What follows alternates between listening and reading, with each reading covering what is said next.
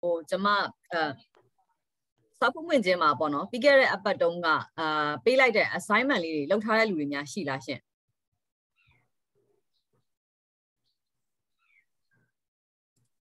assignment လေးတွေများလုပ်ထားကြလားရှင်မင်္ဂလာပါကိုစင်မျိုးလားမစင်မျိုးလားမသိဘူးเนาะမှားခေါ်ပြီးမှဆိုလို့ရှင်ဆိုတော့မိန်းကလေးပေါ့ရှင်ဆိုတော့မိန်းကလေးပေါ့ ကျမအ assignment လေးပေးထားရယ်နော်ပြီးခဲ့တဲ့အပတ်ကလေမေကွန်းလေးတွေအများကြီးပဲအာအဲ့တော့ကျမကဟိုဟာ4 in 4 out ပေါ့နော်၄စက္ကန့်အရှူသွင်းရှူထုတ်အဒီဟိုဟာပေါ့ breathing exercise လေးလည်းကျမပြောခဲ့တယ်ပြီးခဲ့တဲ့အပတ်ကပြီးတဲ့ခါကျရင်စိတ်ငြိမ်သွားတဲ့အချိန်မှာ give yourself permission လုပ်ပြီးတော့ဒီအောက်ကမေကွန်းလေးတွေဖြေပြီးတော့ကိုကိုကိုပြန်ပြီးတော့ realize လုပ်ဖို့ပေါ့နော်ကိုကိုကိုပြန်သုံးသပ်ဖို့လေးကျွန်မပြောခဲ့တာလေးလုပ်ဖြစ်ကြလား Okay ကြည့်ရဖြေမပေါ်ဘူးဆိုတော့မလုပ်ရသေးဘူးမရောက်သေးပါတော့နည်းနည်းလေးတော့တခုခတ်မှရှိတာဗာလဲဆိုတော့အဲကိုယ့်ရဲ့ blocks တွေပေါ့နော်ကိုဖြစ်နေတဲ့အဲ့ဒီဟာတွေကိုကိုမသိဘဲနဲ့ဆိုလို့ရှိရင်အဲ့ blocks တွေဖြီရတာခက်တယ်ကိုကိုကိုမှအရင်မသိရင် blocks တွေဖြီရတာခက်တယ် ပြီးခဲ့တဲ့အပတ်တုန်းကလည်းကျွန်မပြောတယ်ပေါ့နော် know yourself အရင်ဆုံးကိုကိုကိုသိဖို့အရင်လုပ်ပါပေါ့နော်ပြီးတော့ပြီးခဲ့တဲ့အပတ်က questions တွေပြောကြတယ်ဘာတွေလဲဆိုတော့ releasing ဘယ်လိုလုပ်ရမလဲတဲ့ blocks တွေကိုဘယ်လိုဖြီချရမလဲတဲ့နောက်မိသားစုတွေကိုရောအဲ့လို blocks တွေဖြီချဖို့ release လုပ်ဖို့ဘယ်လိုဆွဲခေါ်ရမလဲတဲ့အဲ့ဒါလေးကတော်တော်လေးကိုအချိန်ယူရမယ်ပေါ့နော် balancing ဘယ်လိုလုပ်ရမလဲစသဖြင့် questions တွေကျွန်မကိုရှုထားတယ်အဲ့တော့အဲ့ questions တွေကိုကျွန်မဒီနေ့ပြန်ဖြေဖို့အတွက်ကကြတော့အဲ့ exercise လေးတွေလုပ်ထားရင်ပိုပြီး relevant ဖြစ်တယ် ပိုအဆင်ပြေတယ်ပေါ့နော်ပြောချင်တာဆိုတော့ okay ကျွန်တော်တို့အခုအာပါဇက်လေးနဲ့ပဲအခုဖြည့်ကြည့်လိုက်ရအောင်ပေါ့နော်တယောက်တစ်ပေါက်တော့ဖြစ်နေလိမ့်မယ်အချိန်မီသလောက်ကျွန်မဒီ questions တွေကိုအရင်မေးလိုက်မယ်ပြီးတော့မှ lecture လေးဆက်သွားမယ်ပေါ့နော်ဆိုတော့ okay question number 1အနေနဲ့ဆိုရင် what is your mood yucky time in your lifetime ဆိုတော့အဲ့ဒါကြတော့လေကျွန်မပြောချင်တာကဘာလဲဆိုတော့ကိုယ့်ဘဝမှာ အရန်ကိုယက်ကီဖြစ်ခဲ့တာပေါ့နော်အရန်ကိုစိတ်ညစ်စရာကောင်းတယ်အရန်ကိုမုန်းဖို့ကောင်းတယ်အရန်ကိုဆက်ဆုပ်ယွန်းရှာဖို့ကောင်းတယ်တော့လကောင်း feeling feel လိုက်တာနဲ့ဟိုအီအာအာဆိုဖြစ်သွားတဲ့ဟာမျိုးအဲ့လိုမျိုး feelings တွေ pop up ဘာပေါ်လာတာရှိတယ်စိတ်ထဲမှာပေါ့ဘုံဆိုပြီးပေါ်လာအဲဆိုပြီးမစင်စားပဲနဲ့အဲ့လိုမစင်စားပဲနဲ့ ပေါ်လာတဲ့ဟာပေါ့ pop up ပေါ်လာတဲ့ဟာဘာရှိတယ်လဲပေါ့နော်အဲ့တော့မနမ်းမဝင်းဆန်တော့မေးထောက်ပြီးစစဉ်းစားနေပါပြီကျွန်မပြောတယ်ဒီလိုတွေမစဉ်းစားပါနဲ့ဆိုတော့အချိန်မှသူစစဉ်းစားနေပါပြီအဲ့ကျွန်မသိလိုက်ပါပြီအဲ့ဒါကြောင့်ကင်မရာလေးတွေဖွင့်ပေးထားတာကျေးဇူးတင်ပါတယ် okay နော်အဲ့တော့ကျမဆိုလို့ရှိရင်ပေါ့နော်အဲကျမဆိုရင်ဟုတ်ပြီကိစ္စတစ်ခုကျမခေါင်းထဲမှာပေါ်လာတဲ့အခါမှာအဲအဲ့ကိစ္စကဟုတ်ပြီအဲ့ဒါငါအသက်ဘယ်နှစ်တုန်းကဘသူကငါ့ကိုဘာလုပ်လိုက်တဲ့အချိန်မှာတော့ငါဘယ်လိုခံစားလိုက်ရတာပါဆိုတော့ pop up လေးပေါ်လာတတ်တယ် ဒါဟာငငယ်တုန်းက3 4 5နှစ်အရွယ်ဟာဖြစ်နိုင်တယ်လို့10နှစ်15နှစ်လည်းဖြစ်နိုင်တယ်အခုမကြသေးတဲ့အချိန်ကာလတစ်ခုကလည်းဖြစ်နိုင်တယ်အကြီးဆုံးအစွဲက attachment အကြီးဆုံးကကိုနဲ့အနီးစပ်ဆုံးမှာရှိနေတာပဲကျမတို့အဲအဲဒီဘယ်လိုခေါ်မလဲ belief တစ်ခုအရပြပြမယ်ဗုဒ္ဓဘာသာ belief တစ်ခုအရပြပြမယ်ဆိုရင်အရင်ဘဝ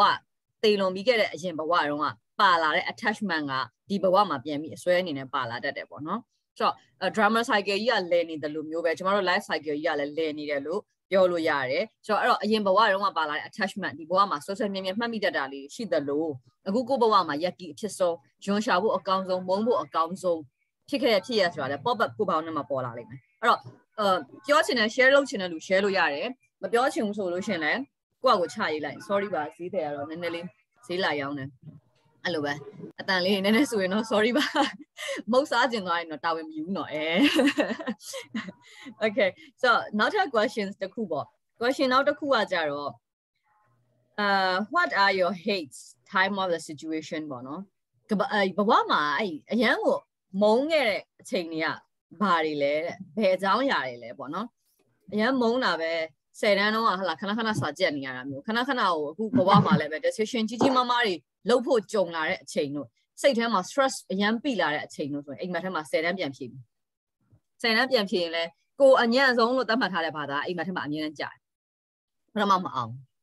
ဒီတော့အကြီးလာတော့ဒါ10တန်းအောင်နေရပေါ့အဲ့တော့ဒီသိပညာတော့သိပ္ပံစေပညာအယူဆရဘာပြောလဲဆိုတော့16နှစ်ဆိုတဲ့အရွယ်ဒီအရန်ကိုငယ်သေးတယ်အရန်ကိုနှုတ်သေးတယ်သူ့ရဲ့အုံနောက် development ကအဲ့လောက်ထိမရှိသေးတဲ့အချိန်မှာ10တန်းဝင်ကြီးကိုထမ်းလိုက်ရတဲ့အတွက်ကြောင့်အဲ့မှာ trauma ဝင်သွားကြတယ် အဲ့ဒါကြောင့်မလို့ဒီနိုင်ငံကလူတော်တော်များများဒီအဲ့ဒီအိမ်မက်ကိုမှတ်တယ်အဲ့ trauma ကြောင့်မလို့အဲ့ဒီအိမ်မက်ကိုအခက်ခဲကြုံလာတဲ့အခါစိတ်ညစ်တဲ့အချိန်တွေမှာမှတ်တယ်ပေါ့ဒါကစိတ်ပညာအယူဆအရာအနေနဲ့ပြောကြတာပေါ့နော်ဒါဟာဒီလဲ attachment တစ်ခုပဲကျမတို့စိတ်ထဲမှာစွဲနေတဲ့အစွဲတစ်ခုပဲဆိုတော့ကိုကရောဘယ်အတိုင်းတာတွေတစ်ခုနဲ့ဘာတွေကို failure ဖြစ်သွားတာတွေလားအောင်မြင်သွားတာတွေလားဒါမှအခုကတော့နာကျင်တာဆိုတော့ anger ဖြစ်တာတွေပေါ့နော် negative တွေကရောကိုယ့်မှာဘာတွေရှိနေတယ်လဲနောက်တစ်ခုကအဲ့ဒီအချိန်တုန်းကအဲ့ဒီဟာကြီးကိုကိုဘယ်လို respond လုပ်ခဲ့တယ်လဲ ဥပမာအဖြစ်ပေါ့နော်ကျမရည်စရာလေးနှောပြီးတော့ပြောပြမယ်ဆိုရင်တော့နမူနာလေးမြင်သာအောင်လို့ပြောချင်တာပေါ့ကျမငငယ်တုန်းကစာကြဘူးကျမကအဲစာကြဘူးဖြစ်သွားရခြင်းအကြောင်းရင်းကကျမမွေးလာတဲ့အချိန်ကျမရဲ့ soul ဒီစာကြဘူးမဟုတ်ရေလေလွင့်နေတဲ့ကောင်ရေလေလျှောက်သွားခြင်းတဲ့ကောင်ဖြစ်နေကျမမွေးလာတာအဲအငွေ့တစ်ခုလိုမျိုးပေါ့ကျမရဲ့ type ကလွင့်နေရတာမျိုးကြိုက်တဲ့ type မျိုးဒါပေမဲ့ မိသားစုရဲ့ family blueprints အရာမိသားစုရဲ့ culture တွေအရာဘောင်ထဲကိုရိုက်ပြီးတွင်းပေးလိုက်တယ်စာတော်ရမယ်စာမတော်ရင်ဘာဖြစ်မယ်ညာဖြစ်မယ်အဲ့လိုမျိုးတွေပေါ့လေဆိုတော့အကျမစာကြဘိုးဖြစ်သွားတယ်အဲ့တော့စာကြဘိုးဖြစ်သွားတော့နည်းနည်းလေးနည်းနည်းကြီးလာတဲ့အခါကျတော့ကျမတို့အဲ့မိသားစုမှာလည်းပဲဘာ belief တစ်ခုထပ်ရှိလဲဆိုတဲ့အခါကျတော့ main ကလေးဆိုရင်တည်တည်ငြိမ်ငြိမ်နေရမယ်ယောက်ျားလေးတွေနဲ့ရောရောနောနောမနေရဘူးလို့သိရမှာငငယ်ရွယ်နဲ့ကြီးစားထားရဲဆိုရင်ဒါ negative ဆိုတဲ့ဟာတွေကိုအဲမကြားတကြားရိုက်သွင်းထားတာတွေရှိတယ်အဓိကဖြစ်စေချင်တာတော့သမီးလေးကိုလက်မမြောက်စေချင်တဲ့ပုံစံမျိုးပေါ့ဆိုတော့အဲ့ဒါတွေက family blueprints တွေပဲဆိုတော့အဲ့တော့ကျမစိတ်ထဲမှာဘာဖြစ်လဲငငယ်ရွယ်နဲ့ကြီးစားထားတာကကျမအတွက်ကစိုးတဲ့အရာတစ်ခုအနေနဲ့ပေါ့ညင်တယ်အဲ့တော့ကျမ16နှစ်14နှစ်အရွယ်လောက်မှာကျမကိုကြီးစားစကားလာပြောရင်ရေလဲစိတ်ဆိုးတယ်ရေလဲစိတ်ဆိုးတယ်ပြီးကျမရဲ့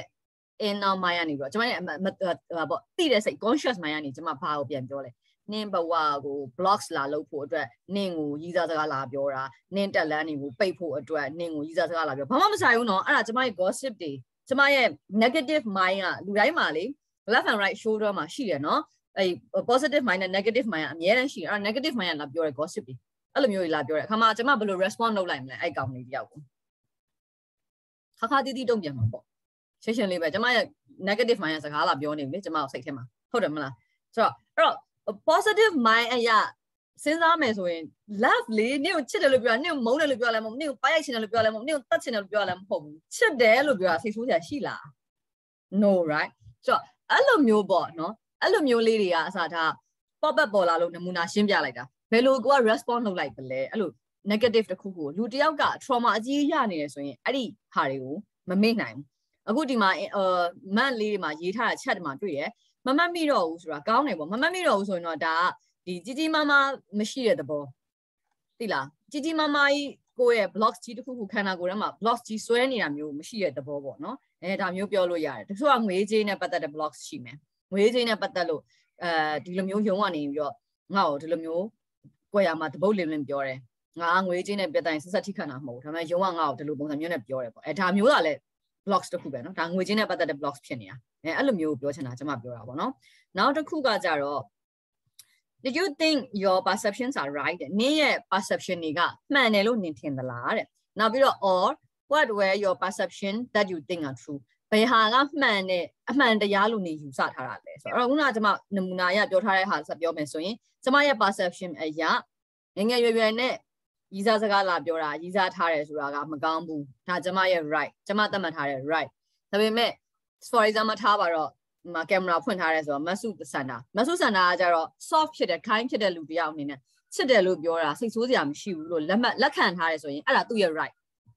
right ကျမရဲ့ right ကဒါ negative မကောင်းဘူးဒါပေမဲ့မဆုစန္ဒာအနေနဲ့ကြတော့ positive အကောင်းဒါ right ပဲလူတိုင်းရဲ့ကိုယ့်ရဲ့ကိုမှန်တယ်လို့ထင်တဲ့ဟာလက်ဖွားလက်ဖမိုးကွာတယ်လို့ပဲဒါ right တစ်ခုပဲအဲ့တော့ ဟုတ်ပြီအဲ့ဒါကိုမြင်ထားတဲ့ right အဲ့ဒါဆိုရင်တကယ် true perception ကဘာလဲ true perception ကမိဘတွေဒီလိုအကြောင်းအရာတွေကိုဘေးကနေရောဓာတ်ရိုက်တော်၎င်း indirect တော်၎င်းရိုက်သွင်းခဲ့တာဒီဘာဖြစ်စေခြင်းလို့လဲဆိုတော့ချစ်လို့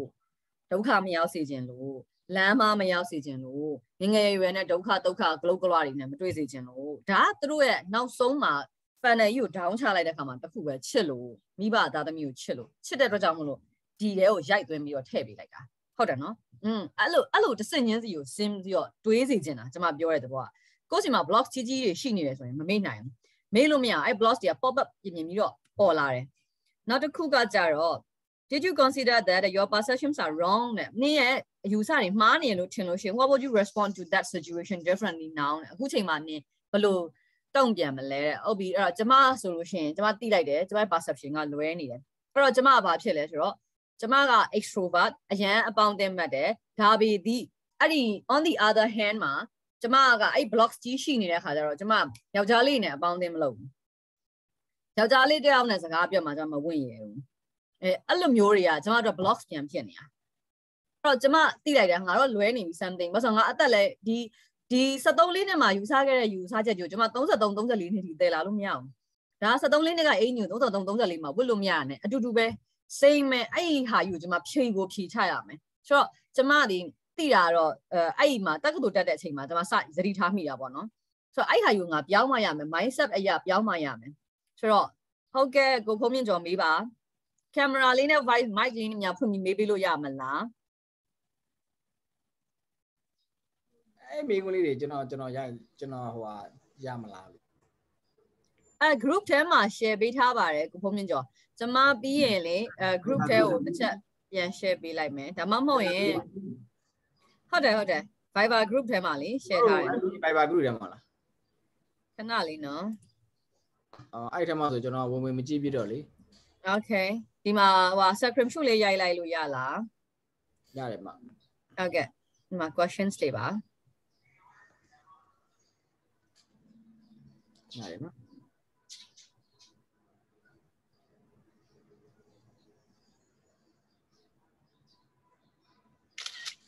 โอเคရပါပြီ ဟုတ်ကဲ့ပါ ကျေးဇူးပါ ဆိုတော့ကျမတို့ကအခုဒီအပိုင်းလေးကိုပေါ့နော်ဆက်ပြောမယ်ဆိုလို့ရှိရင်ကိုကရောဘယ်လိုထင်လဲတဲ့ how would you respond to that situation directly now ဘယ်လို respond လုပ်မလဲကိုမှားနေရလို့ထင်ဘယ်လိုလုပ်မလဲဆိုတော့ကျမခုနပြောတဲ့အတိုင်းပဲကျမမှားတယ်လို့ထင်တော့ကျမဘာပြန်လုပ်လဲ ပြင်လိုက်တယ် perception တစ်ခုကိုကျမပြင်တယ်အဲ့တော့မြန်မာနိုင်ငံမှာပြီးခဲ့တဲ့ chapter တုန်းကကျမပြောခဲ့တယ်လို့မျိုးမြန်မာနိုင်ငံမှာ LOVE နဲ့ပြောလို့ရှိရင်အစိုးဘက်ပဲမြင်တာများတယ် negative ပဲမြင်တာများတယ်ရိုက်ထည့်ထားတာ culture ကြီးက culture ဆိုတဲ့စကားလုံးကြီးကရိုက်ထည့်ထားတာနင့်ကငါချစ်တယ်လို့ပြောရင်ကို negative သိလားချစ်တယ်ဆိုတာနှမျိုးရှိတယ်ကျွန်မပြော love နဲ့ loving kindness နဲ့နှမျိုးရှိတယ်အဲ့တော့ love ဒီ love လို့ပြောလိုက်တာနဲ့ယောက်ျားလေးကြောင့်နဲ့ main ကြီးကြောင့်နဲ့ love ဆိုတာနဲ့ဘာကိုပြေးမြင်တာလဲဘာကိုသွားပြီးတော့စင့်နေကြော်ပြီးစဉ်းစားတာတငယ်ချင်းချင်းချင်းချစ်တယ်လို့မောင်နှမအချင်းချင်းချစ်တယ်လို့ချစ်လို့မရဘူးလားဆရာတပည့်လို့ချစ်လို့မရဘူးလား loving kindness လေမေတ္တာလေသိလားချစ်ချင်းမေတ္တာနဲ့ချစ်လို့မရဘူးလား right ရတယ်တငယ်ချင်းချင်းချင်းကောင်းတာဖြစ်စေခြင်းနဲ့ချစ်ချင်းမေတ္တာအဲ့တော့ကျမတို့ရဲ့ culture ကဘာကိုကျမတို့ပိတ်ပလိုက်လဲဆိုတော့အဲ့ဒီ love ဆိုတဲ့အရာကြီးကို ကျင့်သုံးဖို့အတွက်ကို blog တစ်ခုအနေနဲ့ပိတ်ချပလိုက်တယ် culture ပိတ်ချလိုက်တာအဲ့တော့အချင်းချင်းချစ်မြတ်တာထားဖို့ချစ်ချင်းမြတ်တာဝေဖို့ထားဖို့တော့မှတွန့်တိုတဲ့စိတ်ကအလိုလိုနေရင် negative mind ပေါက်ဖွာလာတယ်အပင်ရေလောင်းမိသားဖြစ်သွားတယ်ကြောင်နဲ့ကြောင်နဲ့ချစ်ဖို့အတွက်အဲ့ထက်ဆိုင်ဘာတွေပုံများလာလဲမနာလိုတာတွေမရှုစိမ့်တာတွေ right အဲ့တော့အဲ့လိုအကြောင်းအရာတွေကပုံများမလာဘူးလား that's the point ပေါ့နော်ကျွန်မမြင်တာ ရပါတယ်မကုမှုဒရာရေနောက်မကြပါဘူးเนาะခုလေးနေမယ်စားတာပါဆိုတော့အဲအဲ့ဒီသဘောတရားကိုကျွန်မပြောချင်တာเนาะဘယ်လိုနည်းနဲ့ကိုယ့်ရဲ့ perception ကိုပြန်ပြောင်းမလဲဘာတွေကကိုယ့်တော့ wrong ဖြစ်နေရလဲဆိုတော့ပြန်တွေးနောက်ပြီးတော့ which role you are play more in drama cycle drama triangle ထဲမှာကိုကဘယ်လိုနည်းနဲ့လဲနေတာများတယ်လဲအဲ့တော့အဲကျမဆိုလို့ရှိရင်ခုနကပြောပြတယ်လို့ခဏခဏအဲ drama triangle ကိုကျမပတ်ပြေးနေတာနေ့တိုင်းပတ်ပြေးတယ်ကျမတယောက်တည်းမဟုတ်ဘူးเนาะလူတိုင်းပဲ drama triangle ပတ်ပြေးတယ်အဲ့တော့ drama triangle ကမဆုစန္ဒာတိလိုက်လားအဲ့ဒီကလိုက်ပါတယ် okay အာနာတက်ခဲလို့ဒုက္ခရောက်တာခဏခဏနောင်တရတယ်တဲ့မှန်လိုက်တာအဲ့ဒါ boundary မရှိတာပါ boundary မတတ်မှတ်တက်လို့ပါပြီးရင်ဆက်ပြောပေးမယ်နော်အဲ့တော့မဆုစန္ဒာကိုကျွန်မမေးမယ်နော်မေးခွန်းလေးဖြည့်ပေးပါအောင်ကူညီပြီးတော့ drama triangle ကိုတနေ့ကိုဘယ်နှ row လောက်ပတ်ပြီးတယ်လဲနောက်ဘယ် row မှာနေတာအများဆုံးကိုကိုထင်လဲ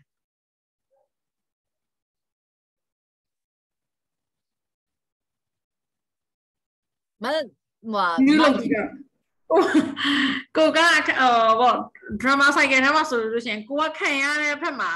room မှာနေဖြစ်တာများတယ်ပေါ့နော်ဟိုစုဆိုလို့ရှိရင်တော့ပေါ့နော်အဲ့လိုအဲ့လိုမျိုးခံခံစားတာပေါ့တခုခုဆိုရင် victim victim နေရာမှာနေတာများတယ်ပေါ့နော်ဟုတ်ပြီနောက် um um anti တင်တင်တန်းရောအမ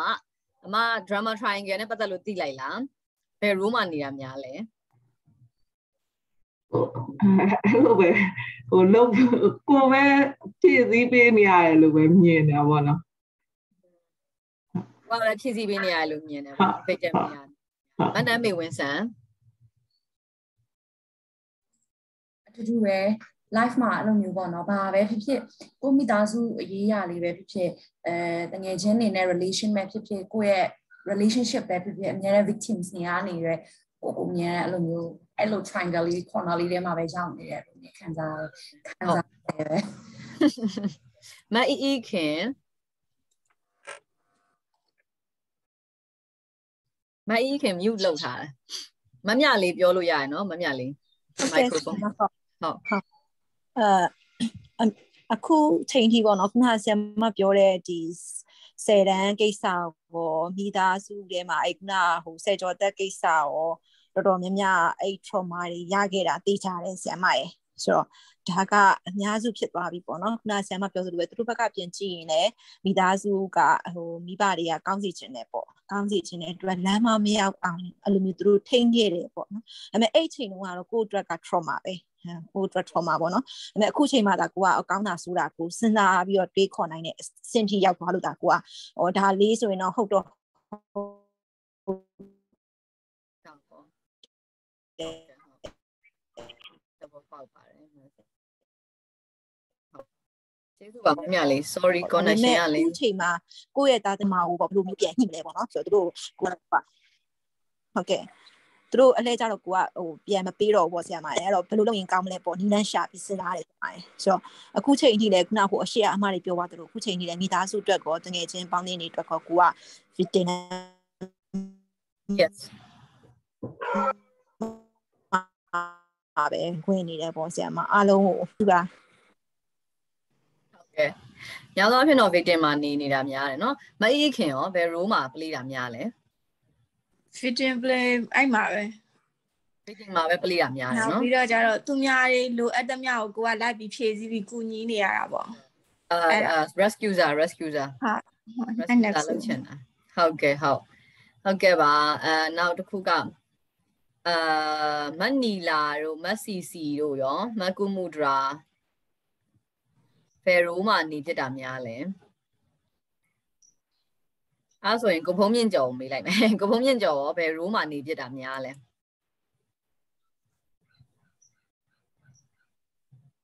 ကင်မရာဟို voice ကပိတ်ထားတယ်ကိုဖုံးအရင်တော့ကတော့ဒီဒီ emotion တွေပေါ့နော် negative emotion တွေကရှိတယ် bad event တွေပေါ့ အဲ့နောက်ပိုင်းမှာဒီနောက်ပိုင်းမှာအဲကျွန်တော်ဟိုဟာဒီ timeline therapy နဲ့ပတ်သက်ပြီးတော့မှလေ့လာပြီးနောက်ပိုင်းမှာဒါတွေကိုတော်တော်လေးဟို release လုပ်လုပ်သွားနိုင်တယ်ပေါ့နော်အာဒီ NLP နဲ့ပတ်သက်ပြီးတော့မှဒီ timeline therapy ဆိုတာရှိတယ် timeline therapy ကမက်မက်သေးဖြူပြောသွားတဲ့ဥစ္စာတွေပေါ့နော်အဲ့ဒါတို့ဒီဒီ bad event တွေရှိတယ်နောက်ကျွန်တော်တို့က ခုနအာဒီဒီအတိတ်မှာဖြစ်ခဲ့တဲ့အရာတွေအားလုံးကခုနကျွန်တော်ဒီဒီဘဝမှာနေမှတခါကျရင် source ကနေပြီးတော့မှဟိုဘက်ဘဝထိကနေပါလာတာတွေရှိတယ်ပေါ့နော်အဲအဲ့ဒါတွေက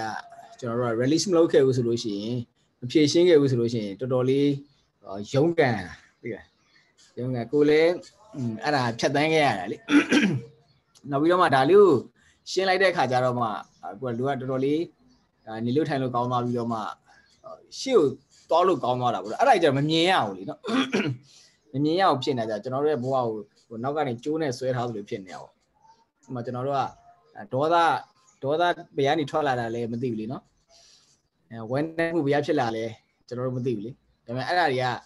အလကားဖြစ်လာတာမဟုတ်သူရဲ့နောက်ကနေကျွန်တော်တို့ကဟိုကအဲဟိုအပင်အပင်ပေါက်တယ်လို့မျိုးသူကတဖြည်းဖြည်းတဖြည်းဖြည်းနဲ့သူကဖြစ်လာတာဆိုတော့အဲ့ဒါကိုလည်းဘယ်လိုရှင်းရမလဲမသိဘူးအဲခုနဒီထက်မှတွေးလိုက်တာ အဲတချို့တချို့အဲ့ဒါကိုမေ့ပစ်လိုက်နိုင်ပြီကောင်းတယ်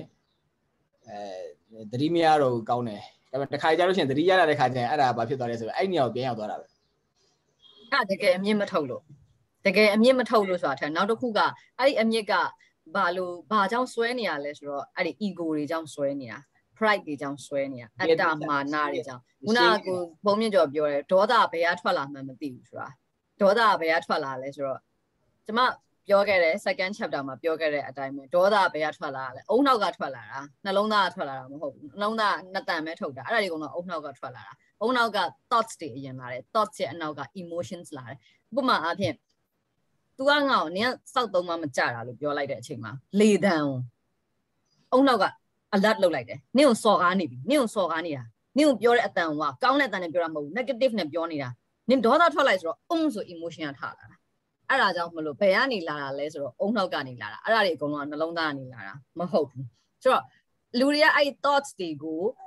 release လုပ်ပြီးတော့ thoughts တွေကိုမြင်အောင်ဖမ်းပြီးမကြည့်ရတဲ့ကြောင့် thoughts တွေရဲ့အနောက်က emotions ကအနောက်ကလိုက်လာတာခုနကကိုဖုံးမြင့်ကျော်ပြောတဲ့ဘာကြောင့်မလို့ထွက်လာတာလဲဆိုတာအခုမေ့သွားပြီလို့ပြောတဲ့လူတွေကကောင်းတယ်မေ့သွားတာဒါပေမဲ့အမြင့်ပြုတ်အောင်လို့မမေ့တဲ့ခါကျတော့အပေါ်ယံမှာကျွန်မပြောခဲ့တဲ့30%ကိုမေ့ကြအောင်ဆောင်ထားတာအောက်က70%ကမမေ့သေးတဲ့အခါကျတော့ တစ်ချိန်ချိန်မှာအများနဲ့တိုက်ဆိုင်မှုရှိတိုင်း pop up ထွက်လာတာ16နှစ်တုန်းကဒီစားစာပေးတုန်းကပါရိုက်ပြီးတော့ဒေါသထွက်သွားတဲ့ဒီစားဦးကောင်မလေးကအစာပြင်းပြင်းပေါ်လာတတ်တယ်။နောက်တကယ်သေချာမရှင်းထားဘူးဆိုလို့ရှိရင်ကျွန်တော်တို့ကအဲ့ဒါတွေနောက်မှအစုလိုက်ပြုံလိုက်ဖြစ်နေတာလေ။အစုလိုက်ပြုံလိုက်ဖြစ်အဲ့ဒါမပြောက်သွားဘူးရှိတယ်။ဆိုတော့ကျွန်တော်တို့ကပျောက်သွားပြီထင်တယ်။ဒေါသကြီးတဲ့သူဆိုတာဒေါသကြီးခဲ့တာမဟုတ်ဘူး။အဲ့ဒါတွေတဖြည်းဖြည်းတဖြည်းဖြည်းစွရင်နေမှာသူကခုနလိုဟိုကိစ္စတစ်ခုတွေ့တဲ့အခါမှာဘုံဆိုပေါက်ကွဲသွားတာ။ အဲ့လိုအဲ့ဘာလို့နောက်ကဟိုက်တကယ်မရှင်းခဲ့တော့ဝမ်းနေတဲ့ဆိုလို့ရှိရင်လည်းသူအဲ့တိုင်းမှာပေါ့တချို့ဆိုဘာမှတော့မပြောရသေးဘူးဘာလို့မျက်ရည်လေးဆန်းဆန်းဆန်းဆန်းဖြစ်လာဒီဒီဝမ်းနေတဲ့ဆိုတဲ့ဟာကြီးကသူ့မှာချက်ချင်းဒါကြီးဖြစ်လာတာမဟုတ်သူနောက်မှာအဲ့ဒါတွေစုပြီးတော့မှသူကနောက်ကနောက်ကဒီအရှိန်နေနဲ့သူ့ဝမ်းနေလိုက်ဆိုပြီးတော့မှသူ့ဖြစ်သွားတာဒီမသိစိတ်ဆိုတော့ unconscious mind ထဲမှာဖြစ်နေတဲ့အရာတွေပေါ့နော်ဒါကြီးဒါအာဒါကြီးဒါသေချာမရှင်းကြဘူးဆိုရင်ခုနကျွန်တော်တို့ကဟိုရက်နေလုံးမမြင်ရတာနော်သွားနေရတာ သွားနေရလူမှုစက်တိုင်တွေလုပ်နေရစီးပွားရေးလုပ်နေရဒါပေမဲ့ဘာလဲဒီ emotion တွေနဲ့ဖြတ်သန်းနေရတာဆိုတော့အဲ့ဒါတွေကသေချာရှင်းခဲ့မယ်ဆိုရင်အလုံးလုံးရတာလည်းကောင်းနေနေရတာလည်းကောင်းနေအဲဒါမျိုးလေးပေါ့နော်မမမသက်ဖြူရာကဒီမှာပြောထားတာဟုတ်တယ် positive thinking နဲ့သူများတွေကိုတွေးပေးပြီးကိုကခံလိုက်ရတာများတယ်ဆိုတာကအဲ့ဒါ victim victim နေရာရောက်သွားတာပေါ့နော် positive thinking နဲ့သူများကိုတွေးပေးလိုက်တာကိုက rescue စာတော့တော့လောက်တာတော့တော့ကဲတာ ပြီးရင်ကိုကြည့်ပြန်ခံလိုက်ရတာခါကြတော့အဲ့ဒါ victim ကိုပြန်ပြန်ပြီးရောက်သွားတာပေါ့နော်နောက်တစ်ခုမသက်နာပြောရဲတေးသေးလေးတွေစုထားပြီးတော့မှတေးသေးလေးတွေကနေအကြီးကြီးဖြစ်သွားတာဆိုတာအဲ့ဒါကိုက collecting လုပ်တတ်တဲ့အကျင့်ကလူတိုင်းမှာရှိတာ哦 collecting လုပ်တတ်တဲ့အကျင့်ကလူတိုင်းမှာရှိတော့ဒါကြီးကိုခန္ဓာကိုယ်ကြီးက intolerance ဖြစ်နေပြီဆိုတော့အဲ့ဒီ collecting လုပ်ပြီးတော့မှအဲ့ဒါကြီးတွေကတစ်ချိန်ချိန်မှာထပြီးတော့မိတောင်ကြီးပေါက်ကွဲသလို boom up ဖြစ်သွားတာပေါ့နော်ဆိုတော့စရတဲ့ကအဲ့ဒီတေးသေးလေးတွေကို collecting မလုပ်ဖ ೇನೆ ဝင်လာတိုင်း release လုပ်လိုက်တာတော့၎င်းဝင်လာတိုင်း boundary တစ်ခုနဲ့ကန့်ချလိုက်တာငါလက်မခံဘူးအဝင်မခံနဲ့ဆိုရင်အဲဒါမျိုးဆိုရင်လုံးဝကိုယ့်စီမှာရောက်လာကြအကြောင်းမရှိတော့ဘူးပေါ့အဲအဲ့လိုမျိုးတေးသေးသေးသေးလေးတွေကိုကာချတတ်တာတေးသေးသေးသေးလေးတွေကို release လုပ်တတ်တာဆိုရင်ဒါမျိုးကဖြစ်မလာတော့ဘူးပေါ့နော်ဟုတ်တယ်လူအများစုမှာအဲ့ဒါတွေကဖြစ်လေဖြစ်တာရှိတယ် collecting လုပ်တတ်တဲ့အကျင့်ကြောင့်မလို့ပေါ့ okay ဆိုတော့နောက်ထပ် question စီမြန်မြန်သွားလိုက်မယ်နော် အဲ့ဒါကဘာလဲဆိုတော့အဲ့ပြဿနာတွေကိုကိုကကို create ဘယ်လိုလုပ်နေသလဲဆိုတော့ခုနကကျွန်တော်တို့ပြောရတဲ့ခေါင်းစဉ်တွေကကိုက်ပြီးသွားပြီတေးသေးလေးတွေလိုက်စုတာကိုစုတော့ကို create လုပ်ပြီးသားဖြစ်သွားတယ်ခုနက तू ကပြောလိုက်တဲ့စကားတခွန်းကိုယ့်ရဲ့အုံနောက်က alert လုပ်လိုက်ပြီးတော့ဒေါသထွက်လိုက်လို့ပြောတဲ့ခါမှာကိုကဒုံးဆိုဒေါသထထွက်ပြလိုက်တာအဲ့ဒါကို create လုပ်လိုက်တာပဲစိတ်ကပြောရဲဒေါသထွက်လိုက်ဆိုတော့ကိုယ့်ရဲ့ခန္ဓာကိုယ်ကပါပေါင်းပြီးတော့ဒေါသထွက်ပြလိုက်တာဒါကို create လုပ်လိုက်တဲ့ခါမှာ problem အကြီးကြီးဖြစ်သွားတယ်နောက်တစ်ခု what are the facts that you holding yourself back ဘလို့ကိစ္စတွေကကိုယ်နောက်ပြန်ဆွဲနေရလဲဆိုတော့အဲအရှိမရောက်တဲ့ကိစ္စတွေပေါ့ for example let's say ထားပါတော့အဲအကိုတကယ်အရန်ကိုချမ်းသာတဲ့ဟလာကျမရွှေမင်းသားလေးပုံမြင်ပြောလိုက်အောင်မယ်နော်မဟုတ်တဲ့ဟာတွေအရန်ကိုချမ်းသာပြီးတော့အရန်ကိုအဲချောပြီးတော့ဟလာအရန်ကိုချစ်တတ်တဲ့ယောက်ျားတယောက်ကရီးစားစကားလာပြောတယ်အဲ့ဒီအချိန်မှာလက်ဖြူဖြူဆိုတဲ့ကျမမလီငါဘဝကို block တွေလုပ်ဖို့ရီးစားစကားလာပြောတာပါဆိုပြီးတော့တုံ့ပြန်လိုက်မယ်ဆိုရင်ဘာဖြစ်သွားမလဲ အဲကျမရဲ့ negative ကကျမကိုပြန် hold ထားတာပဲဟုတ်တယ်နော် universe ကတော့ချပေးလိုက်ပြီးနင်ဒီလမ်းကိုသွားရင်နင်ဒီရောက်ရင်နင်ဒီကကောင်းစားမယ်ဒါပေမဲ့ကျမရဲ့ back negative mindset ကပြန်ဆွဲထားရလေ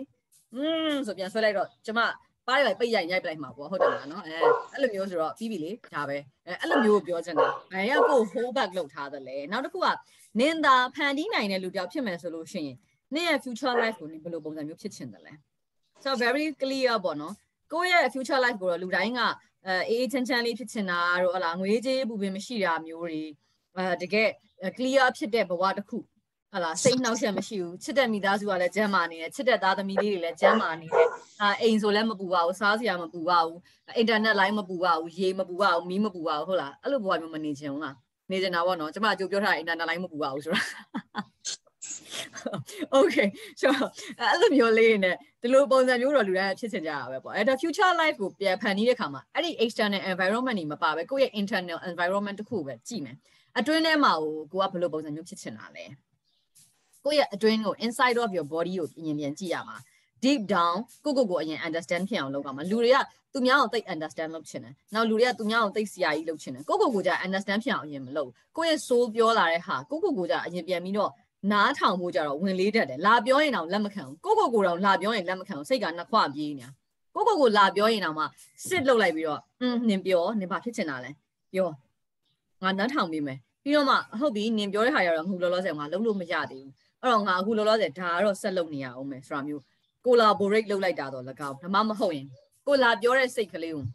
သူနဲ့အတူတူဖတ်ပြီးငိုလိုက်ဟုတ်တယ်ရုပ်မလုပ်ချင်တော့ဘူးရုပ်လည်းမတက်ချင်တော့ဘူးကြောက်လည်းမတက်ချင်တော့ဘူးဇာရီလည်းမကြက်ချင်တော့ဘူးဒါပေမဲ့ငါဒါလုပ်ရအောင်မယ်ဖတ်ပြီးသားငိုလိုက်သူနဲ့သိလားအဲ့တော့သူနဲ့ collaborate အရင်လုပ်လိုက်လေသူနဲ့ collaborate မလုပ်ဖ ೇನೆ အကန်စိတ်ပေါ့နော်ကျွန်တော်မြန်မာလိုပြောမှာအကန်စိတ်ပေါ့ငါမပြောနဲ့ဟမ်ဟမ်ကိုကိုကိုတောင်အဲ့လိုပြန်လုပ်နေတာကိုကိုကိုတောင်မှအဲ့လို defensive ကြီးနဲ့ဆက်ဆက်နေပြီသူများကြတော့သွားပြီးတော့သူများအကြောင်းသိချင်ရတာနဲ့များကိုဟာလာသွားပြီးတော့စူးစမ်းလေ့လာတာတွေအဲ့လိုတွေကသူများကိုသွားမယ်အဆင့် ကိုယ့်ရဲ့မိဘကိုယ့်ရဲ့ပတ်ဝန်းကျင်အတိုင်းဝိုင်းကိုယ့်ရဲ့ဆွေမျိုးကိုယ့်သားသမီးကိုသွားခင်ကိုယ့်ကိုယ်ကိုအရင်အထဲကိုအရင်ဆင်းဆိုတာအဲ့ဒါကိုပြောတာပါနော် the more deep dive yourself the more you will know ပါကို deep dive လုပ်မှကိုပူသိမှာကိုအကြောင်းကိုအရင်သိဖို့လိုတယ်ပေါ့နော်နောက်ခုကဒီလိုမျိုးကိုယ့်ရဲ့ future အတွက်ကိုကိုသိအောင်ကိုကိုကိုဆင်းတဲ့အခါမှာဘယ်သူကကိုကို stop လုပ်ထားရလဲဆိုတော့နောက်ဆုံး question ကပေါ်လာလိမ့်မယ်အဲ့ဒါကဘာလဲဆိုတော့အဲ့ငငယ်တော့ရထားတဲ့ family blueprints တွေ trauma တွေတကယ် fragmented parts တွေက အဲ့ဒါတွေအကုန်လုံးထွက်လာလိမ့်မယ်အဲ့တော့မှဘယ်ဟာကကိုကို blocks လုပ်နေတာလဲဆိုတော့ထွက်လာလိမ့်မယ်မြန်မာနိုင်ငံမှာဆိုမှကျွန်မပြီးခဲ့တဲ့အပတ်ကလည်းပြောတယ်စကားနှစ်ခုကပြောရတာအရန်ခတ်တယ်ဘာလဲဆိုတော့ sex နဲ့ love နဲ့လို့အဲနောက်တစ်ခုက money ပေါ့နော်မြန်မာနိုင်ငံမှာပတ်စံတဲ့အကြောင်းပြောရင်လည်းလူတွေကမကြိုက်ဘူးဒီကောင်လောဘကြီးရယ်ငွေမတ်တယ်လို့မြင်ကြတယ်ပေါ့နော်ဒါပေမဲ့အဲ့ဒါဆိုလို့ရှိရင်ဥမာထားပါတော့အဲကိုကအလုပ်တစ်ခုသွားလျှောက်ပြီးတယ်အဲနင့်ကိုအဲနင်ကညှော်မှန်းလာစားဘယ်လောက်လိုချင်တာလဲရပါတယ်အဆင်ပြေတဲ့လောက်ပေးပါ အဲ့ဒါဘာဖြစ်လို့လဲကိုယ့်ရည်ချင်းကိုမသိလို့ကျမတို့လည်းဖြစ်ခဲ့တယ် first job သွားလျှောက်တဲ့အချိန်မှာတော့ဘာဘယ်လောက်လာစားတောင်းအောင်မှမသိဘူးကိုယ့်ကိုဘာရည်ချင်းရှိမှန်းလည်းမသိဘူးအဲ့တော့ experience နဲတာလည်းပါတယ်နောက်တစ်ခုကဘာလဲဆိုတော့ကြောက်တတ်တာလေသိလား self esteem နေနဲ့ကြောက်တတ်တဲ့စိတ်ကလေးကလည်းရှိနေတယ်နောက်ွယ်မှာဆိုတော့အဲ့တော့ငါပြောလိုက်ရင်အလုပ်ငါရပါမလားဆိုတော့ကိုသွားပြီးတော့အလုပ်သွားလျှောက်တဲ့အချိန်မှာကိုနဲ့စကားပြောလူကဂျလဲတွေကြီးပဲကိုကအခုမှပထမဆုံး first job ကိုလာလျှောက်မယ်20ကျော်လေးအဲ့တော့ ကိုကကိုကိုကိုစပြီးတော့အာဒီအလုပ်တက်ကိုတော့ငါလာစာ3သိန်းလိုချင်ပါတယ်။လာစာ3သိန်းရဖို့တော့ငါဓာတ်ဓာတ်ဓာတ်ငါလုံနိုင်ပါတယ်။ပြောရရမယ်။ပြောရတဲ့တတိတစ်ခုရှိရမယ်ပေါ့။ဒါပေမဲ့အနောက်ကနေဘာကနေပြန်ဆွဲထားလဲမပြောနဲ့ပြောလိုက်ရင်ငွေမတ်တဲ့လူကြီးဖြစ်သွားမယ်။သိရမလား။နင်ကအရေးချင်းကဘယ်လောက်ရှိလို့လဲအဲ့စကားနင်သွားမပြောနဲ့နင်ကိုခန့်မှာမဟုတ်ဘူး။ဘာတွေကပြန်ဆွဲနေရလဲ။ fear တွေရယ် doubt တွေရယ် blocks တွေရယ်အဲ့ဒါတွေအကုန်လုံးကိုအနောက်ကနေပြန်ဆွဲထားတယ်။ရှေ့ကိုလူကတိုးလို့မရတော့ဘူး။အဲအဲ့လိုမျိုးပဲအဲ့တော့ ကိုလုပ်ငန်းတစ်ခုလုပ်တော့မယ်ဆိုတဲ့အခါမှာလဲကိုရှေ့ကိုသွားဖို့အတွက်ရည်ရွယ်ထားတဲ့လုပ်ငန်းတိုင်းကိုအနောက်ကနေပြန်ဆွဲတဲ့စိတ်တွေရှိတယ်လို့အဲ့ဒါတွေကဘာတွေလဲဆိုတာကိုသိအောင်ပြန်ပြီးတော့ရှာခိုင်းတာထိုင်ပြီးစဉ်းစားရင်တစ်နေ့လည်းမဟုတ်နှစ်နေ့လည်းမဟုတ်သုံးနေ့လည်းမဟုတ်ထွက်လာလိမ့်မယ်အများကြီးပဲတစားတစားတစားတစားချင်းစီထွက်လာလိမ့်မယ်အများကြီးပဲတိုက်ဆိုင်မှုတိုင်းမှာ trauma တွေရှိတယ်ဒါပေမဲ့အဲ့တိုက်ဆိုင်မှုတွေကိုမစဉ်းစားမိသေးတဲ့အတွက်ကြောင့်မလို့ဒါမှမဟုတ် release ကောင်းကောင်းလုပ်လိုက်နိုင်တာကြောင့်မလို့ trauma ကပျောက်သွားတာပေါ့နော် so okay ဆိုတော့ကျမတို့သွားလိုက်မယ် အဲ့တော့ဒီနေ့ကတော့ဘယ်သူမှတော့ကျွန်မကို experience တွေ sharing မလုပ်ကြဘူး questions လေးတွေဖြေလာတယ်လို့လည်းမပြောကြဘူးဆိုတော့ကျွန်မပဲဆက်ကျွန်မပဲဆက်အဲ့အကြီးဆုံး blog ကဘာလဲမဆုစန္ဒာအကြီးဆုံး blog ကကြတော့ခုနကတော့လေ Victim Rose ကိုအမြဲတမ်းရောက်နေတယ်ဆိုတော့တစ်ခါကျစဉ်းစားမိရပါတော့ အများအားကိုက Victim Rose မှာရောက်ရောက်တယ်လို့ကိုကတွေးမိတတ်တယ်ပေါ့နော်အဲ့လိုမျိုးဖြစ်တယ်ဆိုတာဘာဖြစ်လို့အဲ့ဒီ blog ကဘာလဲဆိုတော့ငငယ်တော့ဆိုလို့ရှိရင်ဟိုကကိုကတခုခုဟိုဟိုအမေနဲ့အနီးကပ်နေတဲ့ခါကြတော့ရှင်အမေရဲ့အတော်ရရှိရပေါ့နော်တော့သူတို့တခုဆိုအပြင်မှာတခုဖြစ်ခဲ့တဲ့ဟာဆိုပြောပြဖြစ်တယ်ပြောပြဖြစ်တယ်ဆိုနင်ကအမြဲတမ်းအခန့်ဖက်ကကြီးပဲနင်ဘသူနဲ့ပဲပပုံနေမဲ့ခံရတယ်အမြဲတမ်းသိရမလားအဲ့လိုမျိုးပေါ့ နင်းပြင်နင်းပေါင်းလိုက်ပြီဆိုနင်းခံဖက်ကကြီးပဲအများနဲ့ပဲခံနေရတာပဲဆိုကိုကတခုခုပေါင်းတော့မှဆိုတော့ ဟိုအဲ့လိုမျိုးပေါ့ဟိုသွားအမမလုပ်ရသေးဘူးငါခံရတော့မယ်ဆိုအရင်စတွေးတာခံရတော့မှပါပဲနောက်ဆုံးငါခံလိုက်ရပြီပဲအဲ့လိုမျိုးအဲ့ဒါပတ်တက်ပြီးဖြစ်သွားတယ်ဟိုပဲတော်တော်ဟိုအများကိစ္စတွေအများကြီးရှိရတဲ့ထဲကအဲ့လိုဟာမျိုးကိုပဲ highlight ကိုကလုံးမိတယ်ပေါ့နော်ဟုတ်တယ်အဲ့ဒီဟာကိုပဲတတိထားမိတယ်အဲ့လိုမျိုးဖြစ်နေရပေါ့နင်းကိုဆိုလူတွေကလှပေါင်းမယ်အခွင့်အရေးလိုချင်လို့ပေါင်းတယ်ပေါ့အဲ့လိုမျိုးပေါ့နော်အဲ့လိုမျိုးဖြစ်တယ်ဆိုတော့သူများကသူတရားနဲ့ပြောဖို့ဆိုရင်တော့မှလေအော်ဒါဆိုရင်ငါမှအခွင့်အရေးယူနေပြီလားအဲအဲ့လိုမျိုးကြီး အဲ့လိုမျိုးကြီးဟာအဲ့ဒီမှာနောက်က belief တွေလိုက်လာတာပေါ့อืมအဲ့လိုမျိုးတွေဖြစ်လာတော့လေ yes ဒါမဟုတ်ပါဘူးဟိုကိုကအဲ့လိုယုံကြည်နေတဲ့ဆိုငါအဲ့လိုဖြစ်သွားလိမ့်မယ်တစ်ဖက်ကလည်းပေါ့နော်အဲအစိတ်ကအမြဲလွန်ဆိုတော့ငါအဲ့လိုလိုက်ယူယုံကြည်နေအဲ့တိုင်းပဲတကယ်ဖြစ်လာလိမ့်မယ်ဒါဆိုငါတကယ်လိုချင်တဲ့ဟာအဲ့လိုမျိုးမဟုတ်ဘူးအဲ့လိုမျိုးပေါ့နော်ဒါဆိုမလိုချင်တဲ့ဟာဆိုငါမတွေးရဘူးဒါကြီးကို highlight မလုပ်ရဘူးအဲ့ကို create လုပ်နေရပါမမဆိုရယ်ပြောရမယ်ဆိုတော့ခုနကပြောရတာ အဲ့ဒါကို create လုပ်လိုက်တာပဲအတွေးရနေပြီးတော့ဝင်လာတယ်ဝင်လာတဲ့အခါမှာအဲ့ဒါယူကိုက belief တစ်ခုဖြစ်သွားအောင်လို့ယုံကြည်ချလိုက်တာအဲ့တော့ယုံကြည်ချလိုက်တော့အမြဲတမ်းအဲ့ဒါယူအားပေးအားမြောက်လုပ်ရကြပြီးတော့အဲ့ဒါတွေပဲဆွဲခေါ်ရရောက်သွားတာပေါ့နော်အဲ့လိုမျိုးကိုမှအဖြစ်ပေါ့နော်ကျွန်မ first day မှာကျွန်မပြောတယ်အာ you are the center of everything ဆိုတာအရာအလုံးကနေနဲ့ပဲဆိုင်တယ်အဲ့ဒါကဘာကိုပြောချင်တာလဲဆိုတော့ပထမရည်စားထားတယ်အာရက်သမား ရိုက်တယ်နှိပ်စက်တယ်အရက်ဖိုးတောင်းတယ်ကိုကပဲချစ်လွန်းလွန်းအမ်းရတယ်ပြတ်သွားတယ်ဒုတိယရည်စားထပ်ထားတယ်စေသမားအဲ့ဒါကိုကပန်းအမ်းရပြန်ပြီပေးရပြန်ပြီကိုကပဲချစ်လိုက်ရပြန်ပြီအဲ့တော့တတိယအကြိမ်ကျတော့ဘာပြောလာလဲငါအချစ်ကန်ခေတယ်ငါတွေးလိုက်ရင်ဒီလိုလူတွေနဲ့ကြီးပဲလူတွေကပြောတယ်ဘာလို့အဲ့လိုလူတွေကိုဘွားတွေကိုရောက်လာလဲကိုယ့်ရဲ့မသိတဲ့မသိတဲ့စိတ်ပေါ့နော် unconscious mind မသိတဲ့ energy တခုကအဲ့လို energy ကိုထုတ်လွှတ်နေတော့ အဲ့လို energy နဲ့ frequency ကြိုက်တဲ့လူကရောက်လာကျွန်တော်ဆက်သွားလေးလိုပဲဒီလိုညှိပြီးတော့ဒီလိုချိတ်သွားမှဒီလိုလဲလို့ရတာအဲ့တော့ကိုကစပြီးတော့အဲ့ဒီဟာကိုလွတ်နေတဲ့ဟိုကအဲ့လို frequency နဲ့လာပြီးဒီလိုညှိပြီးချိတ်ပြီးလဲလို့ရမယ်ကောင်မျိုးပဲရောက်လာမှာဘဝထဲမှာအဲ့တော့ကိုကအဲ့ဒီ pattern ကိုပြောင်းချင်တယ်ဆိုရင်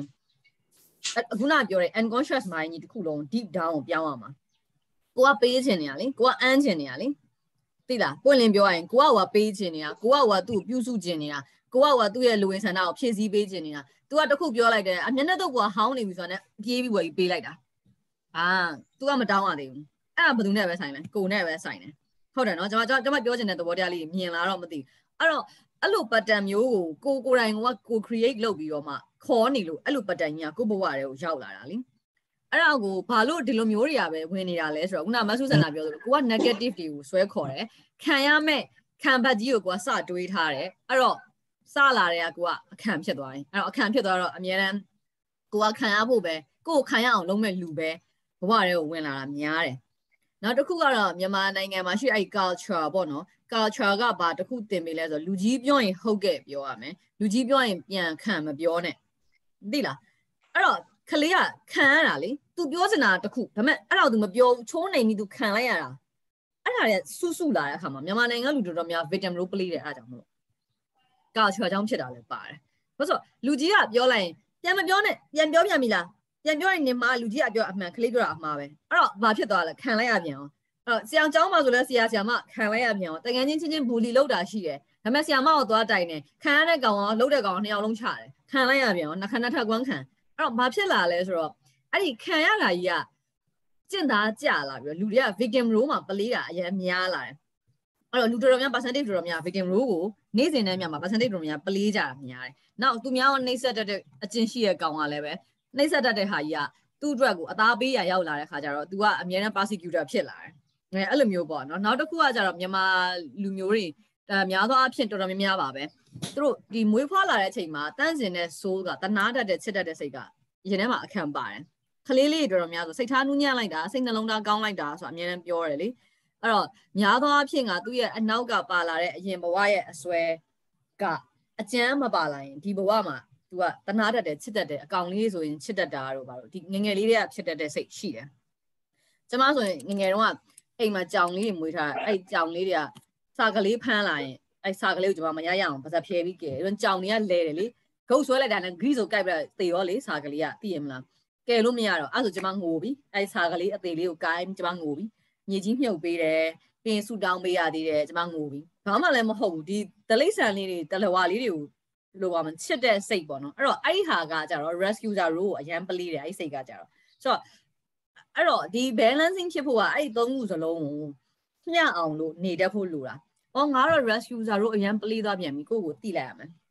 ဟောငါအရန် victim နဲ့ကိုသွားနေပြီမစီမဆိုင်ဘူးအာ မီးတောင်ကြီးပေါက်တာအစား victim နဲ့ကိုကကိုယ့်ကိုပြန်ဆွဲထည့်တာမျိုးပေါ့နော်အဲ့လိုမစီမဆိုင် victim role ကိုပလေးတာ emotion တွေတက်လာတဲ့အချိန်မှာပိုဆိုးတယ် victim role ပလေးတဲ့အကျင့်ရှိရလူကပိုပြီး emotion မှာသွားလို့ရှိရပေါ့နော်ဆိုတော့ okay ဆိုတော့အာပြောရမယ်ဆိုလို့ရှိရင်တော့ culture အများကြီးသက်ဆိုင်နေတယ်လို့နော်ပြောချင်တာပါ okay အဲ့တော့ဆက်သွားလိုက်မယ်နော်အတန်းလေးဆက်တင်လိုက်မယ်အကြောင်းကတော့အချိန်မလောက်ပါဆိုလို့ပါရှင် ပညာရေးစနစ်တွေကြောက်လဲပိုင်ပါမှာပေါ့နော်အဲ့ဒါတွေ effect တွေလည်းရှိမှာဟုတ်တယ်ဟုတ်တယ်ဟုတ်တယ်ပညာရေးစနစ်တွေကြောင့်လည်းပါတယ်နောက်တစ်ခုကဟိုကြီးပြင်းလာတဲ့ culture ကြီးကလည်းပဲတော်တော်ဆိုးတယ်ပေါ့နော်မြန်မာနိုင်ငံရဲ့အနေအထားကြီးကအဲ့ဒါကြောင့်လည်းပါတယ် okay so ဒီနေ့ကျွန်မ warming up လေးတစ်ခုထပ်လုပ်ချင်တာကပြီးခဲ့တဲ့ chapter 2မှာတော့ကျွန်မသင်ခဲ့တယ် three types of body ဆရာမသုံးခုကြောင်းဟုတ်ကဲ့ပြောပါမမြလေး ဟုတ်တစ်ခုလောက် sharing လုပ်ချင်လို့ဒီချက် yes yes ပြောပါရှင်ရတယ်ရှင်ဟိုခုနဒီချက်ပြောတဲ့ culture ပေါ့နော်ဘယ်လောက်တောင်ဆိုးလဲဆိုရင်ဒီချက်လူကြီးတွေကပေါ့နော်ပြန်မပြောနဲ့လူသူတို့ပြန်ပြောလို့ရှိရင်လူကလေးတွေကဆိုးတယ်ပေါ့နော်ငရေကြီးမယ်ပေါ့လူကြီးလူကြီးပြောတာကိုနားထောင်အောင်မယ်ပေါ့အဲ့ဒါမျိုးပြောရဲဒီချက်ဆိုတော့အဲ့လိုမျိုးပြောတဲ့ခါကျတော့နောက်ပိုင်းကျတော့ကျွန်တော်တွေ့တယ်ပေါ့နော်ဘာတွေ့လာလဲဆိုတော့လေကလေးတွေကဘာမှပြန်မပြောတော့ဘူးဒီချက်ဆိုးဆိုးကောင်းကောင်းပေါ့နော်ဘာမှပြန်မပြောတော့ဘူး ဟိုပြန်မပြောတတ်တော့ဘူးပေါ့နော်ပြန်မပြောတတ်တော့သူတို့စိတ်ထဲမှာပဲရင်ထဲမှာပဲရှိနေတော့တဲ့တစ်ချက်အဲ့ဒါတစ်ချက်နောက်တစ်ချက်ကကျမတို့မေးခွန်းနေမေးတဲ့နေရာမှာအရန်တိတာတဲ့တစ်ချက်ကျမတို့ကလေးတွေဆိုလို့ရှိရင်ပေါ့နော်ဟိုဘာဟိုမေးဟိုဟာဖြစ်တယ်ဆိုလို့ရှိရင်ပြန်မေးစရာရှိတာမေးပါဆိုလို့ရှိရင်ဘာမှမမေးတော့ဘူးရှင်လုံးဝမေးစရာရှိတဲ့မေးခွန်းတာမှပြန်ငါများငါမေးလိုက်လို့များမှားသွားမလားဆိုတဲ့အတွေးနဲ့ပြန်မမေးတော့ဘူးရှင်ဟိုကျမတို့တွေ့ဘူးလားနိုင်ငံသားမှာဆိုလို့ရှိရင်မေးခွန်းမေးပါဆိုလို့ရှိရင်ကလေးတွေကအရန်ကိုမေးကြတယ်တစ်ချက်အဲ့လိုမျိုးလဲအရန်ကွာသွားတယ်တစ်ချက်အဲ့ဒါလေး အဲ့ဒါလေးတစ်ခုတွေ့လိုက်ရတယ်တတ်ချလိုက်တာလေအတွေးတွေအကုန်လုံး creative thinking တွေ innovations တွေအစရှိတဲ့အတွေးတွေအညွန့်တလူလူတက်နေတဲ့အတွေးလေးတွေကိုတတ်ချပလိုက်တာပေါ့နော်သိရမလားအဲဥမာအဖြစ်ပေါ့ကြီးကြီးမားမား example မဟုတ်ဘူးတိတိလေးပြောရမယ်ဆိုရင်အဲတသားသွားတိုက်ဖို့ကျွန်မသွားတိုက်စီထည့်ပေးရကျွန်မအကျင့်ဖြစ်နေပြီသွားတိုက်စီမထည့်ခင်ကျွန်မသဘွတ်တံအရင်ရေးစီးရဒီချာရေပိုက်ကောင်းလေးဖွင့်ပြီးသဘွတ်တံကို bra bra bra bra bra ပို့ပြီးရေးစီးရဆေးပြီးမှသွားတိုက်စီလေးထည့်တော့တသားမေးတယ်မမကြီးဘာလို့ သဘွတ်တံကိုရေရင်စီးရလဲတဲ့ဆိုတော့အဲ့ဒီမေးခွန်းကိုကျမတို့ကျမတို့ဒါကျမတို့မိဘကိုမေးခဲ့ရင်ဘာပြန်ဖြေမလဲ Okay အဲ့တော့အဲ့ညမှာရမတ်တင်တင်မတ်တင်တင်တန်းဖြေပါမတ်တင်တင်တန်းဖြေခြင်းလို့မိုက်ဖွင့်လိုက်တာရှာရှည်တယ်လို့ပြောခဲ့ရမှာလေ Yes Yes Yes Hey ရှာမရှိနဲ့သွားတိုက်ဆရာရှိတာတိုက်ဟုတ်တယ်နော်အဲ့လိုလာမယ် အဲ့တော့ကျမဘယ်လို response လုပ်လိုက်လဲတို့တပုတ်တန်လေးကိုရေးဆေးပြီးတော့မှသွားပွက်သွားတိုက်ဆေးလေးထည့်ပြီးတိုက်တော့တသားသွားတိုက်ရတာ smooth ဖြစ်တယ်လေအမြုပ်ကလေးတွေပိုထွက်တာပေါ့သွားတိုက်လို့ပိုပြီးကောင်းတယ် smooth ပိုဖြစ်တာပေါ့တသားရေးစွတ်ကမကြရင်ရေမစွတ်နဲ့ပေါ့တသားကြိုက်တာလုပ်လို့ရတယ်လေကျမ response open type ဖွင့်မိထားတယ်အဲ့တော့မအေတိုင်းမအေတိုင်းရောကလေးတွေနဲ့ဆက်ဆံနေရတဲ့ဆရာဆရာမတွေတော့၎င်းပေါ့နော်ဒါမှမဟုတ်လည်းအပြိုကြီးလူပြိုကြီးတွေလည်းပဲအဲ့လို open type ကမဟိုနေ့ကပြီးခဲ့ပြောတဲ့မျိုးပေါ့ fixed mindset မဟုတ်ဘဲနဲ့ open mindset ဖွင့်ဖို့ကျမတို့ generation မှာလိုတယ်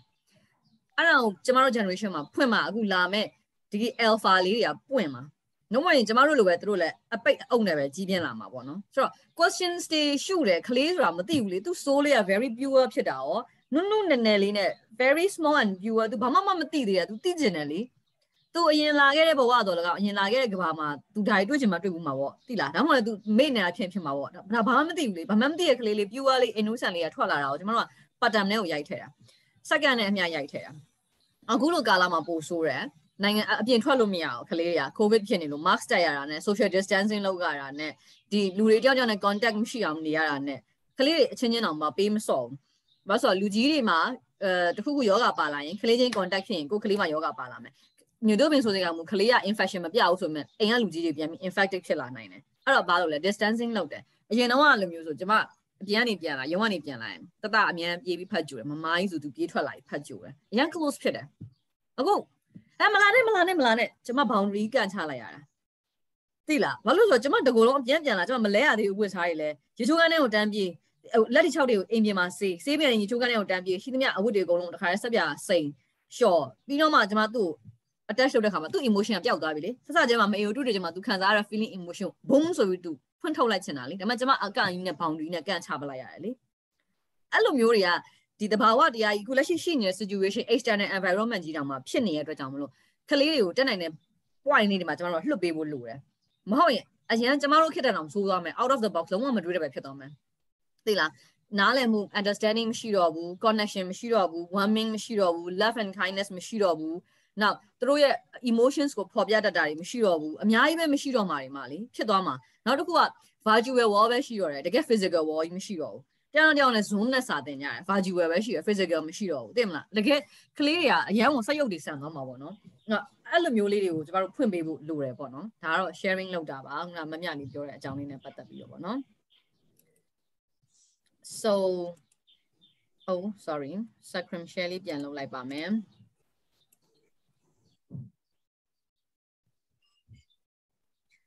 okay ဆိုတော့ကျမတို့ပြီးခဲ့တဲ့အပတ်ကကျမပြောခဲ့တဲ့ဟိုဟာလေးရှိတယ်အဲ three types of the body ပေါ့နော်မှတ်မိကြအောင်မလားတော့မသိဘူးခန္ဓာကိုယ်၃မျိုး body ထဲမှာရှိနေတဲ့ body ၃မျိုးရှိရယ်ဘာလေးတွေလဲမှတ်မိနိုင်ရင် body ရဲ့ mind ရဲ့ soul spirit လို့ခေါ်တဲ့ဟာလေးပေါ့နော်စိတ်ဝိညာဉ်လေးဟုတ်တယ်သုံးမျိုးရှိရယ် soul လို့လည်းခေါ်တယ် spirit လို့လည်းခေါ်တယ်ဆိုတော့ body ရှိမယ်ခန္ဓာကိုယ်ကြီးတစ်ခုလုံးအနေနဲ့ရှိမယ်နောက်တစ်ခုက mind ခုနအတွေးတွေပေါ့နော် mind တွေရှိမယ်နောက်တစ်ခုကတော့ soul spirit ဆိုတဲ့အပိုင်းတစ်ခုရှိရယ်ခန္ဓာကိုယ်ထဲမှာအဲ3 types of the body ကအမြဲတမ်းအလုပ်လုပ်နေတာကျွန်တော်တို့ကလူကြီးအဖြစ်ကြည့်လိုက်ရင်ဒါဒီ reflection အလင်းပြန်ထားတဲ့ဒုတယ်ကြီးရှိရဒီခန္ဓာကိုယ်ကြီးကိုပဲ body နေတဲ့ number 1ကပဲမြင်ရတာ number 2လည်းရှိရ number 3လည်းရှိရကျွန်တော်တို့ insight မှာဆိုတော့ mind ကအရန်စကားပြောတယ်အများနဲ့ကျွန်မပြောတယ်ကိုယ့်ရဲ့ခန္ဓာကိုယ်ထဲမှာ who is talking စကားပြောနေတာဘယ်သူကပြောနေတာလဲဆိုတော့အများသောအားဖြင့် percentage တော်တော်များများဒီအဲ့ဒီ mind ဆိုတဲ့ဟာပြောနေတာ mind ကဘယ်ကနေဖြစ်လာလဲဆိုတော့အုံနောက်ရဲ့ အလုံးလုံးတဲ့အစိတ်အပိုင်းတွေကနေဖြစ်လာတယ်အုံနောက်ထဲမှာရှိတဲ့ neurons တွေကနေပြီးတော့အလုံးလုံးတယ်သူကနေအချက်လက်လေးသတင်းပို့တယ်ပို့ပြီးတော့အုံနောက်ကြီးကအကြောင်းပြန်လိုက်တယ်ဟဲ့နင့်ကိုစိတ်ဆိုးအောင်ပြောနေတာနင့်ကိုစော်ကားနေပြီစိတ်ဆိုးလိုက်စိတ်ဆိုးလိုက်ဆိုပြောတယ်အဲ့တော့ပြောတော့ဘာတွေထွက်လာလဲကျွန်မဒါကြီးပိတ်လိုက်မှလည်းတူတယ်နော် okay အဲဘာတွေထွက်လာလဲဆိုတော့အတွေးတွေထွက်လာတယ်နောက်ပြီးအတွေးရဲ့နောက်ကနေ emotions တွေလိုက်လာတယ်စိတ်ဆိုးမယ်ပျော်မယ် ကြည်နူးမယ်ဟာလားဒါကကိုက reflect လုပ်လိုက်တာနော်တစ်ဖက်လူကပြောတဲ့ perception ကအဲ့ဒီအတိတ်ပဲဖြစ်ချင်မှဖြစ်မှာကို reflect လုပ်လိုက်တဲ့ perception ကကို own creation ပဲကိုနဲ့ပဲဆိုင်နေပေါ့နော်အဲ့ဒါကြောင့်မလို့အဓိကသတိထားမှာပါလဲ don't let your brain to be your enemy ကိုယ့်ရဲ့အုံနှောက်တီကိုယ့်ရန်သူမဖြစ်စေနဲ့အဲ့ဒါအရန်အရေးကြီးတယ်နော်ကျမတို့အနောက်နိုင်ငံမှာအဲ့မင်းသမီးရဲ့နာမည်ကျမမိပါတယ်သူဒီအရန်ကိုနာမည်ကြီးပြီးတော့အရန်ကြော်ကြတယ်ဒါပေမဲ့သူ့မှာကအဲ့လို trauma တွေရှိတယ် blueprint တွေရှိတယ်သူမဖယ်ထုတ်နိုင် release မလုပ်နိုင်တဲ့ခါကျတော့ तू ကစိတ်ယောဂဖြစ်လာတယ်စိတ်ယောဂဖြစ်လာ psychiatrist နဲ့ तू ပြရတယ်ဆေးတွေတောက်ရတယ်ဒါပေမဲ့ तू မတတ်တာဘူးမတတ်တာတဲ့အကြောင်းရင်းဒီပါလဲ तू တကယ် release မလုပ်လို့မတတ်တာလားအဲ့တော့နောက်ဆုံး तू ကသူ့ရဲ့သုံးထပ်တိုက်ကြီးပေါ်နေ तू ခုံချပြီးသူ့ကို तू တေချောင်းကြံတယ်အဲ့ဒီအချိန်မှာစာခောက်လေးထဲမှာစာလေးရေးပြီးစာတစ်စောင်ထားခဲ့တယ်အဲ့ဒါဘာလဲဆိုတော့ငါရဲ့အုံနောက်ကငါ့ကိုတတ်လိုက်တာတဲ့သိလားအတိတ်ကဘာကိုပြောချင်တာလဲဆိုတော့သူ့ရဲ့အတွေးတွေကပဲသူ့ကိုယူအောင်လုပ်တာ तू အလွန်အကျွံနေတွေးတယ် overthinking တွေဖြစ်လာတယ်သူ့ရဲ့အတွေးကို तू control မလုပ်နိုင်တော့ဘဲနဲ့တွေးသမျှအတွေးတိုင်းကို accept လုပ်လာတဲ့အခါမှာစိတ်ယောဂဖြစ်လာတယ်နောက်က emotions တွေလိုက်လာတယ် emotions ကိုပါ control ပြန်လုပ်မနိုင်တဲ့အခါမှာကိုယ့်ရဲ့အုံနောက်ကကိုယ် enemy ဖြစ်သွားတာပဲအဲ့တော့ don't let your brain to be your enemy ကိုယ်အုံနောက်ကိုဘယ်တော့မှကိုယ့်ရဲ့အဲရန်သူအဖြစ်မခံနဲ့ကိုယ်မှာ control လုပ်နိုင်တဲ့ power အပြည့်ရှိတယ်လူတိုင်းမှာကိုယ်အုံနောက်ကိုလည်းအလွတ်မပေးနဲ့ thoughts ကိုလည်းအလွတ်မပေးနဲ့ emotions ကိုလည်းအလွတ်မပေးနဲ့ နော်ဆိုတော့ okay အလားဘလောက်အထိဒီ thoughts တွေဒီအတွေးတွေကဘလောက်အထိလူတွေကိုဒုက္ခပေးလဲဆိုတဲ့အကြောင်းလေးကိုကျွန်တော်ပြောပြမယ် the abundance tree ဆိုတဲ့ပုံမြင်လေးနဲ့ကျွန်တော်ပြောပြမယ် the abundance tree ဆိုတာကျမတို့မြန်မာလို့ဆိုရင်လူသားရတစ်ပင်ပေါ့နော်ဟိုးရှိရှိတုန်းကတဲ့လူတယောက်ကသူကအရန်စိတ်ညစ်ပြီးတော့ပေါ့နော်သူဘဝအရန်ကိုဆင်းရဲတော့ဆင်းရဲပင်ပန်းကြီးခါကျတော့အရန်စိတ်ညစ်ပြီးသွားတဲ့နေပြီးထွက်လာထွက်လာပြီးတော့ကွင်းမြင်ကြီးကိုသူကဖြတ်လျှောက်လာသူ့ရဲ့အတွေးတွေကချာချာလဲနေတာပေါ့လေ အာဒီဘဝရပင်ပန်းဆင်းရဲလိုက်တာစိတ်ညစ်ဖို့ကောင်းလိုက်တာချာချာလဲပြီးတော့သူတွေးနေတယ်ဒီလိုချိန်မှသာငါဟာဘာမဆိုတောင်းတလို့ရတယ်ဘဝကိုရောက်သွားရင်ဘလောက်ကောင်းမလဲဆိုပြောပြီးသူတွေးရင်းနဲ့လေကွင်းကိုဖြတ်လျှောက်လေကွင်းအဆုံးမှာသူတစ်ပိန်တစ်ပိန်ကိုသွားတွေ့တယ်အကိုင်းခက်ဝေဝေဆဆာနဲ့တစ်ပင်ညာအရန်အေးချမ်းတာပဲအဲ့နဲ့သူအဲ့တစ်ပင်အောက်မှာသူသွားခိုးပြီးနားပြီးထိုင်လိုက်ဟာကောင်းလိုက်တဲ့တစ်ပင်ကြီးပေါ့နော်အရေးအဝါတလည်းကောင်းအေးသွားတာပဲတလန်းလုံးပူပြီးတော့လမ်းလျှောက်လာတာ အေးသွားတာပဲ feeling အရန်ကောင်းတယ် feeling so nice ဟမ်သူထိုင်လိုက်တယ်ပြီးလည်းပြီးတော့သူစတွေ့ရဘိုက်စားလိုက်တာတဲ့စားကောင်းတောက်ဖွယ်ညာရောက်လာရင်တိတ်ကောင်းပါပဲပါမုတ်လဲစားခြင်းနဲ့ဟမ်ဘာဂါလဲစားခြင်းနဲ့ cheese လဲစားခြင်းနဲ့ pizza လဲစားခြင်းနဲ့ကျမသာဆိုရင်တော့ဒန်ဘောက်တို့ဟာလားအာဘူရှာပူတို့ရခိုင်မုတ်ဒီမာလာရှန်ကောစုံနေအောင်စားမှာပေါ့နော်อืมစိတ်ထဲနဲ့တွေးလိုက်တာပေါ့တွေးလိုက်တဲ့အခါကျတော့ prep ဆိုပြီးတော့တမဟုတ်ချင်းမှာပဲသူ့ရဲ့ဘေးကို အစားတောက်တွေရောက်လာတယ်ခုနကသူ imagination လုပ်လိုက်တဲ့စိတ်ကူးပုံဖော်လိုက်တဲ့အစားအစာတွေရောက်လာတယ်အာသူ amazing ဖြစ်သွားတယ်ဟာဘယ်ကနေရောက်လာလဲပေါ့ဒီအစားအစာတွေအရင်တော့မရှိပါဘူးပေါ့နော်ဟာသူအားရပါရမှွေးပြီးတော့အနက်ရတာနဲ့ပြည့်စုံတော့အဲအစားအစာတွေကိုသူပါလုပ်လိုက်လဲဆိုအားရပါရသူစားလိုက်တယ် sorry ပါဖုန်းတကောဝင်လာလို့ပါဖုန်းလေးကင်လိုက်ပါအောင်မယ်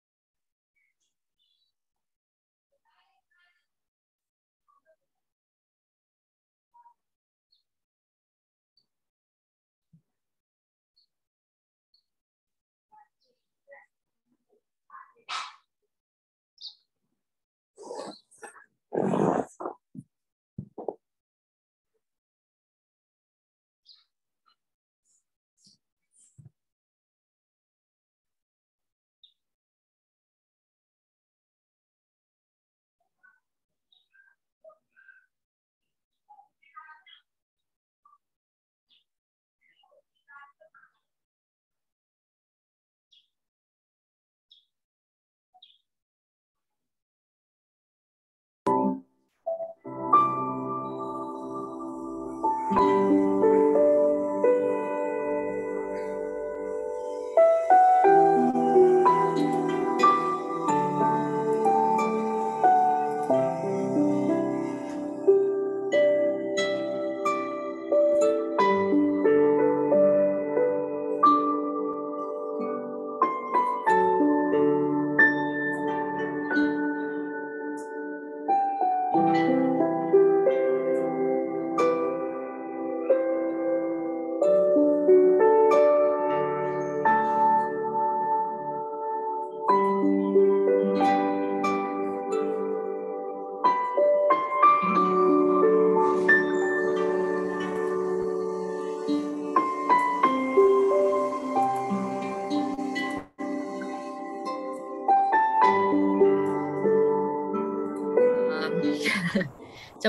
တီတယောက်အသက်ကတော့တော်တော်လေးကြီးပြီ60ကျော်80နီးပါးပေါ့နော်ဖေတို့လောက်တော့မရှိသေးဘူး။ तू ကအခုဟိုဟာ positive ထွက်လို့အာမနေ့ကညကျမအဲဆေးတောက်ရမယ့်ဆေးတွေရဲ့နောက်ဘာညာတွေပြောပြနောက်သူ့အမျိုးသမီးအတွက်ကိုပါကျမပြောပြဆိုတော့အခုအချိန်နေလေး तू လှမ်းပြောပြီးတော့အာနည်းနည်းလေးဆေးဝါးနဲ့ပတ်သက်တဲ့ဟာဘာထက်တောက်ဖို့လုပ်မလဲဘာ on ရမလဲဘာညာလှမ်းမေးရ sorry ပါကျမရေးကိစ္စမလို့ကျမကင်လိုက်တာပါအကြောင်းတခြားဘာမဖြစ်ပါနဲ့ဟောစိတ်နောက်ချက်ဖြစ်သွားမှလည်းဆိုလို့ပါရပါလေရှင်ဟုတ် ကဲ့အဲ့တော့ဆက်သွားလိုက်မယ်နော်ဟုတ်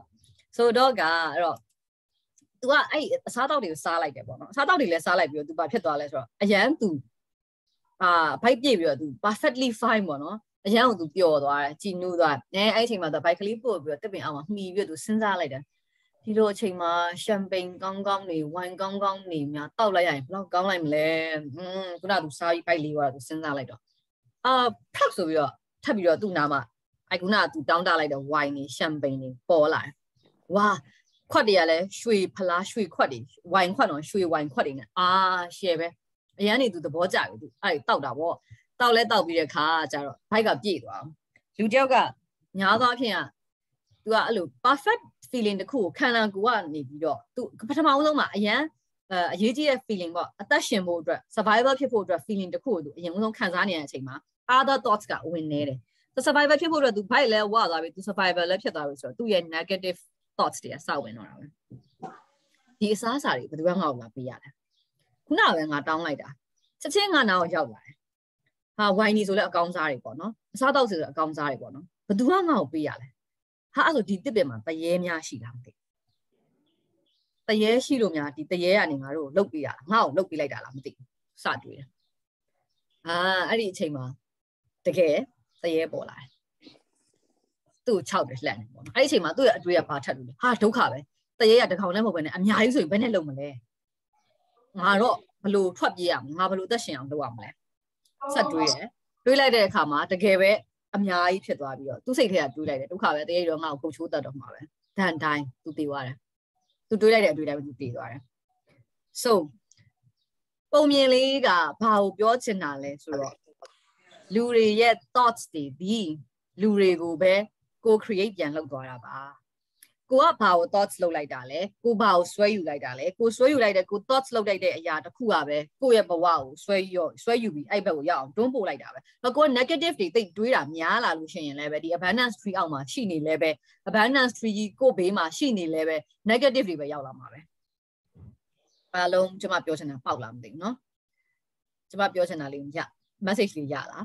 အဲ့တော့ကိုကမရှိဘူးမရှိဘူးမရှိဘူးမရှိဘူးမရှိဘူးတွေးလေလေမရှိလေမရှိလေလေပဲမြန်မာစကားမှာပါလဲပေးရမကုန်လူရမခံနောက်တစ်ခုကပါလဲမရှိလို့မလူမလူလို့မရှိအိုးဟုတ်လားဒါတွေကအတိတ်တပေါင်းနမိတ်ဆောင်ဆိုမြန်မာလေမြန်မာနိုင်ငံမှာကျင့်သုံးကြအများ actually အဲ့ဒါကောင် mind နဲ့ပဲစိုက်နေကိုယ့်ရဲ့စိတ်ကဘယ်ဟာကိုဆွဲခေါ်နေတာလဲကိုယ့်ရဲ့စိတ်ရဲ့ဆွဲဆောင်ရာအဒီပဲဒါတွေကရောက်လာတာပေါ့နော်ဆို တော့ဒါကြောင့်မလို့ကို့မှာ abundance tree ရှိနေတော့မှကိုတွေးတဲ့အတွေ့အ negative တွေ negative ရောက်လာမှာ abundance tree ရှိတိုင်းပဲရွှေတွေငွေတွေတီးပြီးတော့အပင်ကြီးကနေရွှေတီးငွေတီးထွက်နေမယ်လို့မထင်နဲ့ abundance tree ရှိတယ်ပဲကိုက negative thinking တွေ negative ပဲရောက်လာမှာ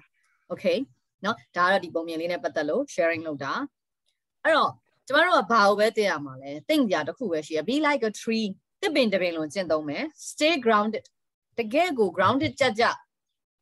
နေမယ် နော်တေခြင်းရှင်ခြင်းကတနေရာရပဲလာတာ grounded ကြကြနေမယ်ပြီးရင် keep growing ဆက်ပြီးရှင်သန်နေဖို့အတွက်ကျမတို့ try yourself stop လုပ်လိုက်နဲ့ဘယ်ရမှာ stop လုပ်လိုက်လို့မရအောင်ငါသိပြီးွားရင်ငါတက်ပြီးသွားပြီဟလာဟိုငါသိတယ်ငါတက်တယ်ဆိုတဲ့အရာတွေကိုငါ stop လုပ်လိုက်ပြီးတော့မရအောင်နော် stop မလုပ်ပါနဲ့ keep growing လုပ်နေပါကိုယ်ခန္ဓာကိုယ်ထဲမှာရှိတဲ့ cells တွေတောင်မှနေဖြစ်ပြီးညပြတ်နေတာ cells တစ်ခုဒီ3ရက်ပဲခံတယ်လို့မျိုးခန္ဓာကိုယ်ထဲမှာရှိတဲ့သွေးနေဦးတစ်လုံးဒီ3ရက်ပဲခံတယ်လို့မျိုးပျက်စီးနေတာ ဖြစ်ပြက်ဖြစ်ပြက်သဘောရင်းနဲ့သွားနေကိုယ်ဒီလည်း keep growing နဲ့ပဲသွားမယ် and no one to let go ဘယ်အချိန်မှာဘယ်အရာကိုလွတ်ချတင်တယ်လဲဆိုတော့သိရမယ်တစ်ပင်နေအရွက်ချွေချလိုက်တယ်လို့ပဲသူ့ရဲ့ခန္ဓာကိုယ်ကဖြစ်ပေါ်လာတဲ့အစိတ်အပိုင်းသူ့ခန္ဓာကိုယ်ကဖြစ်ပေါ်လာတဲ့တိရွက်တွေကိုတော့မှ तू ချွေချတဘာဝလျောက်ချွေချတွေကလူတွေကဘာလို့ချွေမချနိုင်တာလဲဒီ negative တွေပေါ့ negative စိတ်တွေကရှိနေတဲ့ negative mindset တွေပေါ့နော်ဆိုတော့ချွေချဖို့အတွက်ကိုလည်းပဲ think of လုပ်ပေးပါ okay ဆိုတော့ဟုတ်ပြီအဲ့လိုချွေချဖို့ blocks တွေကိုဘယ်လိုချွေချသလဲဆိုတော့အရင်ဦးဆုံး first step အနေနဲ့ talking with your mind ကိုယ့်ရဲ့စိတ်နဲ့ကိုယ်စကားပြောမယ်ခုနကကျွန်မ exercise လုပ်ခိုင်းတာ assignment လုပ်ခိုင်းတာအဲ့ဒါကြောင့်နောက်တစ်ခုက know your problems ကိုယ့်ရဲ့ problems တွေကိုသိရမယ် analyze the problems အဲ့ဒီ problems တွေကဘာကြောင့်ဖြစ်လာတာလဲဘယ်သူကြောင့်ဖြစ်လာတာလဲဘယ်လူတွေကြောင့်ဖြစ်လာတာလဲငါဘယ်လိုကို create လုပ်လိုက်တယ်လဲအဲ့ဒါတွေအကုန်လုံး analyze လုပ်မယ်ပြီးရင်လွှတ်ချလိုက်လွှတ်ချတဲ့ဟာတွေကိုလွှတ်ချလိုက်ပါမဟုတ်ရင်ဆွဲကင်ထားရင် ကို negativity ကကိုယ့်ကိုပဲပြန်ဖန်တီးတာ negativity သိများရင်အဲ့လိုကအယောင်ဝါကြတယ်အဲသူကြတော့အယောင်ဝါရှိလိုက်တာသူကြတော့လူတယောက်ကဒီခန်းထဲကိုဝင်လာတာနဲ့သူဝင်လာတာနဲ့ energy တခုက attraction လုပ်လိုက်တယ်လှဲ့ကိုကြည့်မိတယ်ပေါ့နော်အာဟီဟီဟာဟာဆိုအတန်ပေးစရာကိုမလိုဘူးလူကြားထဲမှာမတက်ရက်နေတာချင်းတူတူကို तू က strongly သူ့မှာရှိနေတဲ့ aura ထွက်နေတယ်ကိုရောင်ကိုကထွက်နေတယ်အသားဖြူတာမဲရနဲ့မဆိုင်ဘူးဘာကြောင့်လဲ သူ့စီမှာလွှတ်ချထားတယ် release လုပ်လိုက်တယ် energy release လုပ်လိုက်တဲ့အခါမှာကျမတို့ဘာနဲ့တူလဲဆိုတော့ရွှွန့်အုပ်နေတဲ့ရွှေဘိုးကောင်လိုပဲအဲရွှေဘိုးကောင်လေးကရွှွန့်နေအုပ်နေလို့မမြင်ရအောင်အဲရွှွန့်နေခွာချလိုက်ရင်အောက်ကရွှေဘိုးကောင်လေးလင်းထွက်လာတယ်လို့မျိုးအဲ့တော့ကိုကအပေါ်က blocks တွေအုပ်ထားလို့ရှိရင်ကိုရောင်ကိုကကြလိမ့်မယ် negativity တွေကကိုယ့်ရဲ့ frequency ကိုအမဲဘက်ကိုသွားတယ်ချုပ်ငိမ့်သွားလိမ့်မယ်ဆိုတော့ကိုကလင်းကျင်တယ်ကိုယ့်ရဲ့ကောင်းတဲ့ vibe တွေပဲကိုယ့်ဘဝတော့ရောက်ချင်တယ်ဆိုရင် release လုပ်တင်တာတွေ release လုပ်ပါတိတ်ပြီးတော့တည်မထားနဲ့ပေါ့နော်တည်ထားတာတွေများရင်ကိုရောင်ကိုကကြတယ် အကုန်ကြတာကျမ်းမာရေးပါကြတယ်အဲ့တော့ဟုတ်ပြီအဲ့တော့ကျမတို့ကခုနကကျမပြောခဲ့တဲ့ဒီဘိုင်းမှာလို့မျိုး talking with your mind ပထမဆုံး first step မှာ talking with your mind ဆိုတော့ဟုတ်ပြီ talking mind အနေနဲ့စကားပြောမယ်ဆိုရင်ကျမတို့ရဲ့စိတ်ထဲမှာစကားပြောမယ်ဆိုကျမတို့စိတ်ထဲမှာ inner child လေးတယောက်ရှိရသီလားကလေးလေးတယောက်ရှိရအဲ့ဒီကလေးလေးကလေ agitated နဲ့အဲ့လိုမျိုးပေါ့နော်အရွယ်တိုက်ချင်တဲ့စိတ်တွေများသောအားဖြင့်ကလေးဆန်တဲ့ childish ဖြစ်တဲ့စိတ်တွေမရင်ကျက်တဲ့စိတ်တွေဒီအဲ့ inner mind လေးမှာရှိတယ်သူဒီတော်တော်လေးကို ကလေးဆန်ဆန်လေးနဲ့ရက်တည်နေတယ်ကြောက်နဲ့ကြောက်ရဲ့ inner mind မှာရှိနေတဲ့ inner child ကတယောက်ကြောက်နဲ့မတူဘူးအဲထဲမှာဘယ်လိုလေးရှိနေလဲဆိုတာတယောက်ကြောက်နဲ့ပုံစံချင်းမတူဘူးတယောက်ဒီ9နှစ်6နှစ်ဖြစ်ဖြစ်မယ်နောက်တယောက်ဒီ10နှစ်12နှစ်ဖြစ်ဖြစ်မယ်ချို့က16 18ဖြစ်ဖြစ်မယ် something like that ပေါ့နော်တယောက်တယောက်နဲ့မတူဘူးဒါပေမဲ့သူတို့အားလုံးမှာအတူညီတာတစ်ခုကပါသူတို့အရင် pure ဖြစ်တယ် pure ဖြစ်တယ်လူတယောက်ကိုစိတ်ဆိုးရင်ဆိုးတယ်လို့ပြောလိုက်စာအုပ်တော့ကို room ဆိုလွတ်ပစ်ချင်တယ်ဆိုလွတ်ပစ်လိုက်လို့ပြောလိုက်မှာ စိတ်ဆိုးတယ်နော်မျက်နှာဖုံးလေးတက်ပြုံးပြလိုက်မုန်းနေပေမဲ့အရန်ချစ်တာပဲလို့ပြောလိုက်ဆိုတာ inner child မှာမရှိဘူးအဲ့ဒါအဲ့လို manipulation တွေက inner child ကမလုပ်တော့ဘူး तू ကလုံးဝ pure လုံးဝ innocent ဆိုတော့ तू သူနဲ့စကားပြောကြည့်သူဘာဖြစ်ချင်တယ်တခါတလေမှာကျမတို့အပေါ် layer တွေအုပ်တယ်တစ်ခုပြီးတစ်ခုပေါ့နော်ကျမတို့အပေါ်နေပြီးတော့ခြုံခြုံခြုံခြုံချလာခုနကကျမပြောသလိုမျက်နှာဖုံးတွေတအားတက်တဲ့ခါကျတော့လူက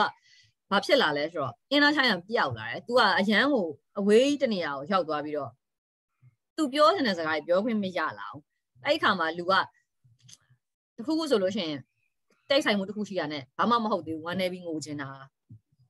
သိလားဘာမှမသိဘူးဝမ်းနေပြီးငိုချင်တာဘာမှတော့မပြောရသေးဘူးအလုပ်ထွက်မယ်အလုပ်ထွက်စားသွားတင်တယ် resign လုပ်တော့မယ်ဒီ company ကနေဆိုတော့ခါကျအာဆရာလူကြီးကမေးလိုက်ပြီဟုတ်ပြီအဲ့ဆိုရင်ပြောပါအောင် what is your problem နင်ဘာတွေပြဿနာရှိလို့လဲ professional ကြကြ be professional be an adult လူကြီးတယောက်အနေနဲ့ပြောမယ်ဆိုရင် ဒါဒါဒါတွေ့ရတယ်ဒီဟာတွေကတော့အဆင်မပြေရတော့တော့ဒါမှမဟုတ်ရင်မဟုတ်ဘူးငါရဲ့ career development တော့လကောငါဒီ income ပိုရမယ့်အတွက်ကြောင့်မလို့လကောငါပြောင်းမယ်ပြီးပြီ that's it လေ professional be professions inner child အရန်ကြီးပြည့်နှက်ပြီးတော့ inner child အဲ့တော့မှ boom up ပေါ်လာဟေးဆိုထားငို have you been experience this